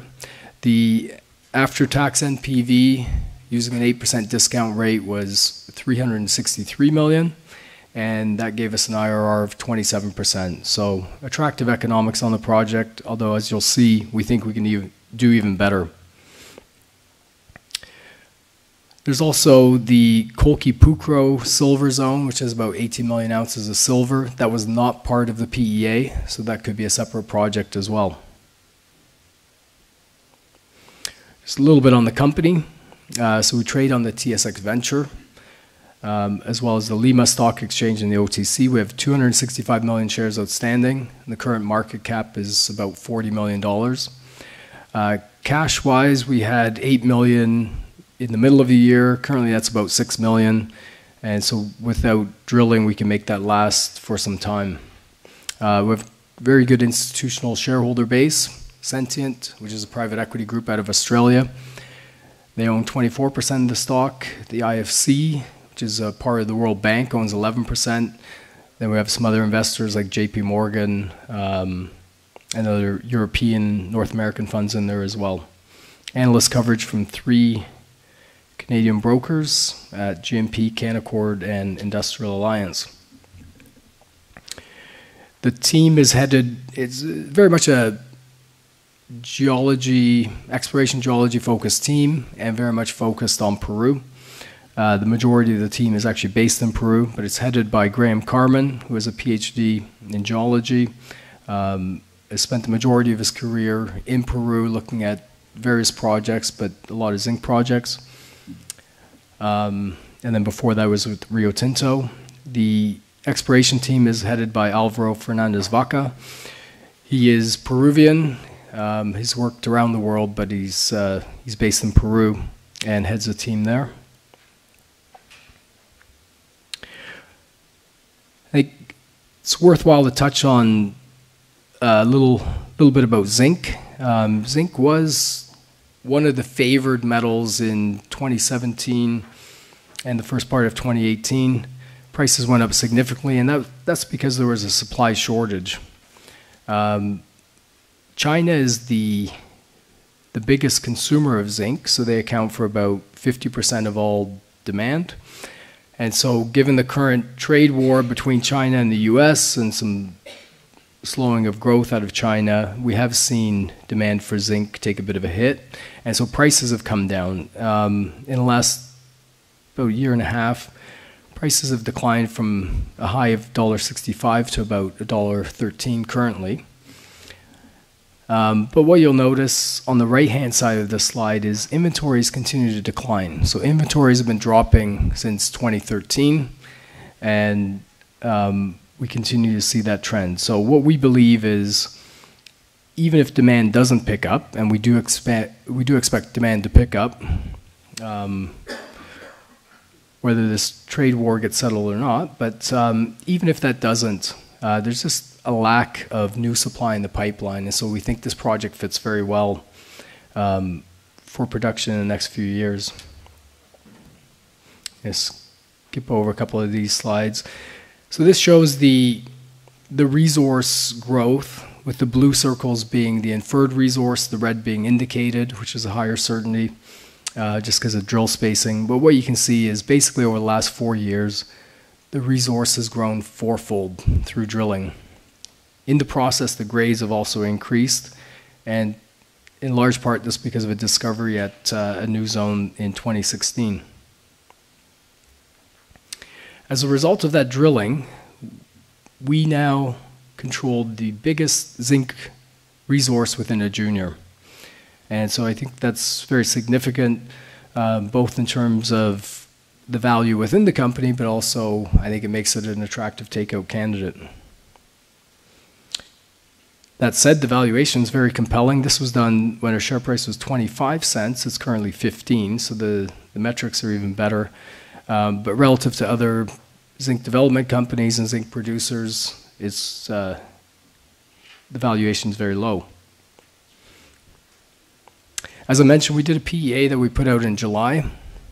So that envisioned an underground mine with a 5,000 ton per day plant, 21 year mine life, which is significant, but quite reasonable capex of 262 million US. The pre-tax NPV was over 600 million. Then after tax, it was 363 million with a 27% IRR. Just put some numbers around that. If you look at the total cash flows over the life of mine, uh, pre-tax it's over 1.6 billion dollars, and after tax it's over a billion dollars. So this is a big mine. With, within the PEA, this is a, um, a sensitivity chart. So it just shows if you adjust various factors, what happens to your NPV, with the base case being the black line, which is 363 million. But what we want to highlight here is if you increase the zinc grade, because obviously we can't control the price, but if you increase the zinc grade, um, let's say you increase it by 20%, the NPV actually goes up by 200 million. The reason that's significant is based on the drilling that we've done this year, we've hit some very high grade zinc zones. So we actually think the, the resource grade is going to go up. And what we're currently thinking, given the price weakness in zinc, is we're looking at potentially optimizing the PEA based on the new drilling to see if we can take the, the PEA and make the numbers even more robust. In the process, too, because of the nature of the deposit, the high grade tends to be in the thicker zones. And so potentially we can reduce the mining costs just by focusing on those zones as well. And obviously, reducing the operating expense will also improve the economics. Just give you a brief overview of the project. So Peru is very much a mining country. You can see on the right hand side, it's second in the world in terms of zinc production, copper production, as well as silver production, and a significant producer of tin, lead, and gold. We're located in central Peru in the Andes. Um, it's basically a base metal belt there. So if we zoom in on that area, you can see we're surrounded by a number of mines. And because of that, the infrastructure is very good. We have road access to site, um, and there's a lot of mining expertise and all the services you require to build a mine. This, on the left-hand side, you can see the claim boundary that we have. We have about 170 square kilometers. But so far, we've really been focused on less than 10% of the project. And that's what hosts originally the silver deposit, which is called Colquipucro, as well as now the, the zinc deposit. And underneath the zinc is actually a separate deposit, and that's this pink hashed area, and that's a tin resource. Now, the PEA we did only focused on the, the zinc, which does come with some silver as well, so it didn't take into account um, the separate silver resource nor the tin. So this is the current resource prior to this year's drill program. So what you can see is in total, we have an indicated resource of 11.7 million tons, another 45 million inferred, so a total of about almost 57 million tons. What we want to highlight here is we have four separate zones um, called southwest, east, and central. But the, the key zones really are south and west, which make up the indicated resource. And what's important to note is the grades. So 7.6% zinc in South Ayawilca. Uh, the inferred portion is even higher. And then as you'll see this year, the drilling we did is even higher grade than that. And then west also is about 6.5% zinc. So we're looking at potentially optimizing the PEA to focus on these zones um, as opposed to central and east, which are closer to 5% to further improve the economics. The reason that's significant as well, so this is a, a, long section through the deposit, and it's a carbonate replacement, so the carbonate being limestones, which is this blue rock here. So this is the deposit, it's about two and a half kilometers um, from end to end, but the best portion of the deposit is South Ayawilca, and then in behind this is West Ayawilca. So these are the high grade zones, and they're also very thick. So this is approximately 150 meters thick. So you get the best grade, the easiest to mine. From surface at the top, this is about 125 meters. So this is very, as an underground mine, it's very accessible. Just put a ramp in through the side of the hill. You do bulk mining on this and extract it. In terms of infrastructure, um, we've got power lines right across the project. There's road access, as I mentioned. There's plenty of water as well. Um, and we've got very good community relations. So I think it, as a potential mine, it certainly checks all the boxes. So last thing I'll focus on is the, uh, the drill results from this year's campaign. Um, as mentioned, we have a resource that's about 7% zinc, but what you'll notice here is one of the most recent holes we drilled, which is at South Ayawilca. Collectively, there's about 80 meters that was intercepted at roughly 12% zinc. So this is the type of material that we want to get after. and this is the reason why we're looking at optimizing the PEA. Um, these are very nice grades, very nice thickness. Um, again, close to surface, so easy to mine. Two minutes. Okay. So this is really what we're doing next. Um, we've done the PEA, but we're looking at optimizing that, making the numbers even better. Um, until the market improves, we're going to do some targeted drilling, some exploration. Then beyond that, uh, pre-feasibility study with infill drilling, feasibility study, and potentially production in 2023, which is market dependent. Just to touch on the silver deposit we have as well. Um, as mentioned, it wasn't included in the PEA, but we have a, uh, a separate deposit. It's about 18 million ounces in higher grade.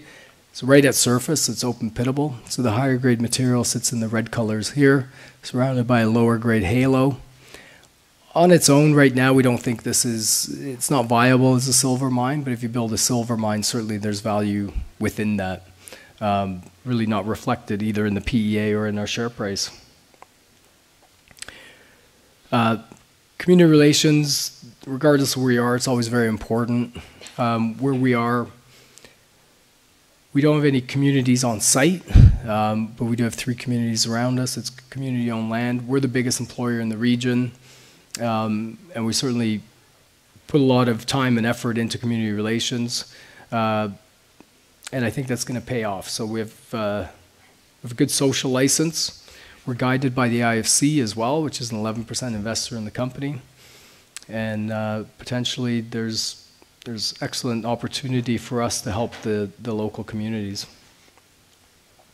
So just in closing, the biggest thing is there's scarcity value in this project. You don't often get a project that has size, grade, infrastructure, and is in, a, in an ideal location like Peru.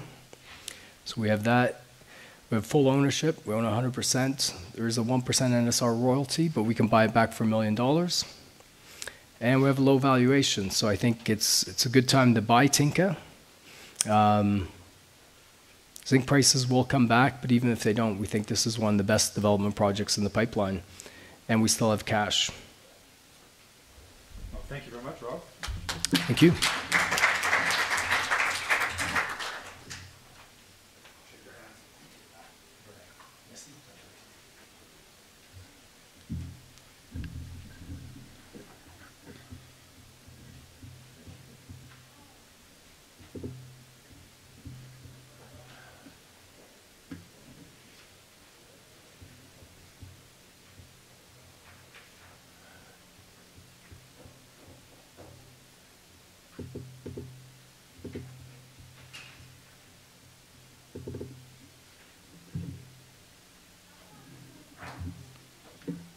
Our next speaker will present Cabral Gold, symbol CBR, on a Toronto Stock Exchange venture. We have the pleasure of welcoming Alan Carter, President and CEO, who has over 25 years of experience in mineral exploration and development. He spent several years with Rio Tinto in South America and the United Kingdom, and most recently, recently as export manager in Bolivia. Sir, the floor is yours. Thanks very much, Eric. You're welcome.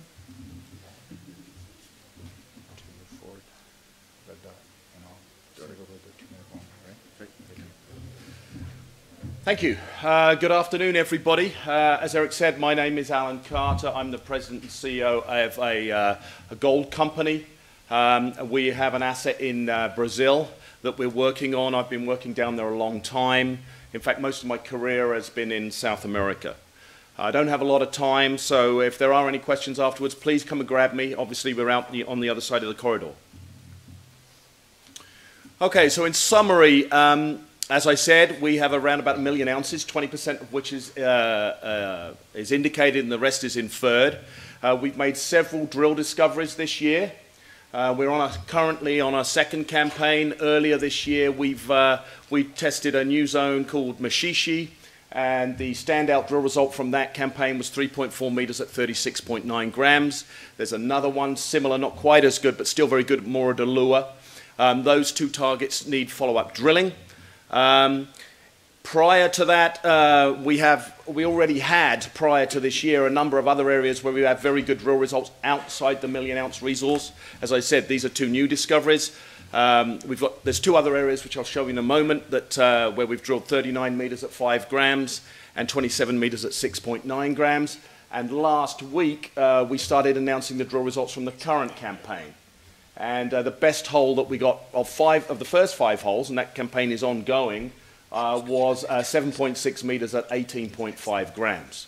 So a lot of high-grade mineralization here, and that is really the focus for this company. Um, we do have a low-grade resource, but there is an awful lot of high-grade, as I'll show you. This project is very large. It's 36,000 hectares. It's district scale. Um, and uh, previously, we've been directly involved as a management team in five discoveries in Brazil. Um, and cumulatively, they would total 5 million ounces. One of those is in production. Two are going into production next year, and the fourth one um, is fully permitted. Capital structure, very briefly 61.7 million shares issued, 92.7 fully diluted. This is the team. As Eric said, my background is in South, America. I've got a PhD in gold. Um, we've got another guy here, Adrian MacArthur, who has a PhD in gold too. Um, and then uh, just just about everybody here on the team has got some experience, considerable experience in Brazil in particular. Uh, word on the share structure. Um, so I mentioned we've got 61 million shares out. Um, we have just under $3 million now in cash. Um, so the enterprise value on that is around about uh, three and a half million US. And as I said, we have a million ounce resource here. The largest shareholders, well, board and management now control about 24%. That figure's a little bit out of date. Um, I've bought uh, in the last sort of uh, few weeks about 600,000 shares, so um, I am the largest shareholder. And, uh, in the I think uh, one other thing, you won't be able to read this right at the bottom here, but uh, in the last financing we did in July, it was just over $3 million. I put in $300,000. The financing prior to that, which was just under $2 million, which was last year, I put in 200,000. So I'm certainly putting my money where my mouth is. That's a big chunk of change for me. Um, uh, also on the shareholder re register here, we've got Dundee Goodman with about 12%, a Toronto-based group, a group in Australia called Phoenix with about 5%, uh, Cisco and Royal Bank of Canada. Okay, for those of you who are not too familiar with Brazil, and I do get asked this quite a lot, there are a lot of large companies working in Brazil, mining in Brazil. In fact, Kinross's largest mine is in Brazil. It's over 500,000 ounces a year. Um, Yamana is also very active here. Uh, Lundin Mining, which bought one of Yamana's assets earlier this year, uh, is also now very active. They paid a billion dollars for this.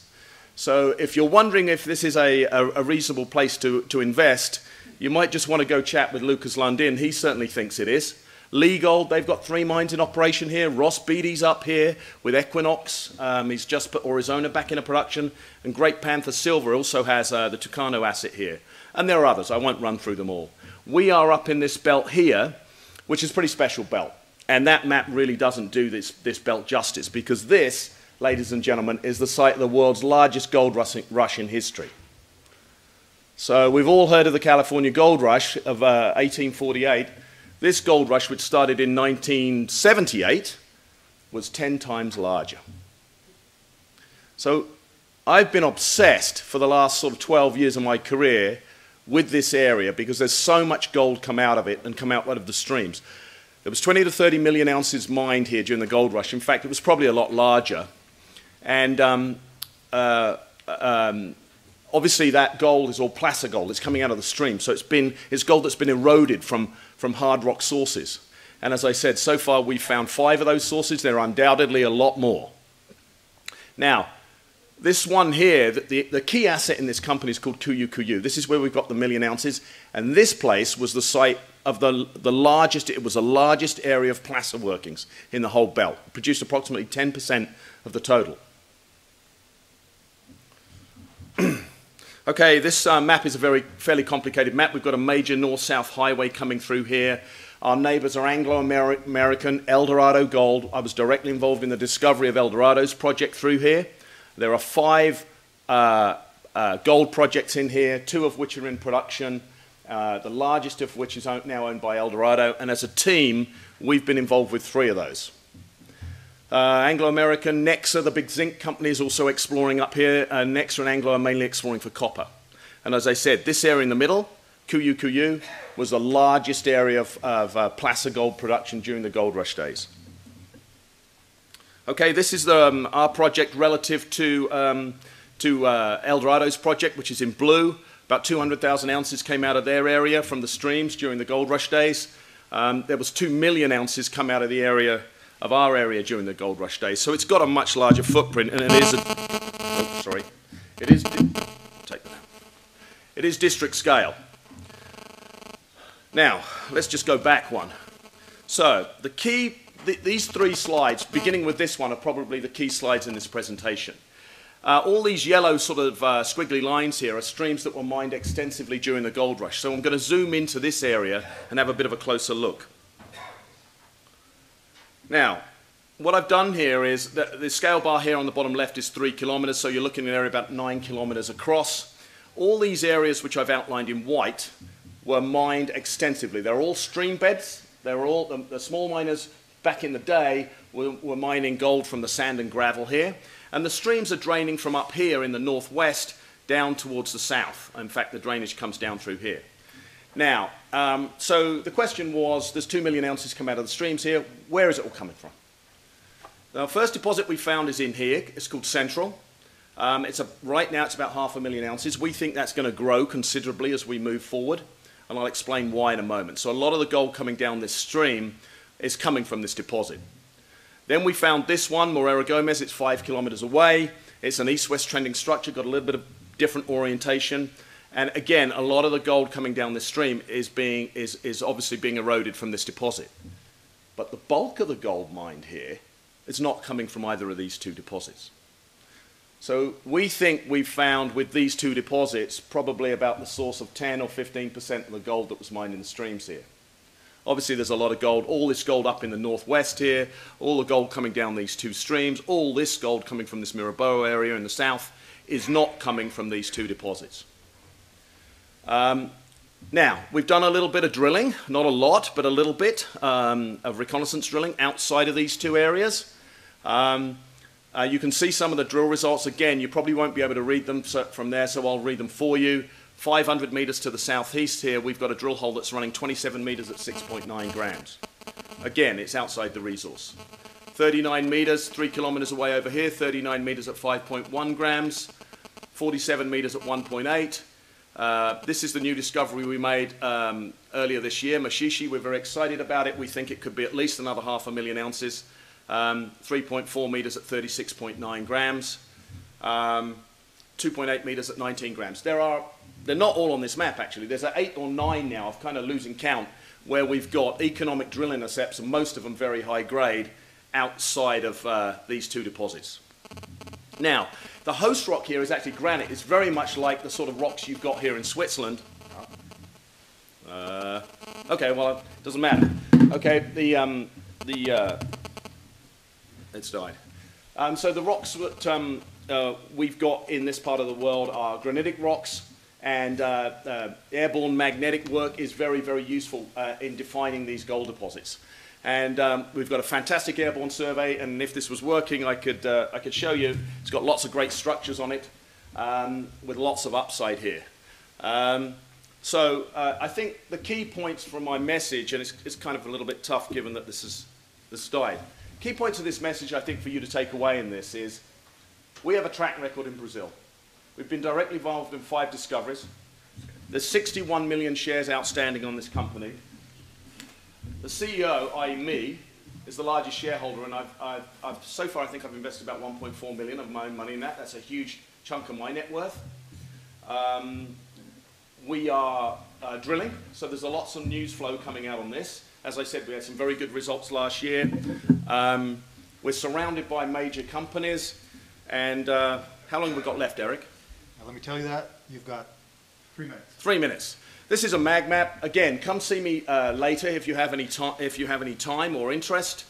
Um, this is a typical cross section through the deposits we've got. They're, they're, they're, they have all have high grade cores. and that's what we're focused on, and they're surrounded by low-grade envelopes. The resource is actually on the, on the, on the low-grade envelope, and so now we're working very hard to, to, to drill off these high-grade centers to these things. A um, lot of native gold here. Uh, I've got a nice piece. I'm, unfortunately, it's packed now, but it's in my suitcase. But um, you know, that's my thumb. So there's a thumb. Some, that, that's quite common, actually. Again, this talks about these uh, high-grade intercepts that we've got outside the resource. Uh, we're currently drilling within one of the known deposits because there are three high-grade pods. Now, until this year, there was 180 historic drill holes drilled here between 2008 and 2012.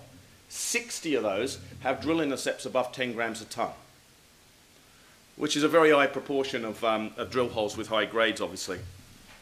And you can see some of these high grades. Again, I won't run through them, but just to pick a few, a few out, 13 meters at 17 grams, 10 meters at 14. Uh, there's a narrow section there, half a meter at 154 grams a ton.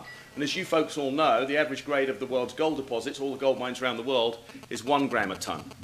Um, a meter at 85, etc., etc. And it's the same sort of scenario in uh, that, uh, the other deposit, which is this one. I've got a better map of that. So this is the first one that we found. This is the central zone. Again, there are three zones in here with really, really high grades. In fact, there's 34 drill holes here with plus 10 gram numbers in them.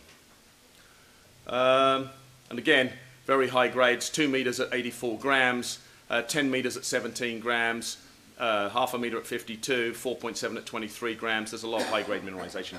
So again, that's what we're focused on. Um, lots of regional potential. We've just been looking in this area in here. You can see there's a lot of high-grade numbers on surface. The blue dots are the drill holes, so obviously there's a lot of drilling in these two deposits. Um, this area up here to the northeast, very, very attractive. Why? Because these streams have a lot of coarse nuggets in them. And here's a picture. Um, this is some of the nuggets that we're getting out. That's a two and a half uh, ounce nugget. Again, they've been eroded from somewhere. We haven't yet found the source of this, th th these nuggets, for example. Um, so, um, so, so, you know, uh, there's a lot of work to do in this area. So I think I'll leave it at, at that, Eric. Well, it was a very dynamic presentation. I appreciate it.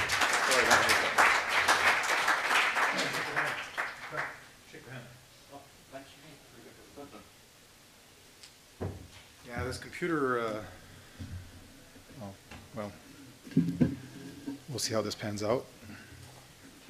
I think when there's a lot of arm waving, uh, it doesn't like it, so hopefully we won't have any more issues. No,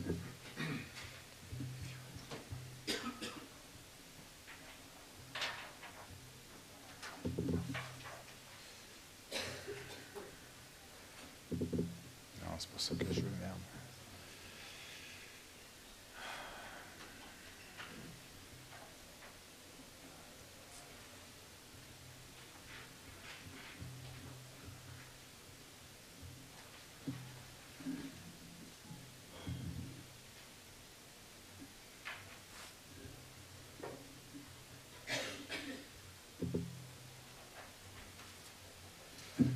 All right, I have the pleasure of uh, introducing our next speaker, Tim Warman, who's the president and CEO, as I said, Fiore Gold. Um, Tim is an experienced geologist, uh, professional geologist, actually, I should say, with more than 25 years of experience. Um, he's had several senior leadership roles.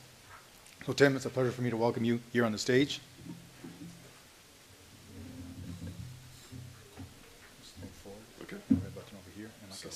Very sensitive area, so speak louder. We should, yeah.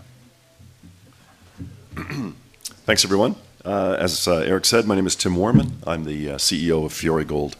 Uh, Fiore Gold is a relatively new company. It's a, uh, a gold producer, a Nevada-based gold producer that was formed in uh, September 2017. Pardon my voice, I'm fighting off the remains of a cold. Um, Fiore uh, acquired the assets of a bankrupt mining company that was called Midway Gold. Uh, Midway Gold uh, was uh, was active in the uh, in the uh, mid 2000s. Um, they spent about hundred million dollars building a mine in Nevada called the Pan Mine. in 2013 and 2014, they began gold production in early 2015 in March, and they filed for bankruptcy in May of 2015. Uh, the history of why Midway went bankrupt is a, is a fairly complicated one, but uh, to, to make it brief, essentially Midway had a lot of debt a very complicated capital structure. And when they ran into some technical problems as they started up the Pan mine, uh, they just simply couldn't get out from under that mountain of debt that was hanging over them, and they went bankrupt. So Midway's misfortune was our good fortune. That mine that, uh, that uh, Midway had built for $100 million in 2014, uh, we purchased it for $5 million from the bankruptcy sale in 2016 and set about correcting the problems that Midway had, the technical problems. We obviously had a lot uh, more flexibility. We have, had no debt at the time, and we continue to have no debt. So we turned around the Pan mine, got it operating. It currently produces about 40,000 ounces a year. Uh, we've been operating it for two years as a run of mine operation, which means that we just blast the rock, put it in trucks, put it on the leach pad, and, uh, and leach it. Uh, we've since put in a crushing system, which we expect to give us higher recoveries so that in the current fiscal year, which began in October for us, we expect to produce somewhere between 45 and 50,000 ounces. Pan is not a particularly big mine but it's a profitable mine. We've generated operating cash flow from it, we've generated free cash flow from it, and the whole uh, thesis behind the company was that we would use Pan as a springboard to grow the company, and that's what we're doing. And the primary way we're doing that is reinvesting the cash flow from Pan into our Gold Rock property. Gold Rock is a property that's about eight miles away, about 12 kilometers away, right next door in Nevada. It's fully permitted at a federal level, and that permitting process is a long one in the United States. It took eight years to permit uh, the, the uh, Gold Rock property. And now our goal is to put that into production, which would take the company from uh, sort of 45 to 50,000 ounce producer up to uh, a producer with in excess of 100,000 ounces of gold production a year in Nevada. Uh, and I'll talk a little bit about these. In the meantime, we would also uh, like to do some consolidation. There are a number of single asset uh, gold producers um, like ourselves uh, in the US, in some of the surrounding areas, as well as in Canada. And we'd like to merge those together because we think it makes a lot more sense uh, to have a uh, single company with multiple producing assets rather than a whole bunch of single asset companies, much more efficient and uh, much lower costs.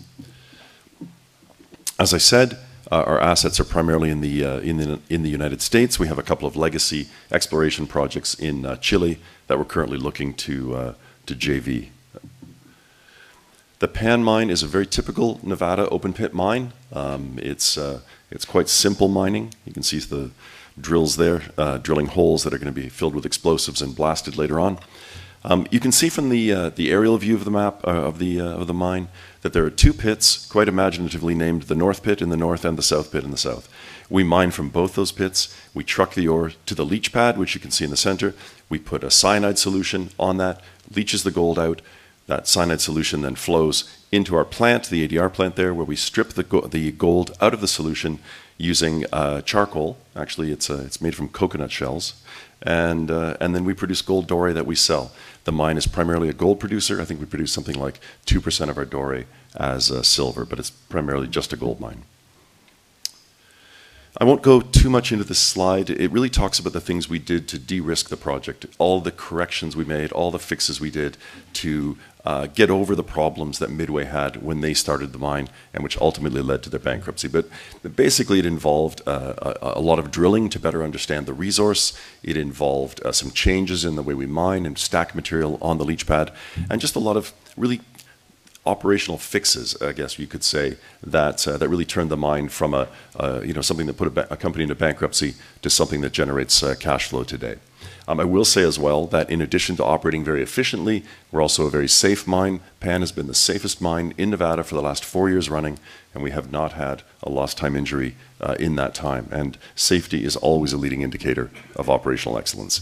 So we can talk a lot about what we did, but I think the proof is in the pudding here. You'll see gold production over the last several quarters. We've been averaging roughly 10,000 ounces a quarter.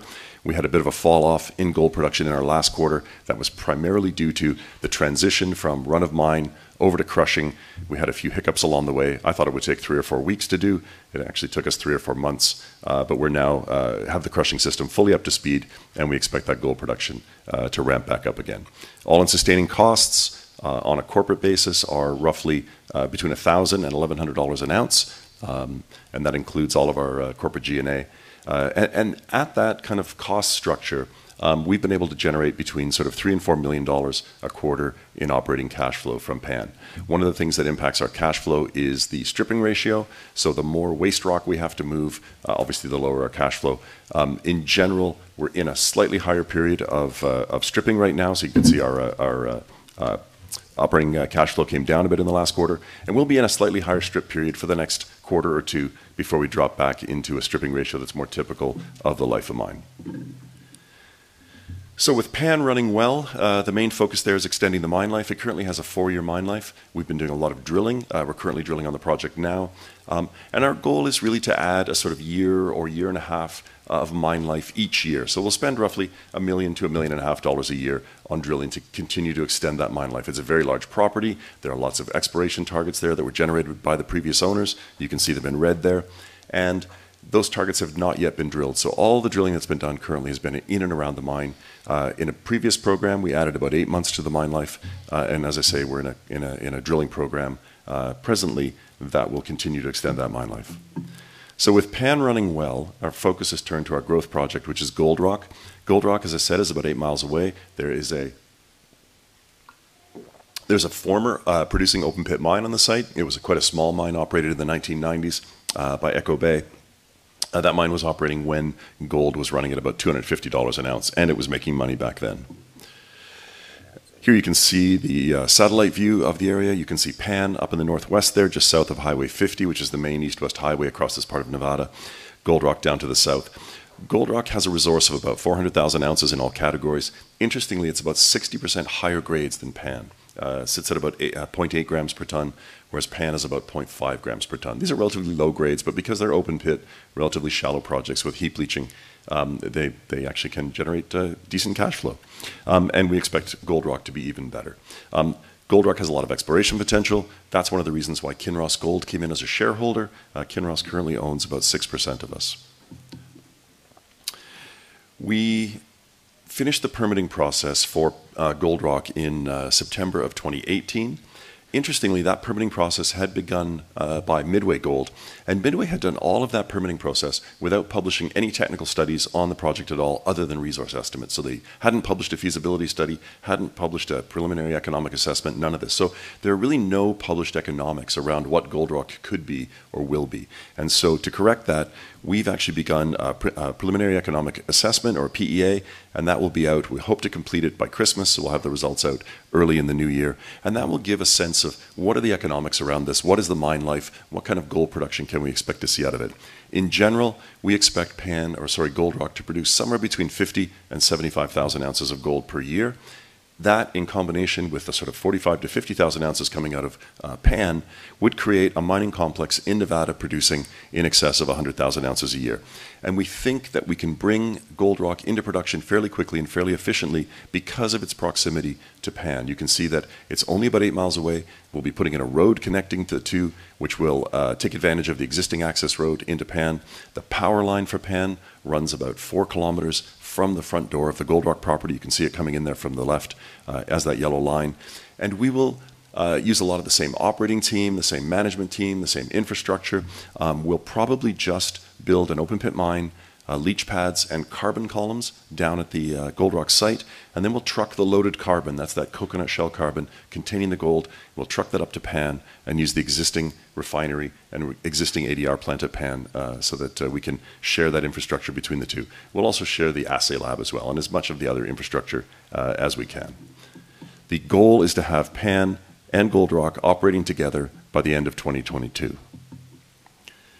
I mentioned we've been doing a lot of uh, drilling uh, at Gold Rock over the last year. Uh, in uh, advance of the PEA, we obviously want to grow the resource ahead of this economic study. Uh, and the drilling has been very successful. We've hit grades and thicknesses that are very typical of what we see in the resource. And we're quite confident as we go forward that we'll have a larger resource uh, than we currently have on that. But that will come out early in the new year.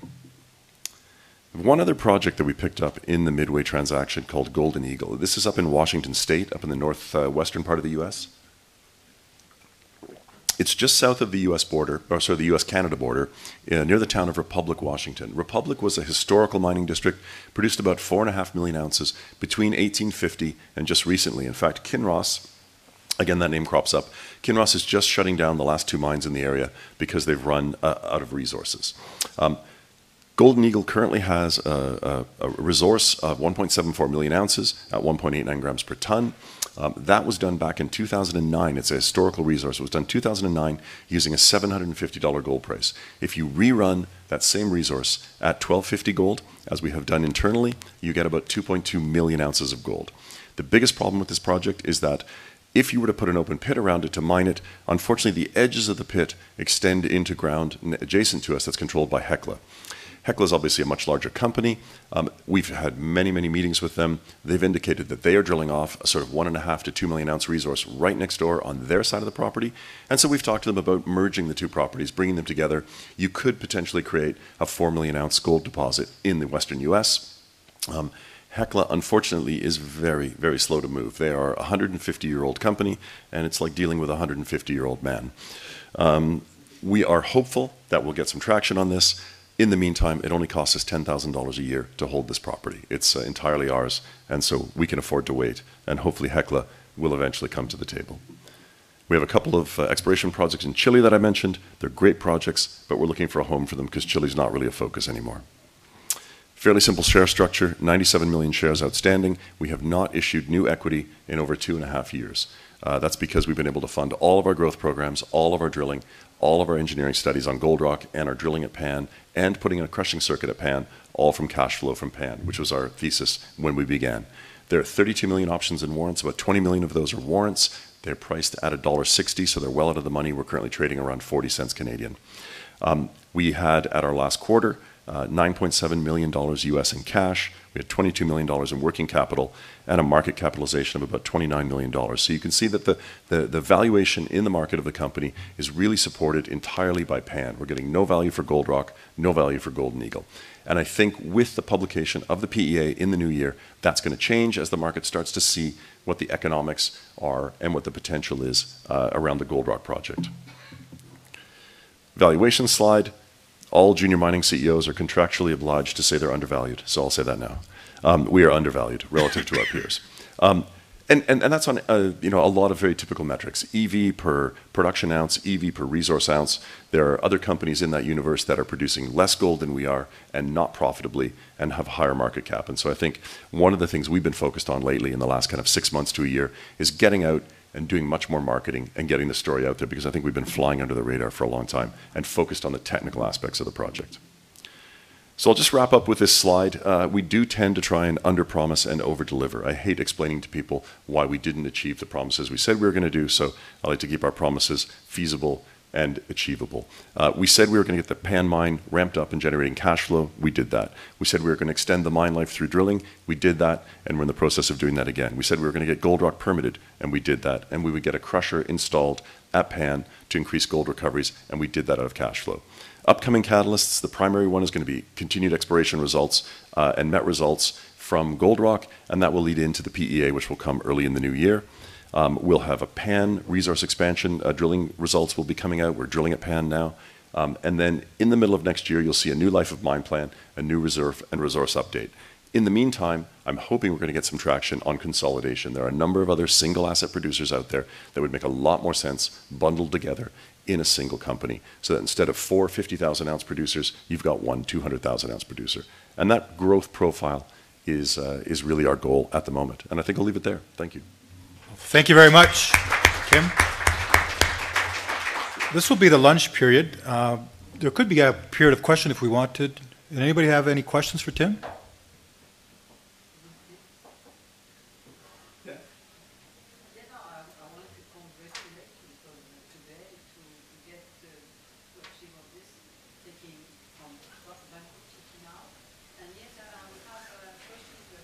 Okay, perfect. Well, we can get you out lunch. You're totally right, man, to, uh, the fact that this was, I'm gonna give you my, I'll give you the hand.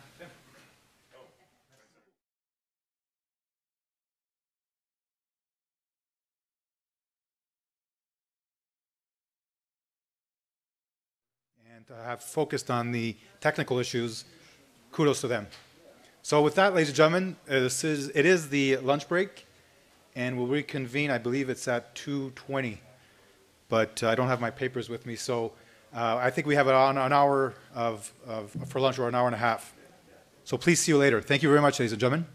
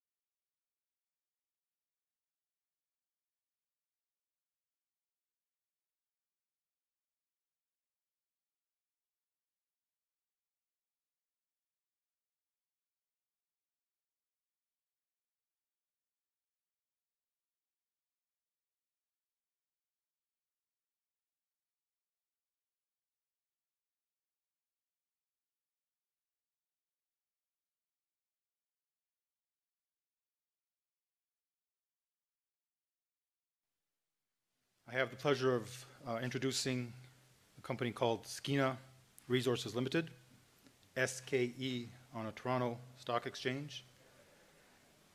They are active in the Golden Triangle of British Columbia and Canada. I have the pleasure of welcoming, I believe, Mr. Walter Coles, who's the president and CEO. For being a mining ex- executive for several companies, he was analyst at Cadence Investment Partners at UBS Investment Bank in New York. I believe he's a resident or uh, originally from the state of great state of Virginia or West Virginia. I don't want to make any errors in that regards. So, sir, if you want to come up, the floor is yours. We've been having some issues this morning with the uh, the screen, so this whole area, just be very careful not touching the, uh, I guess, the podium.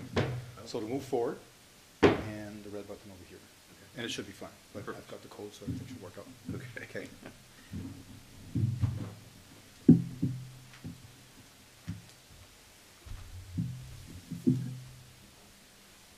Stopwatch working here. There we go. Okay. But I'll be very, you know, I'll put the light yellow to give you five minutes, and then. Okay. Don't worry, we've got some time, so don't Sounds- stress with the time. sounds good. But be inside the fifteen, I guess. Yeah, sure.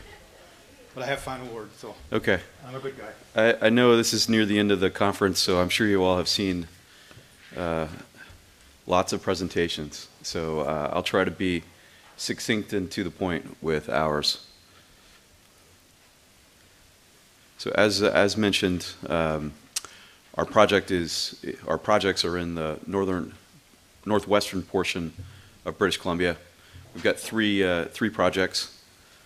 Uh, we acquired all of them from major mining companies. Our idea was not to try to do grassroots exploration, but try to get a hold of assets that already had either a lot of money spent on them or, or some type of resource there uh, to begin with. Uh, this is a tough enough business. How do we how do we mitigate risk?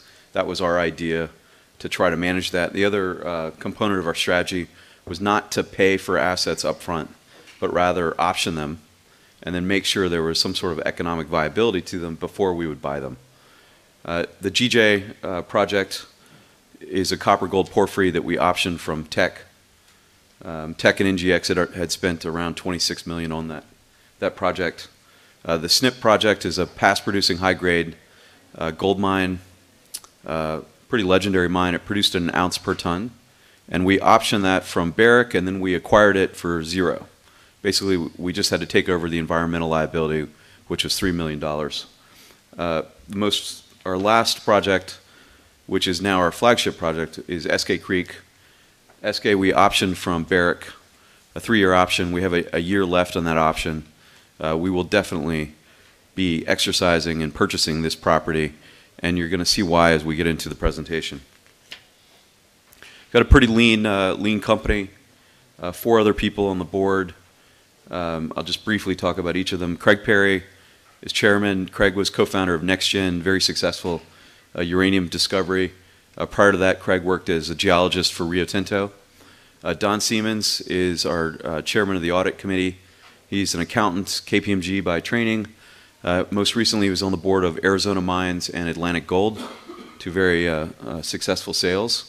Borden Putnam is a is an investment analyst worked for several multi-billion dollar uh, funds uh, on the West Coast in the U.S. And lastly, Isaac Burstein is with Hochschild Mining. Hochschild has a has a position in our company, and he's their VP of, of corporate development. Uh, on the management side, uh, my background, as mentioned, I worked in finance uh, prior to uh, jumping into the mining industry. I don't think I knew what I was really getting into. Um, uh, our CFO is the, um, his background is, is Price Waterhouse accountant. Paul Geddes, VP of Exploration. His background is with Barkerville uh, Mines. He was head of exploration there. Um, Kelly Earl, is here with me, is our VP of Communications, also a geologist. And lastly, uh, Justin Himmelright is our VP of, of Environment and Sustainability. You don't usually see small companies with this type of role but our view is it's such an extremely important uh, aspect of de developing any kind of project in, in Canada or for, for that matter anywhere in the world. One of the reasons we love the Golden Triangle is because of the improvements in infrastructure that have occurred. Like this is an area in the far north. There's almost no population up here, and yet we have power lines we, between our Snip and Eskay Creek project. In the last seven years, we have we have three new hydroelectric facilities that have been built. They recently sold for two and a half billion dollars. Like imagine the luck to be in the middle of nowhere, and we're basically seven kilometers from plugging into super cheap hydropower. Uh, our Eskay Creek project, you can drive in and out all year long. Uh, huge advantage for any kind of project to have that kind of infrastructure there. So let's talk about Eskay Creek. Legendary, legendary mine. And the reason is because it, when it was in operation, it was an underground mine that produced at a grade of two and a half ounces per ton of production. Like, have you ever heard of an underground mine or any mine to produce with that kind of? Uh, you have your cell phone? Yeah. Yeah. Okay. Um, with that kind of grade, like it, it really incredible. So our our idea for going after this was when it operated, the price of gold was between 250 and 400 dollars. So much lower gold price when this mine was in operation. Second thing, they didn't have the infrastructure. This was powered by diesel and propane. So it was a high cost mine in a low in a low gold price environment. And then the last part of our strategy was to look at this as an instead of looking at it again as an underground mine, to look at this as an as an open pit mine, because obviously you can use a much lower cutoff grade, and then the the obvious uh, question was how much gold would be left. Well, it turned out there was four, uh, in the resource we put out six months ago, four million ounces at at four, four and a half grams. So surprised us and definitely surprised Barrick as well. Here's the uh, the uh, PEA that we just published on Thursday, so about a week ago. 300,000 ounces a year on, in a nine-year mine life, so substantial amount of production. Um, even uh, more spectacular relative to the amount of production is the capex, only 233 million dollars U.S. to put this mine in, back into production. And again, we benefit from all that infrastructure. We don't have to build roads. We're very close to power lines. Um, it's also not high up in the alpine. It's, it's at an elevation of about 1,000 meters. The uh, after-tax return, as you can see, is, is 51%. So that means every year this project kicks off after-tax cash flow equivalent to about half of the capex. So about a, it's, it's $147 million a year in cash flow that comes off of this, this project. All in sustainable cost, 757 uh, dollars US and the after-tax NPV is 640 million. So very robust project economics. Just to give you a look at the, the sensitivities of this project to gold prices, you can see that at $1,200 gold, $1,200 US, we still have a 40% after-tax IRR and a payback of 1.6 years.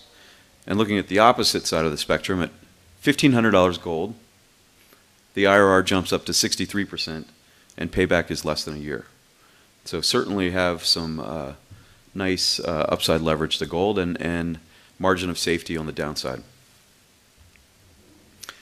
This is a long section, and it's a little bit difficult to tell, but the, uh, the shaded gray area is the pit on the, on the left side, and we have a small pit on the far right in an area we call the 22 zone.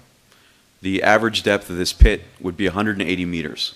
So this isn't a big, huge pit. It's, it's a pretty manageable, shallow, uh, shallow deposit. Right now we have sort of equal division between the indicated resource and the inferred resource on tons. They're both about 13.5 million tons in each category. Um, but the grade on the indicated is 6.1 grams, while the grade on the inferred is 2.9 grams. And we, we believe that to be somewhat of a consequence of drill spacing.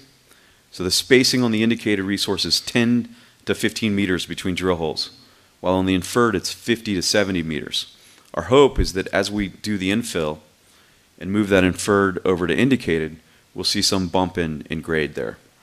It's a VMS deposit. It's, it's very continuous, very predictable, and that's part of our reasoning for believing that we'll see a bump in grade. This is a little video just to uh, sort of give you a visual idea of a lot of the things I've been talking about. Northwest BC, super beautiful, beautiful area.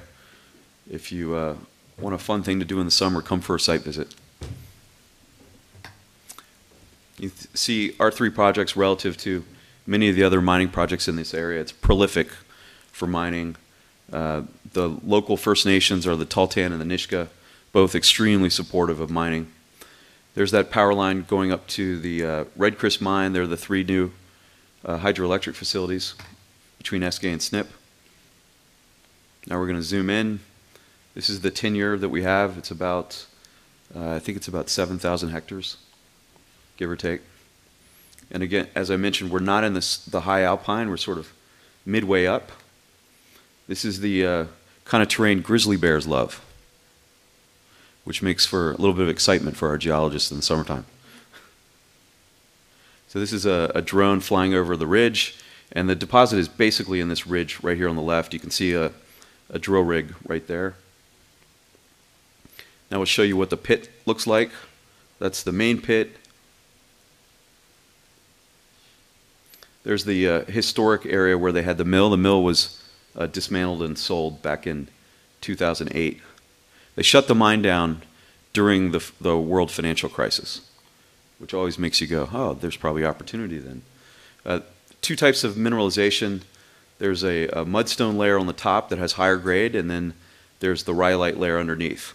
The other difference between the two is that the mudstone layer has a, a degree of impurities, while the rhyolite doesn't have any arsenic or mercury.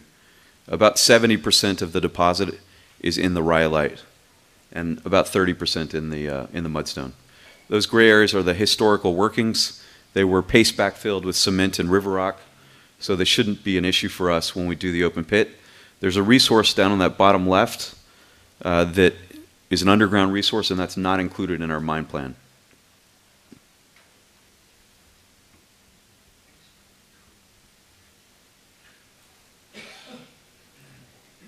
Yep, and you can see the the uh, second little pit right there, all rhyolite, and and we think there's exploration opportunity between those two pits to sort of fill that in, probably with rhyolite.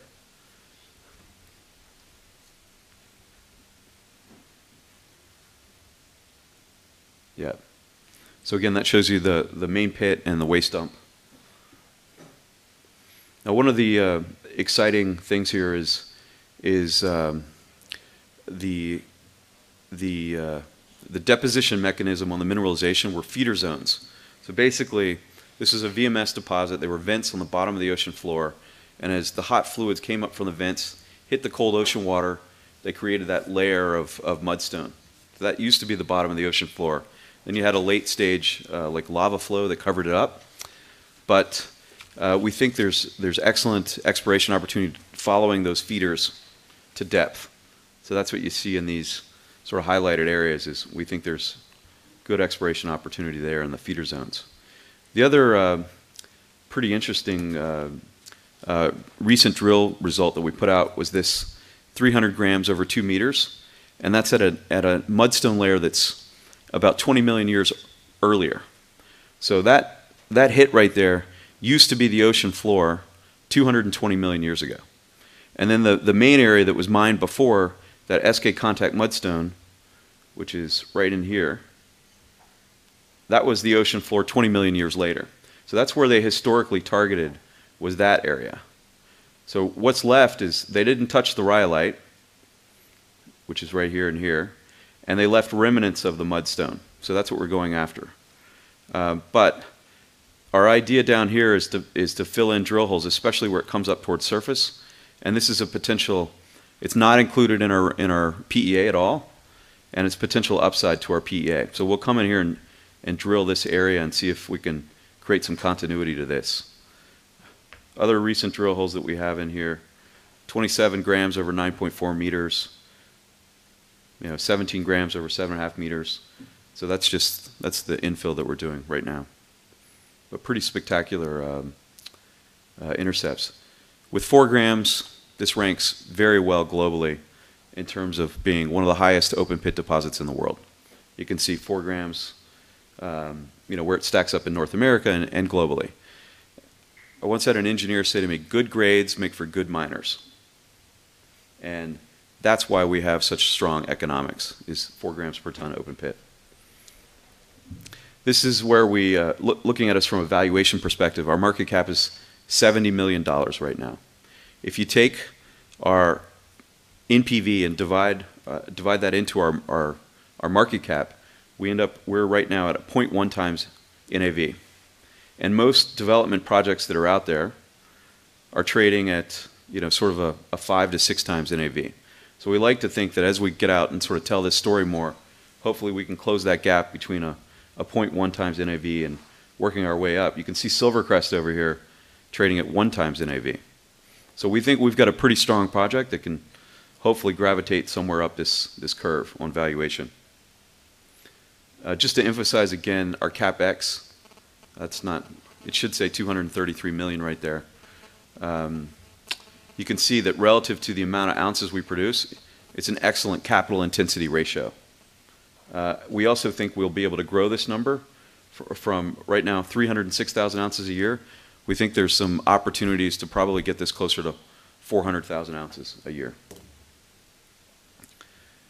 Now, we, there's a little bit of a give and take. The reason our capex is so low is because we're creating a concentrate. So we're not building out all the circuits to, to create doré at site. And what that means is we're sending the concentrate to smelters, and smelters take their pound of flesh. So while we have excellent capital intensity, we're in the second quartile on the OPEX side. All in sustainable cost of 757 puts us right here, when you would almost think because of our grade we should be in first quartile, but that's the give and take. Um, we're very proud to be a founding member of the BC Regional Mining Alliance. This is very unique because it's a collaboration between the First Nations, the government, and industry. So right now there are uh, four companies in the, uh, in the Golden Triangle BC Mining Regional Alliance, along with the Nisga'a, the Tahltan, and the government of BC. The premier of the province uh, gave us a million dollars to support this effort. And basically it, it's it's a joint effort, all of us going around the world collectively with our First Nation partners and with the government to explain to people that British Columbia is definitely open for business as far as mining goes. We've got 115 million shares outstanding. Uh, shares are trading right now at around 62 cents. So that's where we get to the $70 million value. Uh, our only strategic is Hochschild Mining. I would imagine that over the next a couple months, we might take another strategic investment in. So with that, thank you very much for your attention and time.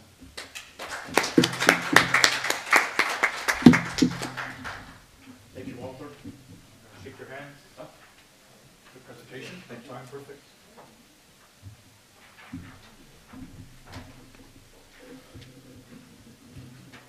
So we're going to go from northwestern BC to the province of Quebec my home province.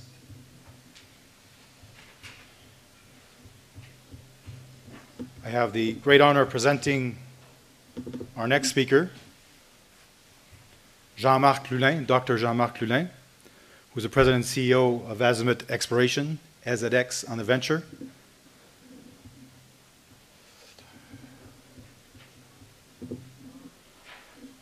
Jean-Marc is a veteran uh, mining industry executive He's been with Azimut for since 2003, so it's been a while. Uh, but he has experience in Africa, experience in North America, um, so a very well versed and traveled geologist. And he's very passionate about his company. Um, I'll keep it very simple, Jean Marc.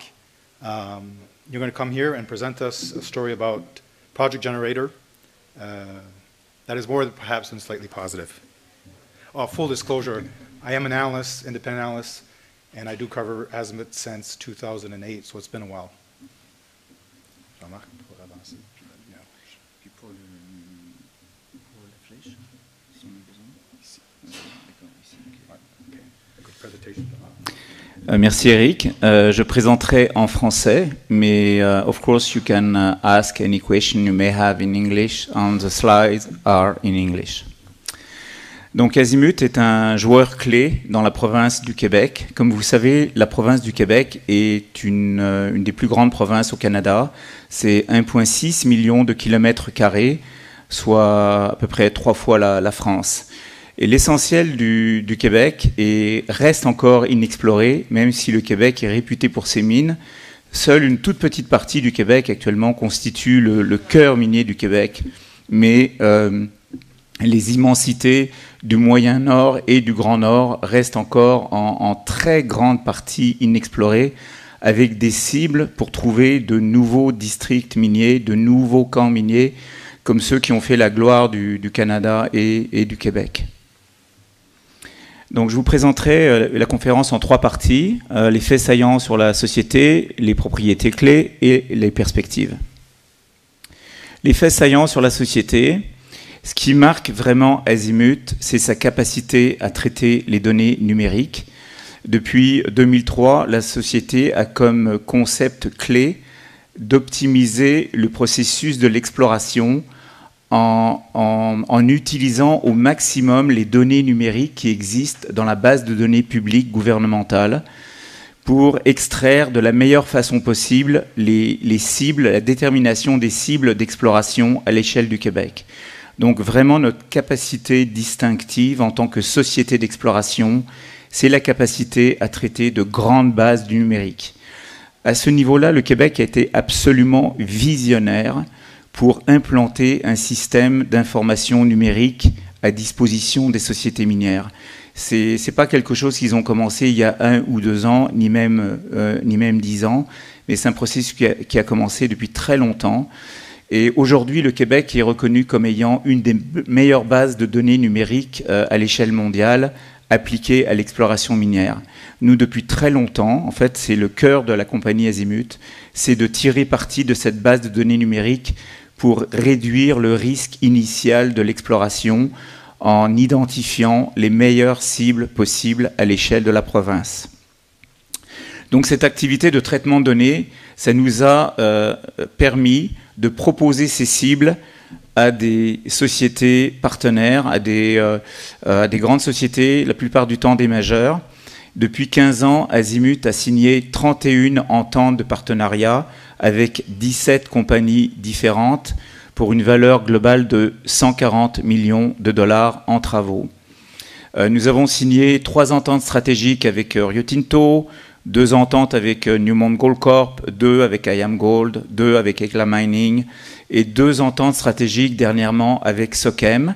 Sochem, qui est la Société québécoise d'exploration minière, c'est l'émanation directe du gouvernement du Québec, c'est financé par le Conseil du Trésor du Québec. Et Sochem a une vocation de développer euh, la ressource minérale euh, sur le moyen et le long terme à l'échelle du Québec. Donc c'est les promoteurs naturels, gouvernementaux de l'exploration minière et ils ont fait euh, une entente, donc deux ententes stratégiques avec Azimut euh, récemment. Cette activité globale de traitement de données et de développement du partenariat nous a permis depuis 2000, 2003 de découvrir plus de 400 nouveaux prospects minéralisés à l'échelle de la province dans des secteurs qui étaient peu ou pas explorés euh, auparavant et donc d'ouvrir de nouvelles régions au développement du potentiel minéral. Évidemment, l'idée là-dedans, c'est de trouver de très gros gisements parce qu'en ouvrant une nouvelle région minière, on a besoin de trouver un gisement qui, de par sa taille, en lui-même, va justifier la création de nouvelles infrastructures. Donc l'objectif d'Azimut, comme celui de Sochem, comme de celui de ses partenaires majeurs, c'est de trouver euh, des gisements de classe mondiale. Euh, Azimut est le, plus important détenteur de permis d'exploration à l'échelle du Québec. Et puis, évidemment, ce qui va avec ça, c'est que Québec est reconnu mondialement comme une des meilleures juridictions euh, minières au, au, au monde. C'est un pays qui a une longue expérience minière, avec évidemment des hauts et des bas, mais c'est un pays où il y a eu des mines, il y a une expertise humaine considérable. Et en plus, il y a une excellente base de données numériques. Donc, ce qui fait que nous, on s'est vraiment développé au Québec et on continue à, le faire parce qu'on pense que c'est un endroit où on peut créer euh, beaucoup de, beaucoup de valeur. La compagnie a été fondée en 1986 et moi je suis à peu près euh, à, à 50% de son existence.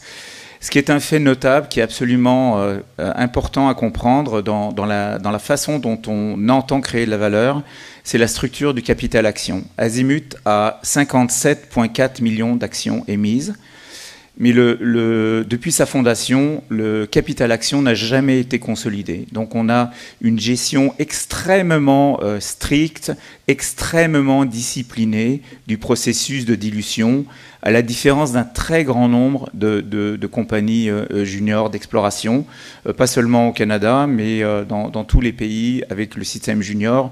Souvent, la, maladie mortelle des, juniors, c'est le processus de dilution, et nous, on a réussi à le contrôler. Vous allez voir comment. Pour nous, la structure du capital action est, un élément crucial dans le processus de création de valeur. Aujourd'hui, il y a 63% des, actions qui sont essentiellement contrôlées par quelques actionnaires, 5% pour les, euh, initiés, 30% pour les grands fonds institutionnels du Québec, puis 28% pour quelques family office, des, des gestions de fortune familiales. Euh, ce qui est important aussi, c'est que ce qui reste finalement, c'est 21 euh, millions dans, la flotte, les actions libres dans le marché. Et on utilise évidemment cet aspect-là pour créer un levier quand il va y avoir la découverte ou des découvertes de gisements majeurs. Euh, le fait qu'il y ait une flotte réduite, c'est là où va se convertir la valeur d'un gisement. divisé par le nombre d'actions, on a très peu d'actions, en particulier très peu d'actions dans la flotte, et ça, ça permet de créer une véritable valeur par action. La compagnie actuellement a, 3 millions de dollars en, cash. Euh, tout à l'heure, on a vu qu'on euh, porte une très grande importance au développement du partenariat. Historiquement, les partenaires ont dépensé 61 euh, millions de dollars, peut-être aujourd'hui c'est 63, 64 millions de dollars, quand nous on dépense 11 millions de dollars. Donc il y a un effet de, levier avec notre stratégie qui est très important, là encore qui est probablement un des meilleurs au Canada parmi les compagnies juniors. Donc pour, résumer, euh, on, essaye euh, de, concevoir, de mener notre activité en essayant de réduire fondamentalement deux des principaux facteurs de risque dans l'exploration, le risque technique à travers l'analyse des, mégadonnées. On pense qu'on arrive à avoir vraiment un avantage compétitif au niveau de la sélection initiale des cibles. Euh, la compagnie est clairement focalisée sur quelques métaux, l'or et le cuivre, mais ça peut nous permettre euh, d'évaluer d'autres types de, métaux aussi associés à ces gisements. On cherche des gisements majeurs. Maintenant, l'autre partie, c'est la gestion du risque d'affaires. La gestion du risque d'affaires, c'est à travers le développement du partenariat, où Azimut, évidemment, a, eu beaucoup de succès, probablement un des meilleurs taux de succès euh, dans l'industrie junior. Ça nous permet de réduire fondamentalement les besoins en financement, de minimiser vraiment de minimiser la dilution par action. Donc là encore, c'est ce qui permet d'être un ascenseur pour la création de valeur par action, parce qu'en cas de découverte, ben, moins il y a d'actions, plus le levier par action dans la valeur va être important. Puis euh, la sélection des partenaires aussi, c'est un élément très important. Euh, on cherche des partenaires qui ont une vision euh, à long terme, des partenaires solides. Et évidemment, on a eu la chance de développer euh, des ententes avec le gouvernement du Québec. Donc le dernier deal en date, c'est une entente qui a été signée en 2019. C'est notre deuxième alliance stratégique avec le gouvernement du Québec. Ils vont investir sur six ans jusqu'à 40 millions de dollars. ça se répartit en deux phases. Une première phase, 16 millions de dollars en quatre ans pour acquérir 3, 50% euh, d'intérêt dans trois projets majeurs. Euh, et euh, une seconde option où il pourrait investir un 8 millions de dollars additionnels sur chaque projet pour un total de 24 millions pour avancer les projets jusqu'à une étude économique préliminaire. Donc c'est un très fort levier pour les 4 à 6 prochaines années que nous avons avec le gouvernement du Québec. Et notre société est opérateur du projet. Donc ça, donne euh, évidemment beaucoup de visibilité à notre société comme entreprise parce que notre partenaire, c'est le gouvernement du Québec. Et en général, le, euh, le Québec n'a pas l'habitude de retourner sa veste. Un jour, ils sont pro-miniers, le lendemain, ils sont anti-mines. Le Québec, depuis 100 ans, est constamment pro-minier. Donc c'est très clair. Euh, c'est un, état de droit, euh, il y a de la transparence, c'est un des meilleurs euh, régimes juridiques. Donc on pense qu'on a un deal qui est gagnant avec, le gouvernement. encore, le, modèle économique est, robuste. sur la moyenne des dépenses fixes, les GNA, c'est 700 000 dollars par année. Et c'est en grande partie compensé par les revenus annuels de la compagnie. Les revenus, ça vient de trois sources. Les, les, paiements d'options, des fois des paiements en, en actions, mais également les, les frais de, gérance des projets pour lesquels nous sommes opérateurs. Donc 800 000 dollars en moyenne depuis 15 ans. Pour une junior, c'est pas mal parce que ça couvre euh, la plus grande partie de nos dépenses euh, administratives et une partie de nos dépenses d'exploration. Là encore, euh, Azimut, sur une base comparative à l'échelle canadienne, un des meilleurs leviers financiers, environ 5 dollars dépensés par les partenaires pour 1 dollar dépensé par Azimut dans nos dépenses d'exploration, environ 85% de l'argent d'exploration et financé et donné euh, par les partenaires. Euh, également, toute cette stratégie nous permet d'avoir un des meilleurs, euh, des taux dilution par, par du capital action parmi les plus faibles dans les juniors canadiennes. Donc on préserve l'investissement de l'actionnaire à travers cette stratégie. Donc là encore, pour résumer, très simple, il y a quatre étapes dans notre travail. On fait du ciblage à travers l'analyse des mégadonnées on va acquérir les meilleures, les meilleures cibles. On n'a jamais acheté à quiconque des, cibles, c'est directement acquis du gouvernement. Donc on est tout souvent, dans l'immense majorité des cas, on est les premiers euh, sur une zone d'intérêt. Après, malheureusement, on a souvent beaucoup de, compagnies opportunistes qui viennent se mettre à côté de nous, mais c'est comme ça. Euh, troisième, euh, troisième étape, on développe le partenariat, donc on transfère le risque d'affaires très vite euh, chez nos partenaires.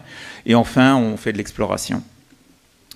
Donc c'est notre portefeuille minier à l'échelle du Québec. On est principalement actif dans deux régions, la région de la baie James, qui est la partie centrale, et dans le grand nord du Québec, qu'on appelle le Nunavik, qui est en fait la patrie des, Inuits, des Esquimaux, comme on disait avant, et c'est l'Arctique québécois, là où il n'y a plus, d'arbres. Donc euh, deux régions avec euh, quatre projets principaux. Dans la région de la baie de James, le projet Elmer, qui est un projet d'or qui appartient à 100% à Azimut, donc c'est autofinancé. Le projet Piquois, qui est en partenariat avec Sochem, qui est un projet de cuivre-or de très grand intérêt. Enfin, les projets Nunavik avec Rex et Rex Sud sont des projets or-cuivre, mais éventuellement d'autres métaux comme l'étain, le tungstène, les terres rares, euh, et l'argent. Donc euh, Rex et Rex Sud, ces deux projets à eux seuls représentent, chacun de ces deux projets représente potentiellement un nouveau district minier. Donc on parle de, on parle de découvertes qui pourraient avoir, euh, avoir un impact au niveau du développement minier au Québec pour les, les 50 prochaines années, voire plus. On a vraiment une vision de développement du territoire qui s'articule sur la découverte de gisements majeurs. Donc euh, ça, c'est une idée de nos euh, projets à la baie James, avec euh, tous ces projets en jaune sont à Azimut, souvent en partenariat avec SOCEM. Comme vous voyez, même si on est dans le nord du Québec, c'est une région qui, est, qui bénéficie d'infrastructures majeures, des lignes électriques partout, des routes partout, des aéroports, une grande expertise et aussi des, ententes extraordinaires avec la, nation Cri, donc les Indiens qui habitent cette région qui sont des partenaires pro-miniers. Ils bénéficient directement des entreprises, de, l'activité de nos entreprises. Donc euh, c'est un, contexte qui est très, euh, euh, très pro-minier, au, moins dans toute cette région. Donc rapidement, le projet Elmer Duxbury, ça appartient à 100% à Azimut. Ça a été acquis par jalonnement en 2016. C'est un projet qui fait 35 km de long. Euh, dès que l'on est arrivé sur ce projet en 2019, en juin 2019, on a très rapidement euh, fait de la prospection, du décapage, on a rainuré en surface, de l'échantillonnage en, surface, et très rapidement on a obtenu des résultats qui sont intéressants. 9,5 euh, grammes sur 7 mètres, 9,5 grammes sur 5 mètres, 3,3 grammes, etc. Donc c'est des valeurs économiques en surface. Euh, la dimension est là. On a une zone euh, prospective qui fait au moins 200 mètres de long et qui s'insère dans un corridor de 7 km de long avec plein d'indices à haute teneur. Et on passe aujourd'hui en phase de forage sur ce projet, donc qui a été acquis il y a, il y a moins d'un an. Euh, là, c'est une idée sur, euh, sur le, la zone prospective. Euh, les, les, trois, les trois, quatre indices minéralisés se répartissent sur une zone de 5 km. C'est encore très peu exploré, ce sont des indices en surface. Nous, on arrive avec vraiment une technologie d'exploration, une vision de l'exploration. Je pense qu'on va être capable de générer très rapidement des résultats sur ce, sur ce projet. Un autre projet qui est fort intéressant, c'est Piqua. Il a été acquis en 2016. On est en partenariat avec SOCEM. Et dans les deux dernières années, 2018-2019, on a commencé à trouver euh, une zone d'intérêt de 20 km de long, euh, cuivre-or.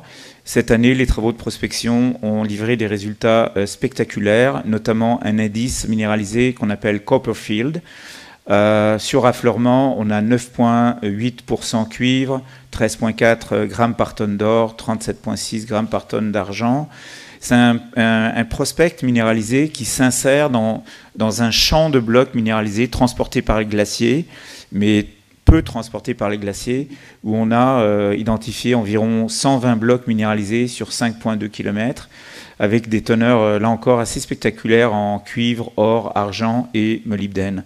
Euh, on est en train de recevoir les résultats et euh, on espère avoir une image complète de, de ce champ de, de, blocs erratiques là, dans, les, dans les prochaines semaines. Mais c'est très logique par rapport à l'image qu'on se fait de, la cible qui avait été générée en, 2016. Et on est très confiant sur la, la capacité à trouver quelque chose de significatif dans, dans ce secteur-là. Euh, en gros, ce, secteur, le modèle que l'on voit, c'est un système porphyrique à cuivre, or, argent, molybdène, mais déformé par, euh, une phase de déformation régionale. Donc, euh, ce n'est pas un porphyre comme en Colombie-Britannique ou comme au Chili ou comme au Pérou.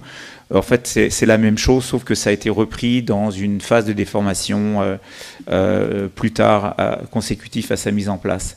Mais en gros, c'est un potentiel pour un gisement de, classe mondiale. Il y, a, de la place.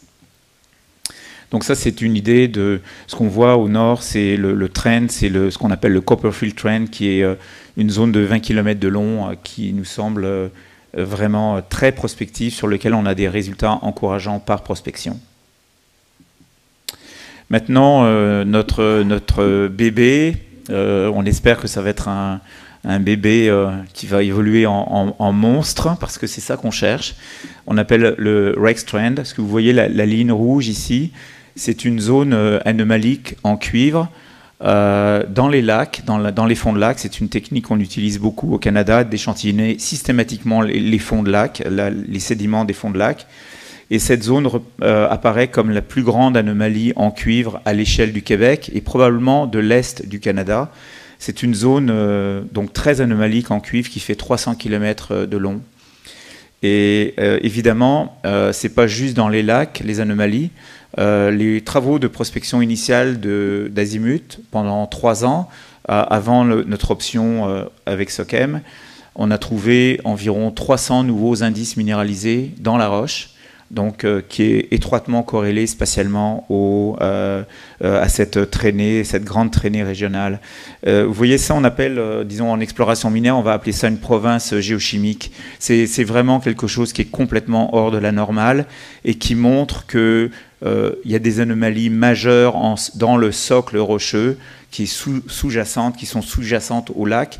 Et évidemment, ce qui nous intéresse, c'est de trouver des gisements majeurs dans le socle rocheux.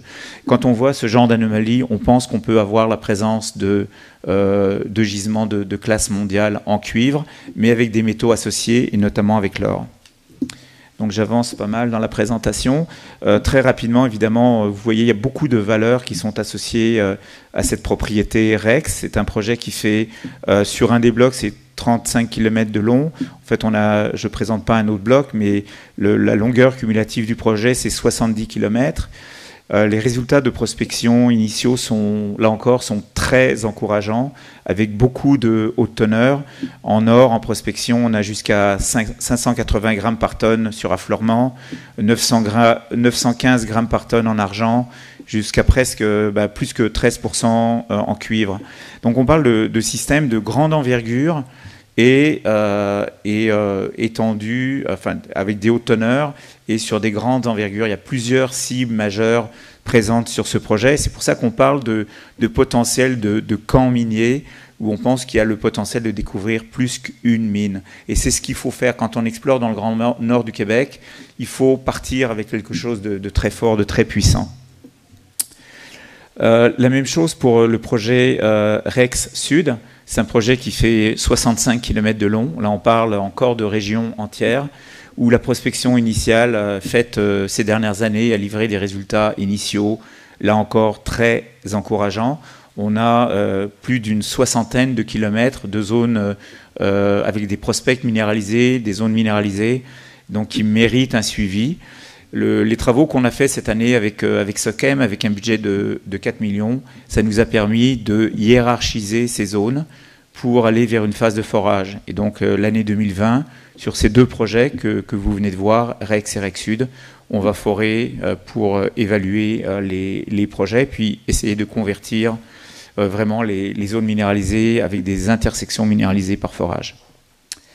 Donc le, sommaire, c'est Azimut est un des pionniers dans l'industrie minière, pas juste au Québec, pas juste au Canada, mais à l'échelle mondiale, dans le traitement de données appliquées à l'exploration, euh, à l'exploration minière. Tiens, ça c'est c'est bizarre, mais c'est pas grave. Donc euh, on prévoit. euh, attends, comment on fait? Voilà. Donc, oui, oui, c'est c'est presque fini. Donc, Azimut est un, un pionnier dans, dans l'analyse des mégadonnées appliquées à l'exploration minière. Euh, puis, on n'est pas, euh, comme euh, certaines autres compagnies, on n'est pas du tout en phase expérimentale. Pour nous, c'est complètement inscrit dans les gènes, dans le code génétique de la compagnie. Et c'est pas seulement de la prédiction, c'est aussi un immense travail de validation depuis les 15 dernières années. Donc on sait ce qui fonctionne, on sait ce qui fonctionne moins bien, on sait ce qui ne fonctionne pas.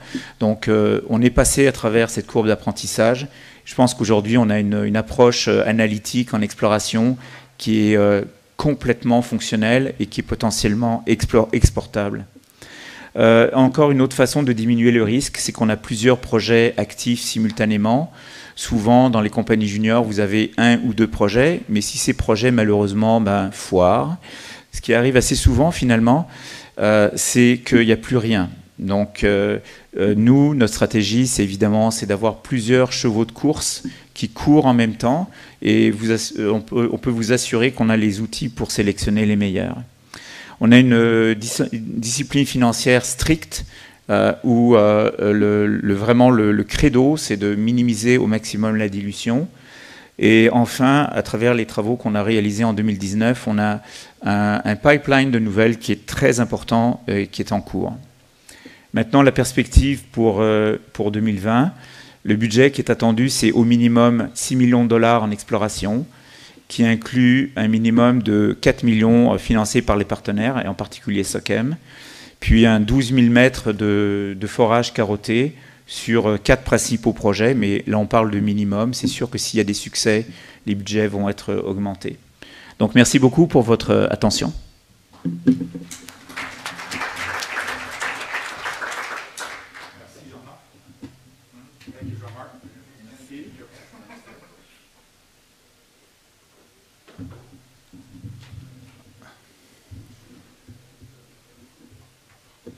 Fait qu'une excellente présentation. Um, an excellent presentation, Jean-Marc. I got to confess, I don't understand his French, but that's uh, my issue. Yes, exactly. So I hope uh, it was enjoyed. Um, I have now the honor of present- presenting our next conference speaker, Mr. Trey Wasser, the President and CEO of Ely Gold Royalties. So let me just get this control down. So the focus of the company is royalties business in the beautiful state of Nevada. We all know Nevada. What they do is they aggregate uh, a diversified portfolio of promising projects and uh, developed a royalty uh, portfolio. Trey's been president for the company uh, for a few years and uh, is a specialist in finance and is here, as I say, to present Ely Gold Royalties, ticker ELY on the Venture Exchange. So Trey, if you want to come up on here, just be very careful, it's very sensitive. Move forward and red button over here. Pointer? Pointer. Okay.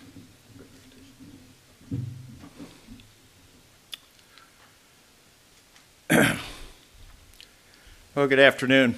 Uh, Ely Gold Royalties uh, is, uh, as uh, Eric pointed out, uh, Uh, we have been building our portfolio for about three years, and uh, we have a different approach to the royalty space in that we purchase royalties from third parties on producing properties. And we also create royalties, generate royalties, if you will, by uh, uh, purchasing and staking properties primarily in Nevada, but the Western United, throughout the Western United States. We sell those properties and retain a royalty. So uh, we have a, a, revenue generated from those property sales, which we then apply to purchasing uh, other uh, royalties from third parties. Uh, a little overview of the, of the company corporate structure. We have just under 100 million shares outstanding, stock trading around 40 cents, fully diluted 127 million shares, so it gives us a fully diluted market cap of about $50 million. Uh, we currently have about $2 million in cash and uh, just under a million dollars in securities and uh, about that same amount, 900,000, 950,000 in debt, uh, which is, was related to two of the royalty transactions that we did. Uh, 2019, some of our milestones uh, on the finance side is we uh, uh, got Rick Rule involved. He made invested in January of this year and um, put put took a 10% position with his warrants. He's just under 20%. then in May, Eric Sprott got involved with the company uh, and uh, took about a 5% position. Uh, fully diluted, uh, Eric has about an 8% position today. We operate like a royalty company in that uh, our overhead is very low. Uh, our burn rate is only about 400,000 per quarter. And so with our property sales, we are, will generate over $3 million in revenue this year. Uh, as you can see on the bottom, our chart uh, kind of reflects uh, really the big change for us uh, after uh, after a couple of years of uh, of trading in a in a narrow range. we we broke out in January. It's kind of related to when Rick Rule got involved. We also made one of our first royalty purchases in in January, and and then took a big jump also in about the middle of the year when, when the market turned and also when Eric Sprott got involved. So uh, that, uh, but we, we still think we have a lot of upside in, uh, uh for shareholders. Uh, we just recently announced uh, a line of credit, it's a convertible note from Eric Sprott in the amount of $6 million. Uh, that's, that is, will allow us to uh, go out and purchase additional royalties and then control our financing uh, so that uh, we can we can go and raise equity uh, on, our, on, on better terms and, uh, and timing and, and then pay down the, the note and then have it ready to draw on again when we see another royalty opportunity for purchase we only use, we only purchase royalties which are producing or very near term producing. And we generally buy those royalties from third parties. So we're not, we're not as a rule, taking uh, co construction risk in uh, the building of a mine. We're not putting up the capital for building a mine and being subject to cost overruns or um, uh, uh construction risk. Uh, talk a little bit about the uh, royalty space. You know, the royalty companies are, are, an excellent way on the equity side to get leverage to the price of gold. Uh, compared to gold equities that uh, in, in, the exploration and development side, you know, we don't uh, employ a lot of geologists and, and run all of the expenses of exploration. We simply stake our properties. we will spend time consolidating and cleaning up claim packages as far as titles and and uh, uh, putting the claim fragmented claim packages back together. But uh, we don't have all the exploration expense. So in the royalty companies, you know, you, you although there is some construct, construction risk that uh, goes with uh, uh advancing uh, money for properties that some royalty most royalty companies do, um, you don't have operating risk uh, as far as cost over increases, and you get great diversification in a royalty portfolio because it, they will it, that it is spread the portfolio is spread across at different assets with different operators and uh, uh, and in different geography. This chart uh, is is uh, uh, interesting because it shows that the top three gold royalty companies, Franco Nevada, Royal Gold, and Wheaton Precious Metals, not only handily outperformed gold over the last 10 years, gold would be the, uh, the line on the bottom of the graph, but uh, those three royalty companies have actually uh, also outperformed the Standard & Poor's index.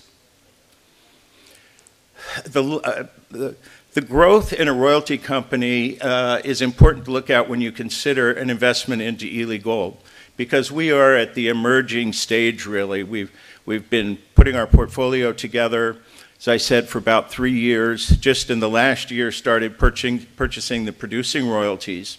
And what happens as a royalty company grows in size, the valuation that the market puts on the royalty assets grows. So you can see in the, uh, in the top group there, the Franco Nevadas, Royal Golds, uh, they'll trade at 25, uh, even more times cash flow, and uh, two, two to two and a half times net asset value. Uh, the mid-tier companies, the Sandstorms, uh, Osisko Royalties, uh, those will trade at a slighter, a, a, slight discount to that, more like uh, one and a half to two times net asset value, and maybe uh, 15 to 20 times cash flow. Then you have a junior royalty space, which is uh, uh, companies like Metalla, Abitibi Royalties, uh, this group generally trades more on blue sky and on the future prospects of the portfolio uh, more so than, uh, uh than times uh, a cash flow or net asset multiple. And Ely Gold is at the, just entering this, this junior royalty space. And we've grown the portfolio to the point where when, when we're compared to our peers, in, uh, the, in the, this case, Metalla and Abitibi royalties, we compare, compare very favorably in the number of royalties, the number of producing royalties, in our revenue stream, but yet we're trading still at, uh, at about uh, a fourth or fifth of their market caps. This uh, gives an idea of the breakdown of our revenue. Uh, again, uh, we're very active in our sale program. We'll sell 10 to 12 properties a year. Uh, so quite a bit of our revenue uh, each year comes uh, from transactions created during that year. So this, this slide shows that we'll do over a little over $3 million this year. Next year we'll start with what we have on our books, uh, about two and a half million. And with transactions during the year, we project to be about 4 million in revenue next year. Uh, the following year, we have some of our royalties uh, really kicking in and starting to produce. Uh, we also have accelerated payments coming on our uh, sale portfolio. Uh, so we'll start with about four and a half million, and we're projecting about six million uh, in revenue in 2021. And you can see from this, the gray is the royalty revenue, the blue is the sale revenue, and see that it's it's fairly well matched there. That we get uh, generate revenue about about half and half from option uh, sale revenue and royalty revenue. Uh, this chart uh, shows really, uh, uh, again, mostly our stock down at the bottom, when, and shows that compared to some of the, the other royalty companies, beginning this year when our stock broke out, we traded along with the GDXJ for uh, for the last few years. But uh, as we started purchasing royalties, getting out and marketing the story, uh, we've started to trade much more like a, a royalty company than a, a, junior exploration company.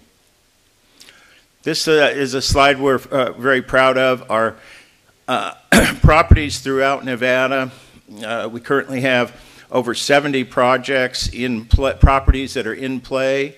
Uh, the breakdown on that is 34 royalties, uh, 22 properties that are in the sale process, and uh, about 25 properties that are available for sale.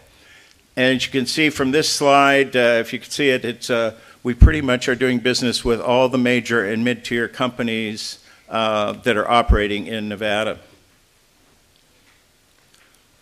Talk a little bit about the four royalty purchases we've made this year.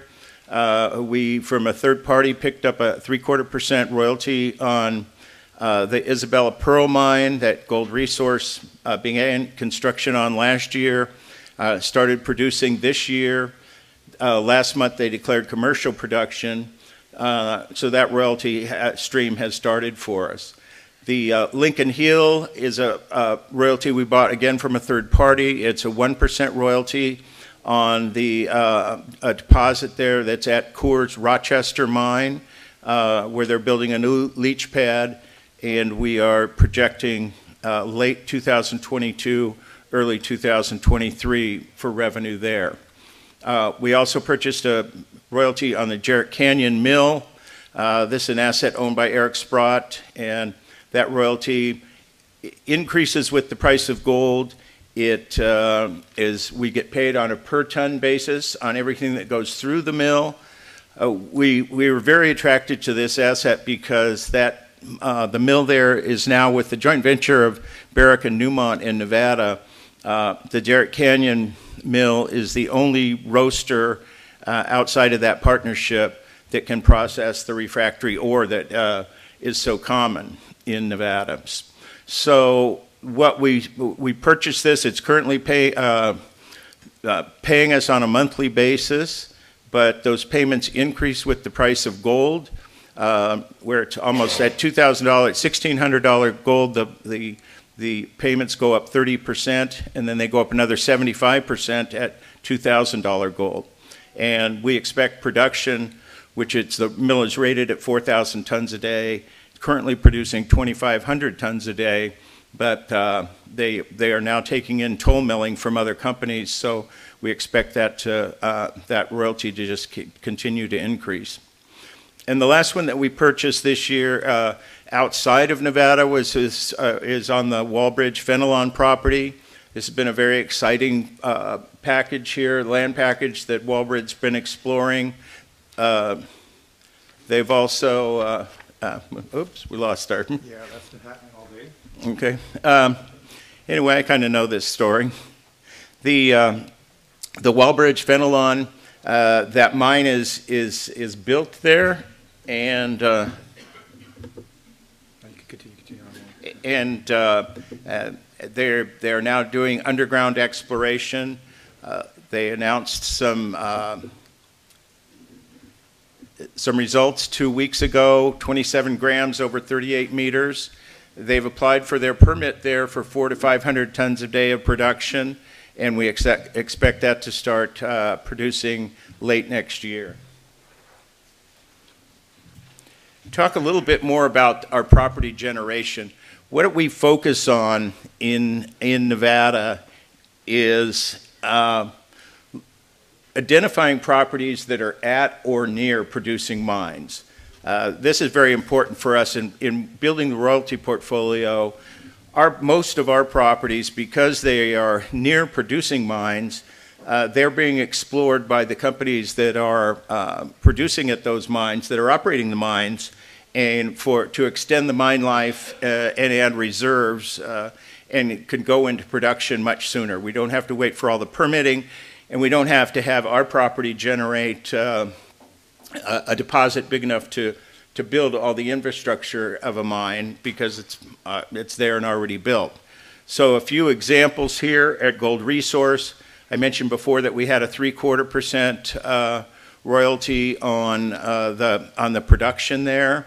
But uh, when we got word that that uh, well we we knew somebody was going to buy that mine, so we had staked all the property around it. So all the exploration ground there we sold to Gold Resource, and uh, and hold a 2.5% royalty. They're beginning to explore that mine to extend their, uh, that land to extend the mine life now. The, uh, we also sold them two satellite projects, Mina Gold and County Line, which are 10 miles away.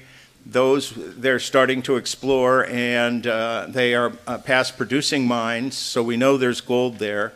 And they'll either drill those out and become uh, satellite mines and share infrastructure, or they'll haul that ore the 10 miles over to Isabella Pearl.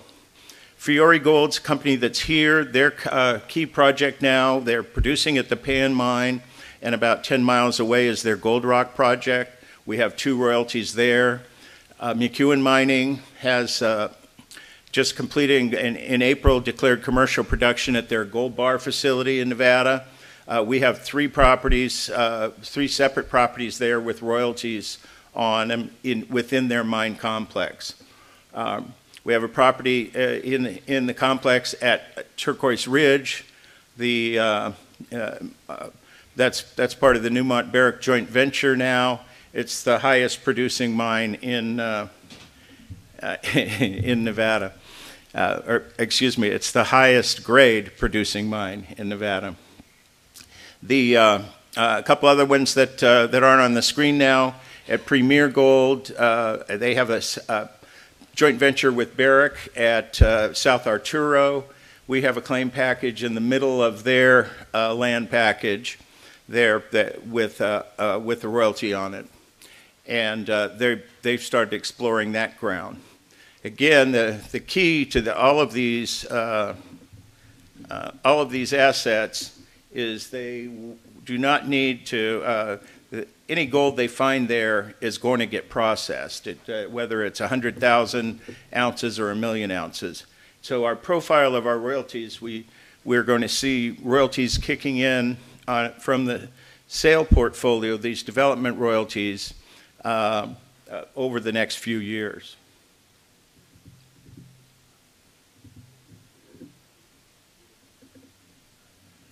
Uh, Integra is another company that, uh, uh, that we're involved with in Idaho.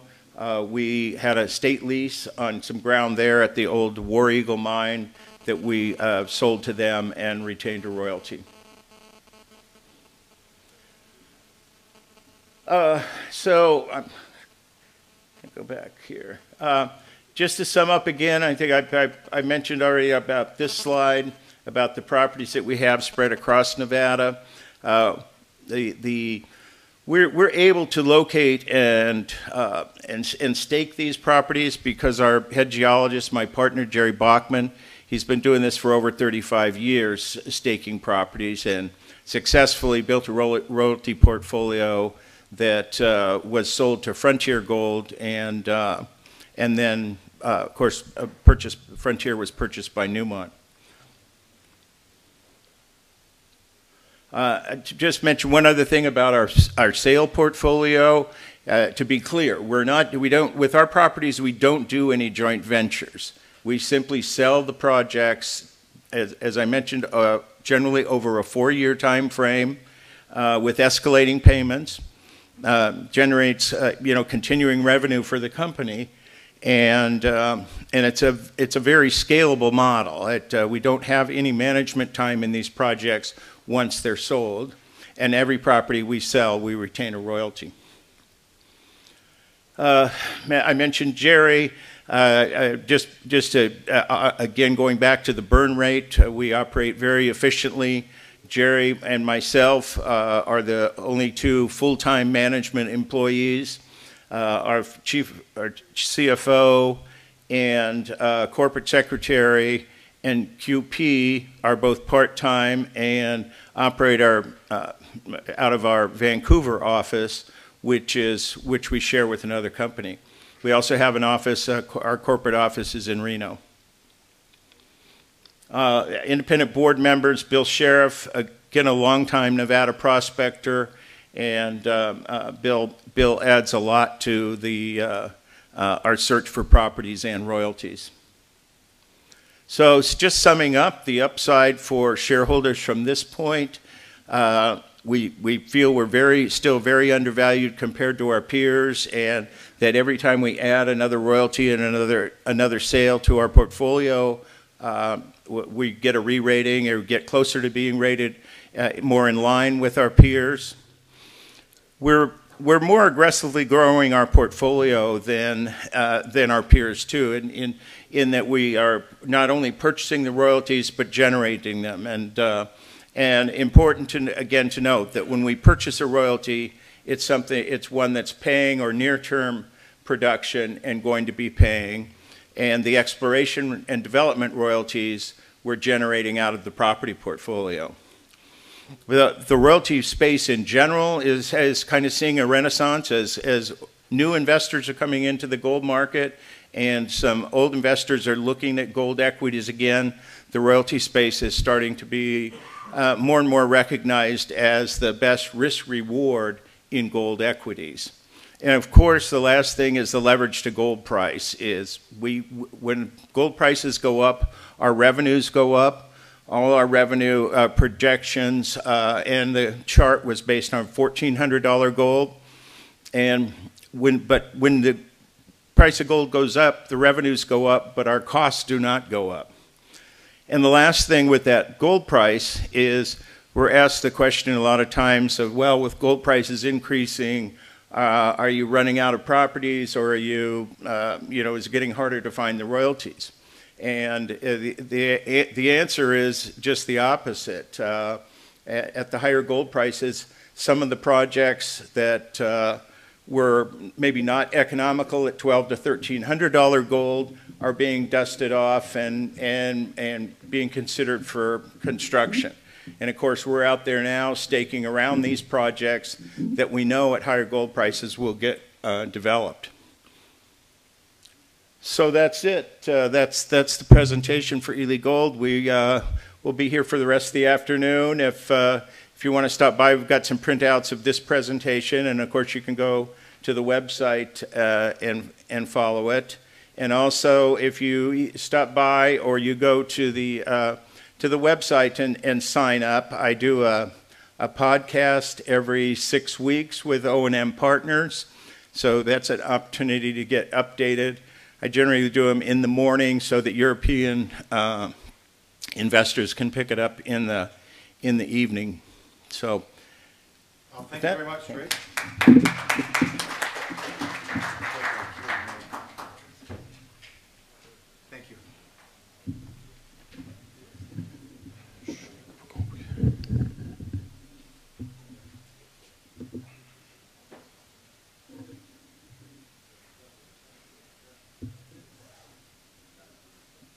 Sorry about that. Again, the technical problems all day. Three, hopefully this will be the last time. 658. Unfortunately, we were supposed to have uh, Galena Mining Limited, an Australian company, come and present, and it was Mr. Alexander Molyneux, the CEO. But our understanding is that uh, there was some personal uh, in this position that he had to uh, leave very in an urgency. So unfortunately, but uh, we're going to continue with the last presentation. Blackstone Resources AG. And so we have the honor of, uh, of receiving Mr. Ulrich Ernest, the president and the CEO.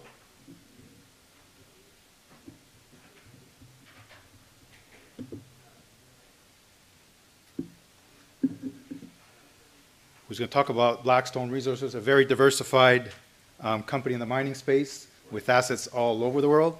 And uh, um, all I'll ask Eric is just not touch the, uh, the podium as much as possible, because I think, yes, I do, it's right over here, come up here. Pointer's this button over here. How to continue? And to advance. Advance is this one, okay. Advance is this one, and the pointer's this one. Okay, great, thanks, good presentation. Mesdames et messieurs, moi je suis suisse comme vous, alors de Zurich naturellement. Euh, J'aime de dire c'est l'unique compagnie de Suisse. Vous avez vu des Canadiens, des, des autres compagnies comme ça, mais nous sommes Suisses. I will continue now in English. Welcome to my presentation. As I said before, this is a Swiss company. We are quoted at Swiss Stock Exchange uh, since last year, and we have quite a history already. I'm not selling you gold or silver or something like this. I'm selling you and presenting to you a vision. Vision investing in this kind of materials. We are like a portfolio. Portfolio manager, we like a fund. We, we do uh, investment in various situations which is all concerned with battery manufacturing or let's say investing in mines to lead uh, to, to produce the metals in order to uh, uh, produce a battery after all. If you're interested, I go very shortly, very, very fast to the presentation. We can collect this kind of leaflet with all details. At the end, when you move out, it's the last presentation. I hope for you it's the best. I hope for me it's the best. I will see. Anyway, you can have this, this uh, catalog here. We have a short summary of a two-pager in English or in German, and this one you can collect if you like it. So, thank you very much for attending my presentation here. Uh, what we have here is, nobody talks about this one because it's the mining conference. We have a structural trend for the next 10 years here. We are in the middle of this trend. You don't realize it yet, uh, but it's here. Why? We're moving from the dirty areas, coal situation, burning fuels, burning gas, burning whatever, into a bright future, sustainable future, COT, uh, saving future. That means it's hopefully clean air sometimes when everybody realizes that it's important, that we are there. What we do here, we show here the all car manufacturers, they realize how important is this trend. They have 87 new vehicles. All the, the yellow uh, uh, uh, squares there are the new cars coming out between, uh, between now and the next two or three years. 87 new electrical cars are coming out from all these suppliers. That means very clearly it's important, this trend, it's, we cannot hold it back, they will come. Here we see the car is a trend. Naturally, it's also about saving saving the wind energy here uh, in, in the battery situation. A lot of batteries are existing already in Switzerland already, also in California, whatever. It's all existing. This trend leads to a high demand of battery metals. Here we are back to the mining. Mining is uh, metal producing, is exploration, is producing, is producing cash flow. We believe, very simple, that in the next 10 years we need 10 times as much metal as what we have today. That means we are in a shortage in very short time. That means also the prices are getting higher. We have different cycles of different metals. It's natural, it's normal. Cobalt is going up and down, nickel is going up and down. It's all what it is. But we are in this cycle area right now. Here, just to show you where the batteries are produced for the time being and what is happening here from today until 2021 have 11-fold the battery capacity rollout, mainly in China. The red, the, the one with the star is Chinese. Where is Germany? Nowhere. Where is France? Nowhere. So everything comes from, from uh, uh China right now. So what we have, what we approach is kind of portfolio here. At the right side, you find our investments here, cobalt, nickel, copper, manganese, battery technology, uh, all this nickel as well. At the left side is our cash cow, which belongs to our portfolio. We're producing gold in Peru. Now we're starting here, uh, just touch a little bit what we have here. Uh, we have our lithium brine uh, uh, licenses which we show here. The brine is the left side. The hard rock situation is something that the Canadians like to do, which is not profitable for the time being. The Australians are doing it. Don't invest in these things. It's not possible, not profitable. It's going down or went down already 70%. The only profitable thing is the brine situation because the prices to produce is the lowest in the world. We heard it from Neolithium here. They confirmed it here. Very good company also, like ours. Anyway, we have here two exploration zones which we own the land, we own the license. We produce then in future, we get a 43101 in just one or two months, so we can really tell you afterwards, we communicate this, how much brine we have in these two concessions of ours. We intend to sell one of these for high price, hopefully to some of the users uh, for, for lithium get some cash into the pocket in order to develop our other, other ventures. Um, now we're going to the next one is our uh, investment in the first cobalt. We did first cobalt in Canada. Uh, first cobalt is very well known uh, so far. We see a couple of pictures. We got the participation because we delivered this refinery in exchange for shares and cash. That's why we have a participation in this refinery. And this refinery exactly sitting in the town Cobalt, which is there, um, uh, is now uh, going together with Glencore. Glencore has invested already 5 million uh, US dollars in this uh, refinery. They go to invest another 40 million uh, the next uh, couple of months in order to roll out 5,000 tons of pure cobalt concentrate from there. So they will sell it at the price, maybe uh, actual prices. It's about 150 to 200 million turnover for next year. Coming out all on this, and we are uh, uh, participated here. This picture shows how difficult it is go from from the cobalt into the battery. I'm not going into this further. We have no time, unfortunately. Now we're going to our joint venture situation. At the left, you see the nickel uh, mines. We are working in Indonesia. We have a joint venture with a nickel mine having about 100 billion tons of nickel ore. This nickel ore is presently 1.7%. It's not lower, it's very high grade nickel, and it has also about 15 to 17% iron in there. We see some examples how the nickel is looking like. These are all piles up now we have just uh, achieved, or there was just a government stop of uh, exporting these things. We have about 500,000 tons there lying there, which we could export. We are very confident that next year uh, the, uh, the, government grants us a license to export further this, uh, this uh, laterite nickel which we have there. Other ways that are possible, we can shift it to internally to Indonesian other companies and sell it there as well. So we will see what's bringing next year. If it's doing this, we will have uh, sales about uh, 60 million for next year. Uh, it's a cash cow for us, a minimum net profit of 6 million for next year. So we're all aiming for, let's say, cash for next year. For us, is cash and let's say cash flow is important for for the company. We have achieved cash flow in 2019 already. But now uh, it looks like that we, double this figure from, uh, into next year. So um, we have very good options here to, go for. So this is myself there uh, before the manganese blocks, visible blocks in our Colombian operation.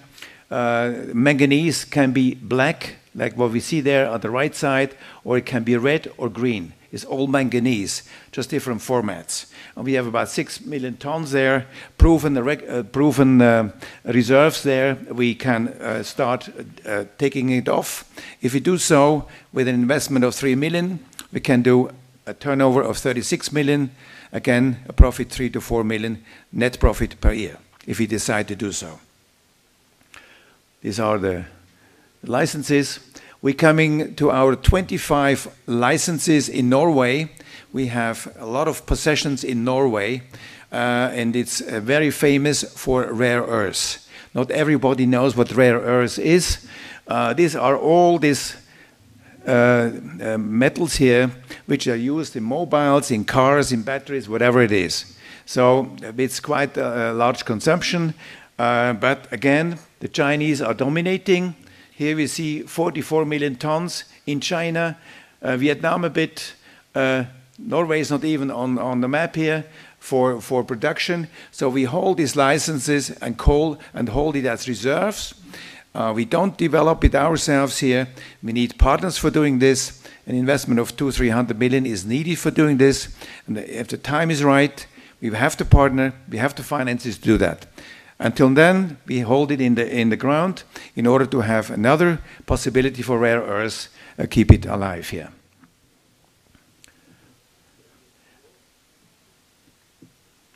Now we're coming to the refinery in uh, gold refinery in Peru. We started a pilot plant just a couple of months ago.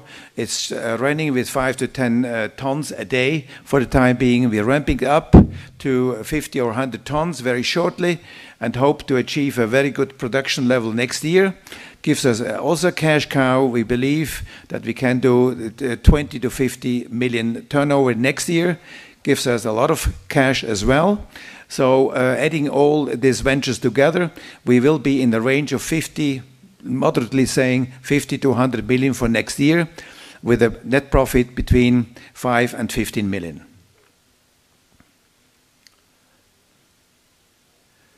Uh, and the last one here, uh, we have seven legs. Trying to tell you we have seven legs of, uh, where we're standing on. That's a technology leg we're standing on. We have a patent of making batteries. What is this? Uh, the Chinese are making the foil production with the batteries. They're putting foils together, various layers, and then they have a battery what they use for the cars and whatever appliance we need. We do the printing. We use the 3D printing. 3D printer is very well known, it's valid, uh, and it's working for the car industry already. And uh, we have the unique patent of multi-layer 3D printing. I show you the machine. That's the machine, a little bit small down here. That's what, what, what is existing already. This is a multi-layer 3D printing. All the details you can read in our booklets afterwards. It's too far to, to explain you everything here. But that's, that's is, is saving 70% capex and 70% material for the battery. That means at the end, we will be able to produce a cheaper battery, and the kilowatt should be uh, around 80 to 100 US dollar uh, or Swiss francs a kilowatt. So if that is achieved, we are exactly there, which is interesting for the car industry to roll out the battery in big masses.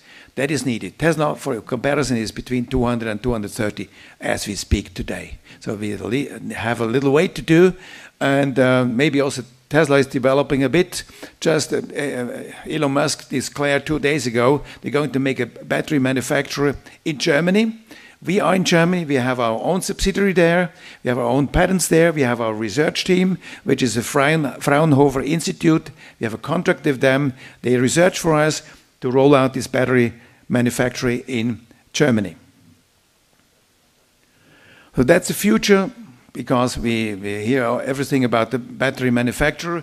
That's the future of the battery situation. This is a solid state battery. The batteries we use today has electrolytes in there. That means a liquid and it's kind of dangerous. It can explode, it can burn. This battery has a bigger density, 50% bigger density than before. We have it tested. It's, it's working. It's workable. So uh, this is a solid-state battery, higher intensity, produced in our 3D plants, will save expenses. That's a, that's a vision we have. We must have a, a, a largely known battery which is working, which is produced cheaply. Then we have all this future and this vision uh, be, to become true. That's where we are more or less here. Lithium ion battery producing here today that's where we go. The old is the uh, old, all solid state battery basically, and that's the future. Now, outlook and summary. You find here on one graph here the whole situation of Blackstone, where we are invested. It's a very simple chart with important information. That's what you should keep in mind. The details you find before. So, what I want to, to uh, show you here Nine good reasons why you should buy the Blackstone shares. That you are an investor. That's, I think, is of, of interest. Okay, first of all, we invest in the right uh, materials. We invest in, in a handful, seven pillar uh, situation here, um, which are all being profitable, most probably next year. We must concentrate on various situations. We concentrate today on the gold refinery, which will be profitable and uh, providing cash flow next year. We uh, concentrate in nickel uh, uh, exports and nickel development for next year. And um, we wait what Glencore and uh, First Cobalt is doing. They will have a very nice turnover by the end of next year. And if you have more money to do, uh, we will invest in further specific situations, providing cash flow and turnover. That's what we want. We don't want to sit here and uh, give a vision here and not produce something. We want to have results. We want to have cash flow. So we produced in 2019, first half of a year, 5.1 million Swiss francs net profit. We will have another one to two million more for this half year. So the whole 2019, we have a net profit between six and seven millions. If you go to the price earning ratio, we are here around six to seven times or 14 cents to 16 cents per share.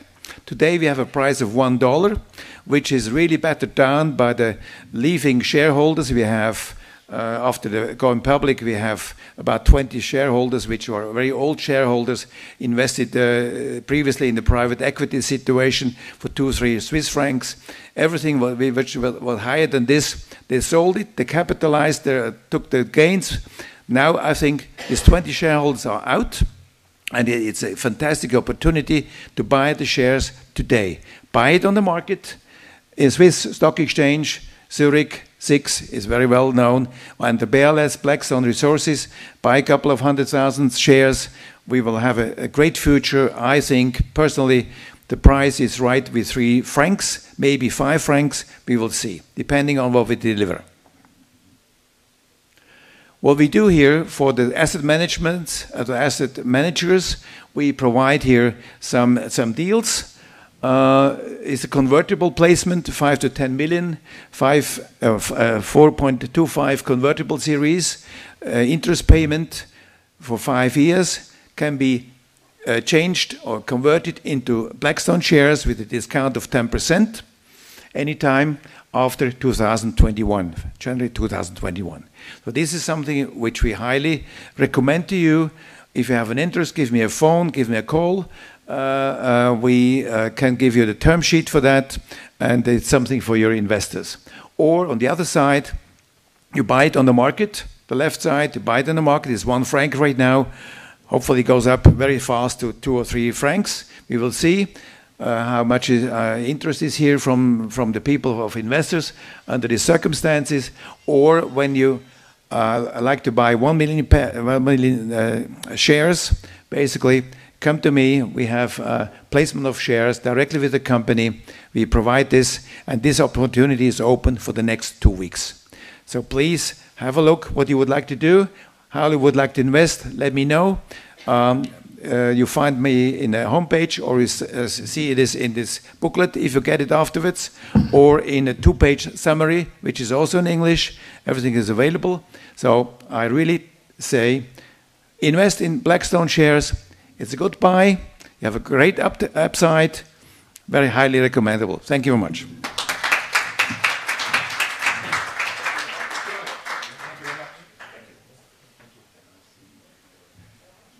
All right, ladies and gentlemen, this concludes uh, this afternoon session. It actually concludes the Swiss Mining Investment Forum of November 2019.